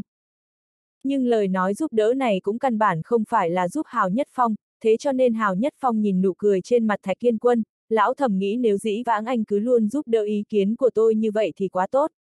Chẳng qua ý nghĩ này chỉ lóe lên trong đầu của Hào Nhất Phong, trong lòng lão biết rõ mình và thái Kiên Quân là hai đường song song, cho dù đi đến cực hạn cũng căn bản không bao giờ giao nhau. Hai bên có lý niệm khác biệt, thế cho nên hai loại nước không bao giờ chung một bầu cho được. Mặc kệ hai người kia nghĩ như thế nào, thế nhưng bây giờ bí thư và chủ tịch tỉnh đã thống nhất ý kiến với nhau, điều này trên cơ bản xem như đại cục đã định. Sau khi thấy đám người tham gia hội nghị không lên tiếng phản đối, Hào Nhất Phong khẽ nói với Lưu Truyền Thủy. Bí thư Truyền Thủy, Trung ương đã tổ chức khóa huấn luyện cán bộ cấp sở, tỉnh Sơn Nam chúng ta cũng nên hưởng ứng tinh thần của lãnh đạo, cũng nên làm tốt công tác huấn luyện cán bộ cấp sở. Tôi thấy chúng ta cũng nên tổ chức khóa huấn luyện, đồng thời cho đồng chí Quốc Khánh tham gia vào khóa huấn luyện lần này. Lưu Truyền Thụy thấy Hào Nhất Phong đột nhiên buông bỏ tất cả mà ném đồng Quốc Khánh đi học tập, lão thầm khen thủ đoạn của Hào Nhất Phong, đồng thời cũng gật đầu nói. Tôi cho rằng điều này hoàn toàn có thể thực hiện được, những tỉnh khác đều đã tổ chức khóa huấn luyện cán bộ cấp sở, tỉnh Sơn Nam chúng ta cũng không nên tụt hậu ở phương diện này được. Sau khi Hào Nhất Phong nói thêm vài câu thì tất cả xem như đã kết thúc, Đồng Quốc Khánh đi hay ở, hướng đi của thành phố Đông Bộ là như thế nào, tất cả đã quá rõ ràng rồi. Sau khi thảo luận thêm vài vấn đề khác thì hội nghị kết thúc. Hào Nhất Phong vẫn như bình thường, vẫn là người đầu tiên rời khỏi phòng họp. Thế nhưng khi lão ngồi xuống ghế salon trong phòng làm việc của mình thì cổ tay lại có hơi run lên. chương 614 năm, khi chúng bạn xa lánh thì phải ảm đạm rời đi. Bí thư Nhất Phong, chuyện của Quốc Khánh. Hứa Tiền Giang đi vào phòng làm việc của Hào Nhất Phong, lão vừa mở miệng đã bị bí thư Hào Nhất Phong cản lại. Trưởng phòng Tiền Giang, quyết định của hội nghị thường ủy căn bản không thể sửa đổi được, hơn nữa sự việc lần này cũng là anh ấy thiếu suy xét, nếu như không phải anh ấy làm việc lỗ mãng, chúng ta nào rơi vào thế bị động như lúc này. Hứa Tiền Giang thấy gương mặt Hào Nhất Phong lóe lên vài phần dữ tợn, thế là không khỏi thầm thở dài một hơi. Lão biết rõ sau khóa huấn luyện cán bộ cấp sở của tỉnh Sơn Nam thì chờ đợi Đồng Quốc Khánh cũng không phải là vị trí bí thư thị ủy đông bộ được nữa. Bí thư Nhất Phong, chẳng lẽ chúng ta thật sự? Hứa Tiền Giang trầm ngâm một chút, sau đó lão khẽ lên tiếng. Lão là trưởng phòng tổ chức nhiều năm, đây là lần đầu tiên lão rơi vào hoàn cảnh khốn đốn như vậy. Hào Nhất Phong hiểu ý nghĩ của hứa Tiền Giang, vì vậy lão cũng không chờ hứa Tiền Giang nói xong mà thản nhiên nói. Chuyện này tôi rất nắm chắc tâm lý. Khi Vương Tử Quân chạy về thành phố Đông Bộ thì bầu trời đã có hơi tối, hắn bắt chuyện với các vị thành viên ban ngành thành phố Đông Bộ đến nghênh đón mình, sau đó nhanh chóng đi về phía quảng trường ủy ban cách đó không xa. Dù sao bây giờ điều hắn cần làm chính là giải quyết vấn đề đang tồn động. Hầu như tất cả các lãnh đạo thị ủy đều vây quanh người Vương Tử Quân, đều đi theo hắn ra quảng trường. Chỉ duy nhất có bí thư Đồng Quốc Khánh là không đi, khi mọi người bước đi thì hắn lại quay về phòng làm việc của mình. Đồng Quốc Khánh ngồi trong phòng làm việc, những tình huống xảy ra ngày hôm nay liên tục lóe lên trong lòng hắn như một đoạn phim quay chậm. Hắn nghĩ đến tình huống mình không khống chế được cục diện, thế là trong lòng cảm thấy run sợ. Hắn không biết vì sao mình lại không khống chế được tâm tình, lại cho ra chỉ thị bất kể hậu quả như vậy. Thấy lợi tối mắt, Đồng Quốc Khánh thầm cảm khái một câu như vậy, lúc này trong mắt hắn lóe lên cái nhìn hối hận. Nếu như không phải mình cố gắng vượt qua vị chủ tịch trẻ tuổi của thành phố Đông Bộ kia, nếu như mình không nóng vội, nếu như mình không. Đồng Quốc Khánh nghĩ đến một loạt chữ nếu như, hắn không khỏi cười khổ một tiếng. Tuy lúc này trời đã tối nhưng hắn căn bản không có ý muốn bật đèn, hắn nhìn phòng làm việc u tối của mình, thế là móc túi lấy ra một gói thuốc. Đồng Quốc Khánh châm lửa hít vào một hơi, hắn chợt nghe thấy tiếng hoan hô vang lên từ phía quảng trường. Hắn nghe và hiểu vì sao âm thanh kia lại vang lên. Không phải hoan hô vì mình, không biết vì sao mà Đồng Quốc Khánh lúc này lại nghĩ đến một bài thơ mình được học khi còn nhỏ, thế nhưng mãi đến lúc này thì hắn mới hiểu ý nghĩa của nó. Hoan hô không phải cho mình, mà là cho người. Tất cả mọi thứ đều đã xảy ra. Thế nhưng kết quả là may áo cưới cho người ta mà thôi. Lúc này tâm tình của Đồng Quốc Khánh liên tục xoay chuyển, hắn nghĩ đến thời gian mình ở thành phố Đông Bộ, đặc biệt là thời gian mình là bí thư thị ủy, thế là vô tình quên cả điếu thuốc, đến khi điếu thuốc châm cả vào tay mình mới phát hiện ra. Tiếng hoan hô vẫn tiếp tục truyền vào, ngay sau đó là những tiếng nói chuyện rì rào, có thể nói là đủ loại âm thanh. Sau khi nghe những âm thanh này, Đồng Quốc Khánh biết toàn thể nhân viên của ủy ban được điều động đã quay về khu văn phòng. Chủ tịch Vương nói rất hay, rất cảm động. Còn không phải sao, thành phố Đông Bộ là của nhân dân Đông Bộ, nghĩ lại cảm thấy câu nói như vậy làm tôi hưng phấn. Được rồi, hai người các cậu nhanh lên, vợ con còn chờ tôi về nhà dùng cơm. Đồng Quốc Khánh nghe đủ loại âm thanh vang lên ngoài hành lang mà vẻ mặt chợt cứng nhắc, hắn thật sự thất bại, một thất bại mà hắn thật sự rất muốn quên. Hắn đã nhận được tin tức trên tỉnh, hắn phải đến trường đảng học tập, vẫn là khóa huấn luyện cán bộ cấp sở. Hắn nghĩ đến tình huống hứa tiền giang thông báo cho mình mà thật sự cảm thấy trào phúng. Vì để cho Đồng Quốc Khánh nắm quyền ở thành phố Đông Bộ mà Hào Nhất Phong và Hứa Tiền Giang đã ném chỉ tiêu học tập ở trường đảng Trung ương cho Vương Tử Quân, nhưng bây giờ Vương Tử Quân lại qua về, còn mình thì đi học tập ở trường đảng tỉnh ủy. Trường đảng nào cũng như nhau, vẫn là khóa huấn luyện cán bộ cấp sở, thế nhưng vì sao Vương Tử Quân phát triển mạnh mẽ như vậy, Đồng Quốc Khánh hắn lại gian nan khốn khổ như thế. Cốc cốc cốc, tiếng gõ cửa khẽ vang lên, cửa đẩy ra, Đồng Quốc Khánh ngẩng đầu, hắn thấy một bóng người quen thuộc đi vào. Hắn ngẩng đầu lên nhìn, cũng không mở miệng, đèn được bật sáng. Chủ tịch Vương, tôi rót nước cho ngài. Người bật đèn đi đến nói với Vương Tử Quân, cũng căn bản không có ý xin chỉ thị của một vị lãnh đạo như Đồng Quốc Khánh. Anh cứ bận rộn đi, tôi có lời muốn nói với Bí Thư Đồng. Vương Tử Quân khẽ cười với thư ký của Đồng Quốc Khánh, sau đó khẽ nói. Vương Tử Quân nói một câu làm cho cả gian phòng yên tĩnh trở lại, Đồng Quốc Khánh nhìn gương mặt lạnh nhạt của Vương Tử Quân, hắn trầm ngâm dây lát rồi tươi cười nói. Anh đến đây có phải muốn thấy bộ dạng nóng lòng như lửa đốt của tôi không? Như vậy thì anh đã được thấy rồi, anh có thể đi được rồi. Vương Tử Quân nhìn gương mặt chán trường của Đồng Quốc Khánh, hắn thật sự không có chút khoái cảm nào, hắn cười cười nói. Tôi chỉ đến thăm anh một chút thôi. Thăm tôi, đúng, là một người chiến thắng, anh nên đến thăm tôi. Đồng Quốc Khánh nói rồi đứng lên khỏi ghế salon. Hôm nay còn phải nhờ anh mới có thể xong việc, nói thật, tôi còn phải cảm ơn anh. Vương Tử Quân im lặng nở nụ cười.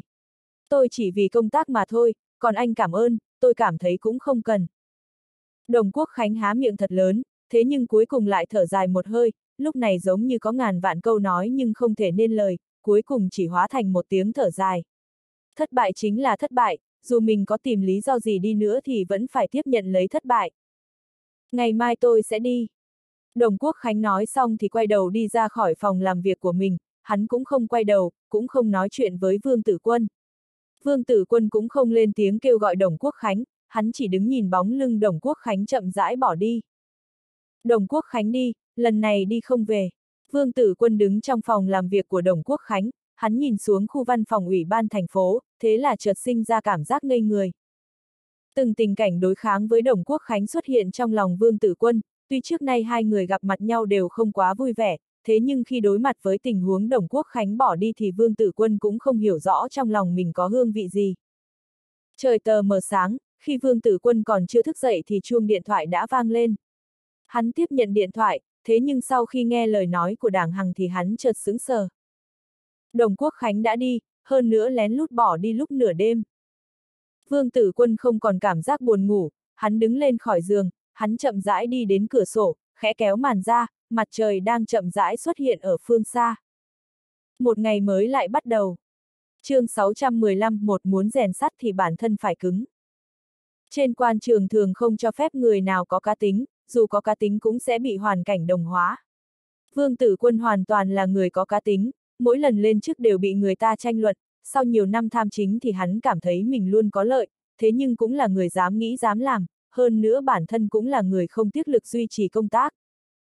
Theo lời của Triệu Quốc Lương thì Chủ tịch Vương công tác như là một chiếc xe tăng, liên tục xông về phía trước, dù có bất cứ thứ gì cũng đừng hòng cản lại được, chuẩn tắc của hắn chính là chỉ cần không phải có mệnh lệnh cấm, chỉ cần không trái luật thì hoàn toàn có thể vung tay tự tác, to gan thăm dò quy định của thượng cấp cũng có co giãn, cũng phải xuất phát từ thực tế thì mới có thể ép hắn chấp hành theo. Tính cách của hắn là như thế, một khi không làm thì không sao, chỉ cần làm việc thì sẽ có đủ mọi âm thanh đi theo, thả lòng chính mình để cho ra kết quả tốt nhất. Đồng Quốc Khánh rời khỏi thành phố Đông Bộ cũng giống như một khối đá nhỏ ném xuống nước, căn bản không cho ra rung động quá lớn. Tối thiểu thì cũng không có quá nhiều người mở miệng bàn luận về sự kiện Đồng Quốc Khánh rời khỏi cương vị tham gia học tập. Tất cả ban ngành thành phố Đông Bộ dưới sự chỉ đạo của Vương Tử Quân đã vận chuyển đâu ra đấy, lỗ hổng quyền lợi khi Đồng Quốc Khánh rời khỏi thành phố Đông Bộ cũng dần bị lấp đầy trong quá trình vận chuyển này. Còn chưa tới 8 giờ nhưng ngoài phòng làm việc của Vương Tử Quân đã đứng đầy các vị lãnh đạo ban ngành và địa phương, rất nhiều người trước đó đi gần với Đồng Quốc Khánh, bây giờ ý thức được cục diện chính trị ở thành phố Đông Bộ sắp thay đổi, thế cho nên mới vội vàng đi đến phòng làm việc của Vương Tử Quân. Bọn họ muốn báo cáo công tác cho Chủ tịch Vương, đặc biệt là muốn nói rõ tư tưởng của chính mình. Cậu Triệu, Chủ tịch Vương đã đến chưa? Khi Triệu Quốc Lương xuất hiện trước cửa phòng làm việc của Vương Tử Quân, một đám người đang hút thuốc nói chuyện bên ngoài giống như sói đói thấy cừu, nhanh chóng ùa về phía hắn như ong vỡ tổ. Triệu Quốc Lương nhìn đám quan viên đột nhiên tỏ ra thân mật với mình, hắn khẽ cười nói. Các vị lãnh đạo, lát nữa Chủ tịch Vương sẽ tham gia một hội nghị, có lẽ sáng hôm nay sẽ không có thời gian tiếp các vị. Cậu Triệu, Chủ tịch Vương nếu không có thời gian, trước tiên tôi báo cáo với cậu về công tác của đơn vị, nhờ cậu báo cáo lại với Chủ tịch Vương cũng được.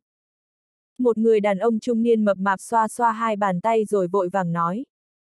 Người đàn ông này lên tiếng mở đầu làm cho đám người còn lại sinh ra ý nghĩ cộng minh, tất cả đều nói theo. Đúng, đúng, đúng, cậu Triệu, phòng kế hoạch đầu tư của chúng tôi cũng cần báo cáo với lãnh đạo, ngài có rảnh không? Chỉ mất vài phút thôi, vài phút thôi. Triệu Quốc Lương nghe những lời nịnh nọt vang lên bên tai mà cảm thấy đầu mình giống như phình lớn ra. Hắn biết rõ những người này ngày thường là chư hầu một phương, bây giờ khách khí nói chuyện với mình, cũng không phải độ nặng của mình được gia tăng, cũng chỉ vì mình là thư ký của Chủ tịch Vương Tử Quân mà thôi. Đám người này muốn thông qua mình để nói lời trung tâm với Chủ tịch Vương. Triệu Quốc Lương thầm oán đám người nịnh hót ở chung quanh, thế nhưng hắn vẫn cười nói. Các vị lãnh đạo, cũng đừng ép tôi như vậy, tôi làm sao có thể nghe báo cáo của các vị lãnh đạo cho được. Nếu không thì thế này, các ngài có việc gì cứ đăng ký với tôi, để xem nặng nhẹ thế nào, sau đó tôi sẽ báo với Chủ tịch Vương, để Chủ tịch Vương định thời gian tiếp đón mọi người, thế nào? Biện pháp này của Triệu Quốc Lương làm cho đám người chung quanh hưởng ứng nhiệt liệt, thế là nhanh chóng lấy giấy bút ra ghi chép. Một vài người không mang theo giấy bút, thế là tranh thủ mượn của người quen, không gian có hơi rối loạn. Triệu Quốc Lương nhìn đám cán bộ ngày thường thích hô phong hoán vũ trong thành phố Đông Bộ có biểu hiện như vậy, trong lòng hắn mơ hồ có chút cảm giác đắc ý. Trước kia Vương Tử Quân rời khỏi thành phố Đông Bộ để học tập thì đám người này cũng không khách khí với hắn như vậy, một số người còn bằng mặt không bằng lòng, càng làm cho tâm tình của hắn thêm ảm đạm.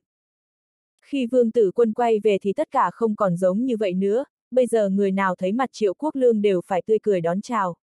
Cho dù hắn đi trên đường phố, cũng thường xuyên có người dừng xe thân mật chào hỏi, dùng trăm phương ngàn kế kéo hắn lên xe, muốn tiễn một đoạn đường. Vài phút sau Triệu Quốc Lương vất vả đuổi đám người kia đi, lúc này hắn mới đi vào trong phòng làm việc của Vương Tử Quân, giúp Chủ tịch Vương thu dọn phòng làm việc. Quốc Lương, Chủ tịch Vương đã đến chưa? Tiếng gõ cửa vang lên, đảng Hằng chậm rãi bước đến. Triệu Quốc Lương cảm thấy lúc này đảng Hằng có chút tiêu tụy, mái tóc trước kia được trải chuốt tỉ mỉ đã trở nên lộn xộn hơn rất nhiều. Triệu Quốc Lương căn bản hiểu những biểu hiện của đảng Hằng, thế nhưng hắn cũng không dám chậm trễ với thư ký trưởng đảng, hắn trầm ngâm dây lát rồi khẽ nói. Thư ký trưởng đảng, ngài ngồi xuống trước đi, lát nữa chủ tịch vương sẽ đến. Tôi ngồi đây chờ chủ tịch vương vậy. Đảng Hằng nói rồi ngồi xuống bên cạnh bàn làm việc của vương tử quân. Triệu Quốc Lương vội vàng bỏ qua công việc dọn dẹp để pha trà rót nước cho đảng Hằng. Tuy trước đến nay đảng Hằng luôn là một người thuộc về chiến tuyến bên kia, hai bên khác biệt khá lớn, thế nhưng Triệu Quốc Lương vẫn rất khâm phục vị thư ký trưởng này. Đặc biệt là sự kiện đảng Hằng từ chối chỉ lệnh của Đồng Quốc Khánh, điều này càng làm cho Triệu Quốc Lương cảm thấy vị thư ký trưởng nhìn có vẻ thư sinh kia là một người chính nghĩa, có tư cách, có thể đảm đương. Dựa theo phân công thì đảng Hằng là thư ký trưởng phục vụ Đồng Quốc Khánh, nhưng nhiều khi lại có vài công tác không mưu mà hợp với Vương Tử Quân. Trước nay Vương Tử Quân cũng chưa từng xem nhẹ đảng Hằng, điều này làm cho đảng Hằng rơi vào hoàn cảnh khó khăn. Nói thật lòng thì hắn tình nguyện phục vụ cho Đồng Quốc Khánh, dù sao hắn cũng là người được bí thư đồng đề bạt lên. Hơn nữa Đồng Quốc Khánh nắm bắt hắn rất chặt, đã cho ra lời phê bình kín đáo với tình huống hắn dẫm chân lên hai thuyền, nhưng thật ra hắn nào có dẫm chân lên hai thuyền. Phải nói rằng hắn dẫm chân lên một sợi dây cáp, mỗi ngày đều phải công tác cực kỳ cẩn thận, giống như đi dây giữa không trung. Triệu Quốc Lương thấy đảng Hằng đi lại giữa Vương Tử Quân và Đồng Quốc Khánh rất đúng mực, đối với Vương Tử Quân thì hình xa thần gần, với Đồng Quốc Khánh lại là hình gần thần xa. Vào thời điểm quan trọng đảng Hằng có thể cho ra một quyết định như vậy, thật sự là nguy hiểm rất lớn. Chỉ cần nhìn vào điều này thì Triệu Quốc Lương xem như thật sự khâm phục hành vi của đảng Hằng. Đảng Hằng cúi đầu giống như suy tư về vấn đề gì đó, điếu thuốc bị hút chỉ còn lại đầu lọc, thế nhưng kinh tế vẫn quên không ném đi. chương 615 2, muốn rèn sắt thì bản thân phải cứng. Thư ký trưởng, sự kiện kia ngài làm rất tuyệt, tôi thật sự khâm phục ngài. Triệu Quốc Lương đi đến cách bàn làm việc không xa, hắn chợt lên tiếng nói với Đảng Hằng. Đảng Hằng ngẩng đầu nhìn gương mặt với nụ cười chân thành của Triệu Quốc Lương, trong lòng hắn cũng có chút cảm động. Hắn khẽ vỗ vỗ lên vai của Triệu Quốc Lương, sau đó cười nói. Cậu Quốc Lương, cậu làm rất tốt, Chủ tịch Vương là lãnh đạo tốt, cậu đi theo anh ấy thì sẽ có ngày phát triển mạnh mẽ mà thôi. Hai người nhìn nhau vài lượt, sau đó cùng nở nụ cười. Nhưng nụ cười của Đảng Hằng là rất khổ sở, nụ cười của Triệu Quốc Lương lại thoải mái hơn rất nhiều. Chủ tịch Vương Khi Triệu Quốc Lương chuẩn bị lên tiếng, đúng lúc này ngoài hành lang vang lên tiếng chào thân thiết, khi âm thanh này vang lên thì kéo theo nhiều tiếng bước chân khác. Vương Tử Quân đi vào phòng làm việc, phía sau lưng hắn chính là thư ký trưởng Thái Nguyên Thương. Vương Tử Quân vào cửa thấy Đảng Hằng đứng lên khỏi ghế salon, thế là hắn cười nói. Thư ký trưởng Đảng, mới sáng sớm mà anh đã đến phòng của tôi rồi sao?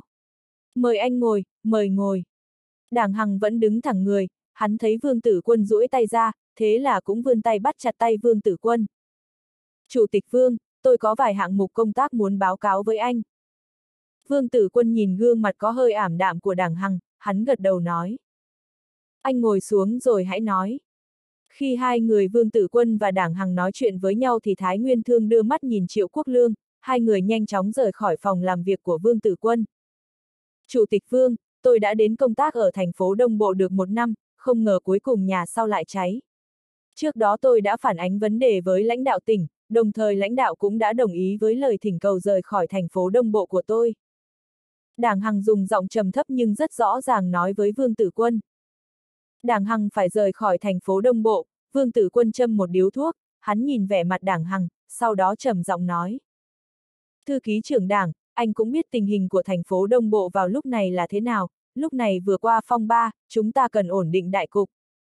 Đảng Hằng không nói gì, hắn đưa mắt nhìn gương mặt còn trẻ tuổi hơn mình của Chủ tịch Vương, trong lòng cũng không quá quan tâm lời nói của Vương Tử Quân. Hắn là tâm phúc của Đồng Quốc Khánh, nếu như mình không đề cập đến chuyện bỏ đi, chẳng lẽ còn chờ người ta đuổi nữa sao? Như vậy cũng quá mất mặt, hơn nữa con đường phát triển ở thành phố Đông Bộ của hắn cũng chính là được Đồng Quốc Khánh sắp xếp sẵn. Khi đó có lẽ chính Đồng Quốc Khánh cũng không ngờ mình sẽ đi trước đảng hàng một bước như vậy. Thư ký trưởng, nếu nhìn từ góc độ tổ chức, tôi nên tôn trọng lựa chọn của anh. Thế nhưng xuất phát từ góc độ bản thân, thư ký trưởng đảng, tôi không hy vọng anh rời đi. Vương Tử Quân nhìn Đảng Hằng rồi trầm giọng nói. Đảng Hằng chợt sững sờ, hắn ngẩng đầu nhìn thoáng qua Vương Tử Quân, vô tình không hiểu lời nói của Vương Tử Quân có bao nhiêu thành ý. Vương Tử Quân nhìn vẻ mặt Đảng Hằng, hắn nở nụ cười chân thành nói. Thư ký trưởng, tôi thành thật hy vọng anh có thể ở lại thành phố Đông Bộ, chúng ta có thể cộng sự với nhau. Như thế này nhé, nếu như trong tỉnh có sắp xếp tốt hơn, tôi dù thế nào cũng không thể nào làm gì hơn, thật sự không dám làm chậm trễ tương lai của thư ký trưởng. Thế nhưng nếu như lực hấp dẫn không quá lớn, tôi thật sự hy vọng thư ký trưởng có thể ở lại giúp đỡ tôi một tay. Vương Tử Quân nói ra những lời như vậy làm cho đảng Hằng sinh ra cảm giác được sủng ái mà kinh hoàng, hắn vừa định lên tiếng thì điện thoại trong phòng làm việc của Vương Tử Quân vang lên. Hắn nhìn qua chiếc điện thoại, chợt nghe thấy trong điện thoại vang lên âm thanh của Thái Nguyên Thương. Chủ tịch Vương, Giám đốc Trần của tập đoàn Trấn Phi muốn gặp ngài. Vương Tử Quân trầm ngâm dây lát rồi nói. Trước tiên anh cho người của tập đoàn Trấn Phi vào phòng khách chờ đợi một chút, 10 phút sau tôi sẽ đến. Chủ tịch Vương, tôi suy xét đến phương diện về sống ở gần với gia đình, thế cho nên. Đảng Hằng sau khi chờ Vương Tử Quân đặt điện thoại xuống thì mở miệng nói ra những lời như vậy. Vương Tử Quân hơi híp mắt nhìn mặt Đảng Hằng, hắn thản nhiên nói. Thư ký trưởng, nguyên nhân không phải là như vậy, sống lâu bên nhau thì hiểu tâm tính của nhau, anh đấy, cũng đừng suy nghĩ quá nhiều thứ như vậy. Vương Tử Quân vừa nói vừa khoát tay ngăn cản đảng Hằng tiếp tục lên tiếng, hắn nói tiếp. Gần đây tôi chủ trương phương án thay đổi tư tưởng mới thay đổi người, nếu những người không thể nào thay đổi tư tưởng mới phải thay đổi người khác. Tôi cũng giải phóng tư tưởng của mình ở phương diện kêu gọi đầu tư, cũng chú tâm đến kết quả hơn, chỉ cần không mưu tư lợi, toàn tâm toàn ý vì sự phát triển của thành phố Đông Bộ, như vậy tất cả nguy hiểm sẽ tan biến, sẽ xuất hiện phong cảnh tuyệt đẹp. Thư ký trưởng đảng, chúng ta sẽ không tiếp nhận hạng mục của tập đoàn Trấn Phi, thế nhưng có một vài vấn đề vẫn cần phải thu thập xử lý. Anh chuẩn bị đi, 5 phút sau chúng ta đi gặp người của tập đoàn Trấn Phi, lúc đó anh cũng đừng nên tỏ ra lười biêng đấy. Đảng Hằng nhìn bộ dạng chân thật đáng tin của Vương Tử Quân, trong lòng chợt bùng lên đủ mọi hương vị. Hắn vô tình cảm khái ngàn vạn lần, hắn hiểu ý nghĩa của tình huống Vương Tử Quân cho mình đi theo để gặp mặt đám người tập đoàn Trấn Phi. Hắn trần chờ một chút, cuối cùng mới nói. Chủ tịch Vương, lát nữa tôi sẽ đến. Khi đảng Hằng đi về phía cửa, Vương Tử Quân chợt nói. Thư ký trưởng, sự kiện trước đó anh làm rất tốt. Đảng Hằng đang định mở cửa thì chợt ngây người, hắn quay đầu lại thấy Vương Tử Quân đang ngồi trên ghế salon, lại đang đưa mắt nhìn về phía mình, sau đó nháy mắt một cái. Hành vi của Vương Tử Quân có hơi đùa giỡn, thế nhưng lại có chút xảo quyệt. Đảng Hằng nhìn ánh mắt của Vương Tử Quân, lúc này mây đen đang bao phủ trong lòng chợt tan biến sạch sẽ. Hắn khẽ gật đầu với Vương Tử Quân, sau đó rời khỏi phòng làm việc của Vương Tử Quân. 5 phút sau đảng hằng với mái tóc đã trải chuốt bóng loáng xuất hiện trước cửa phòng làm việc của Vương Tử Quân, hai người nhìn nhau cười, cũng không nói thêm điều gì, sau đó một trước một sau đi về phía phòng khách của Ủy ban thành phố.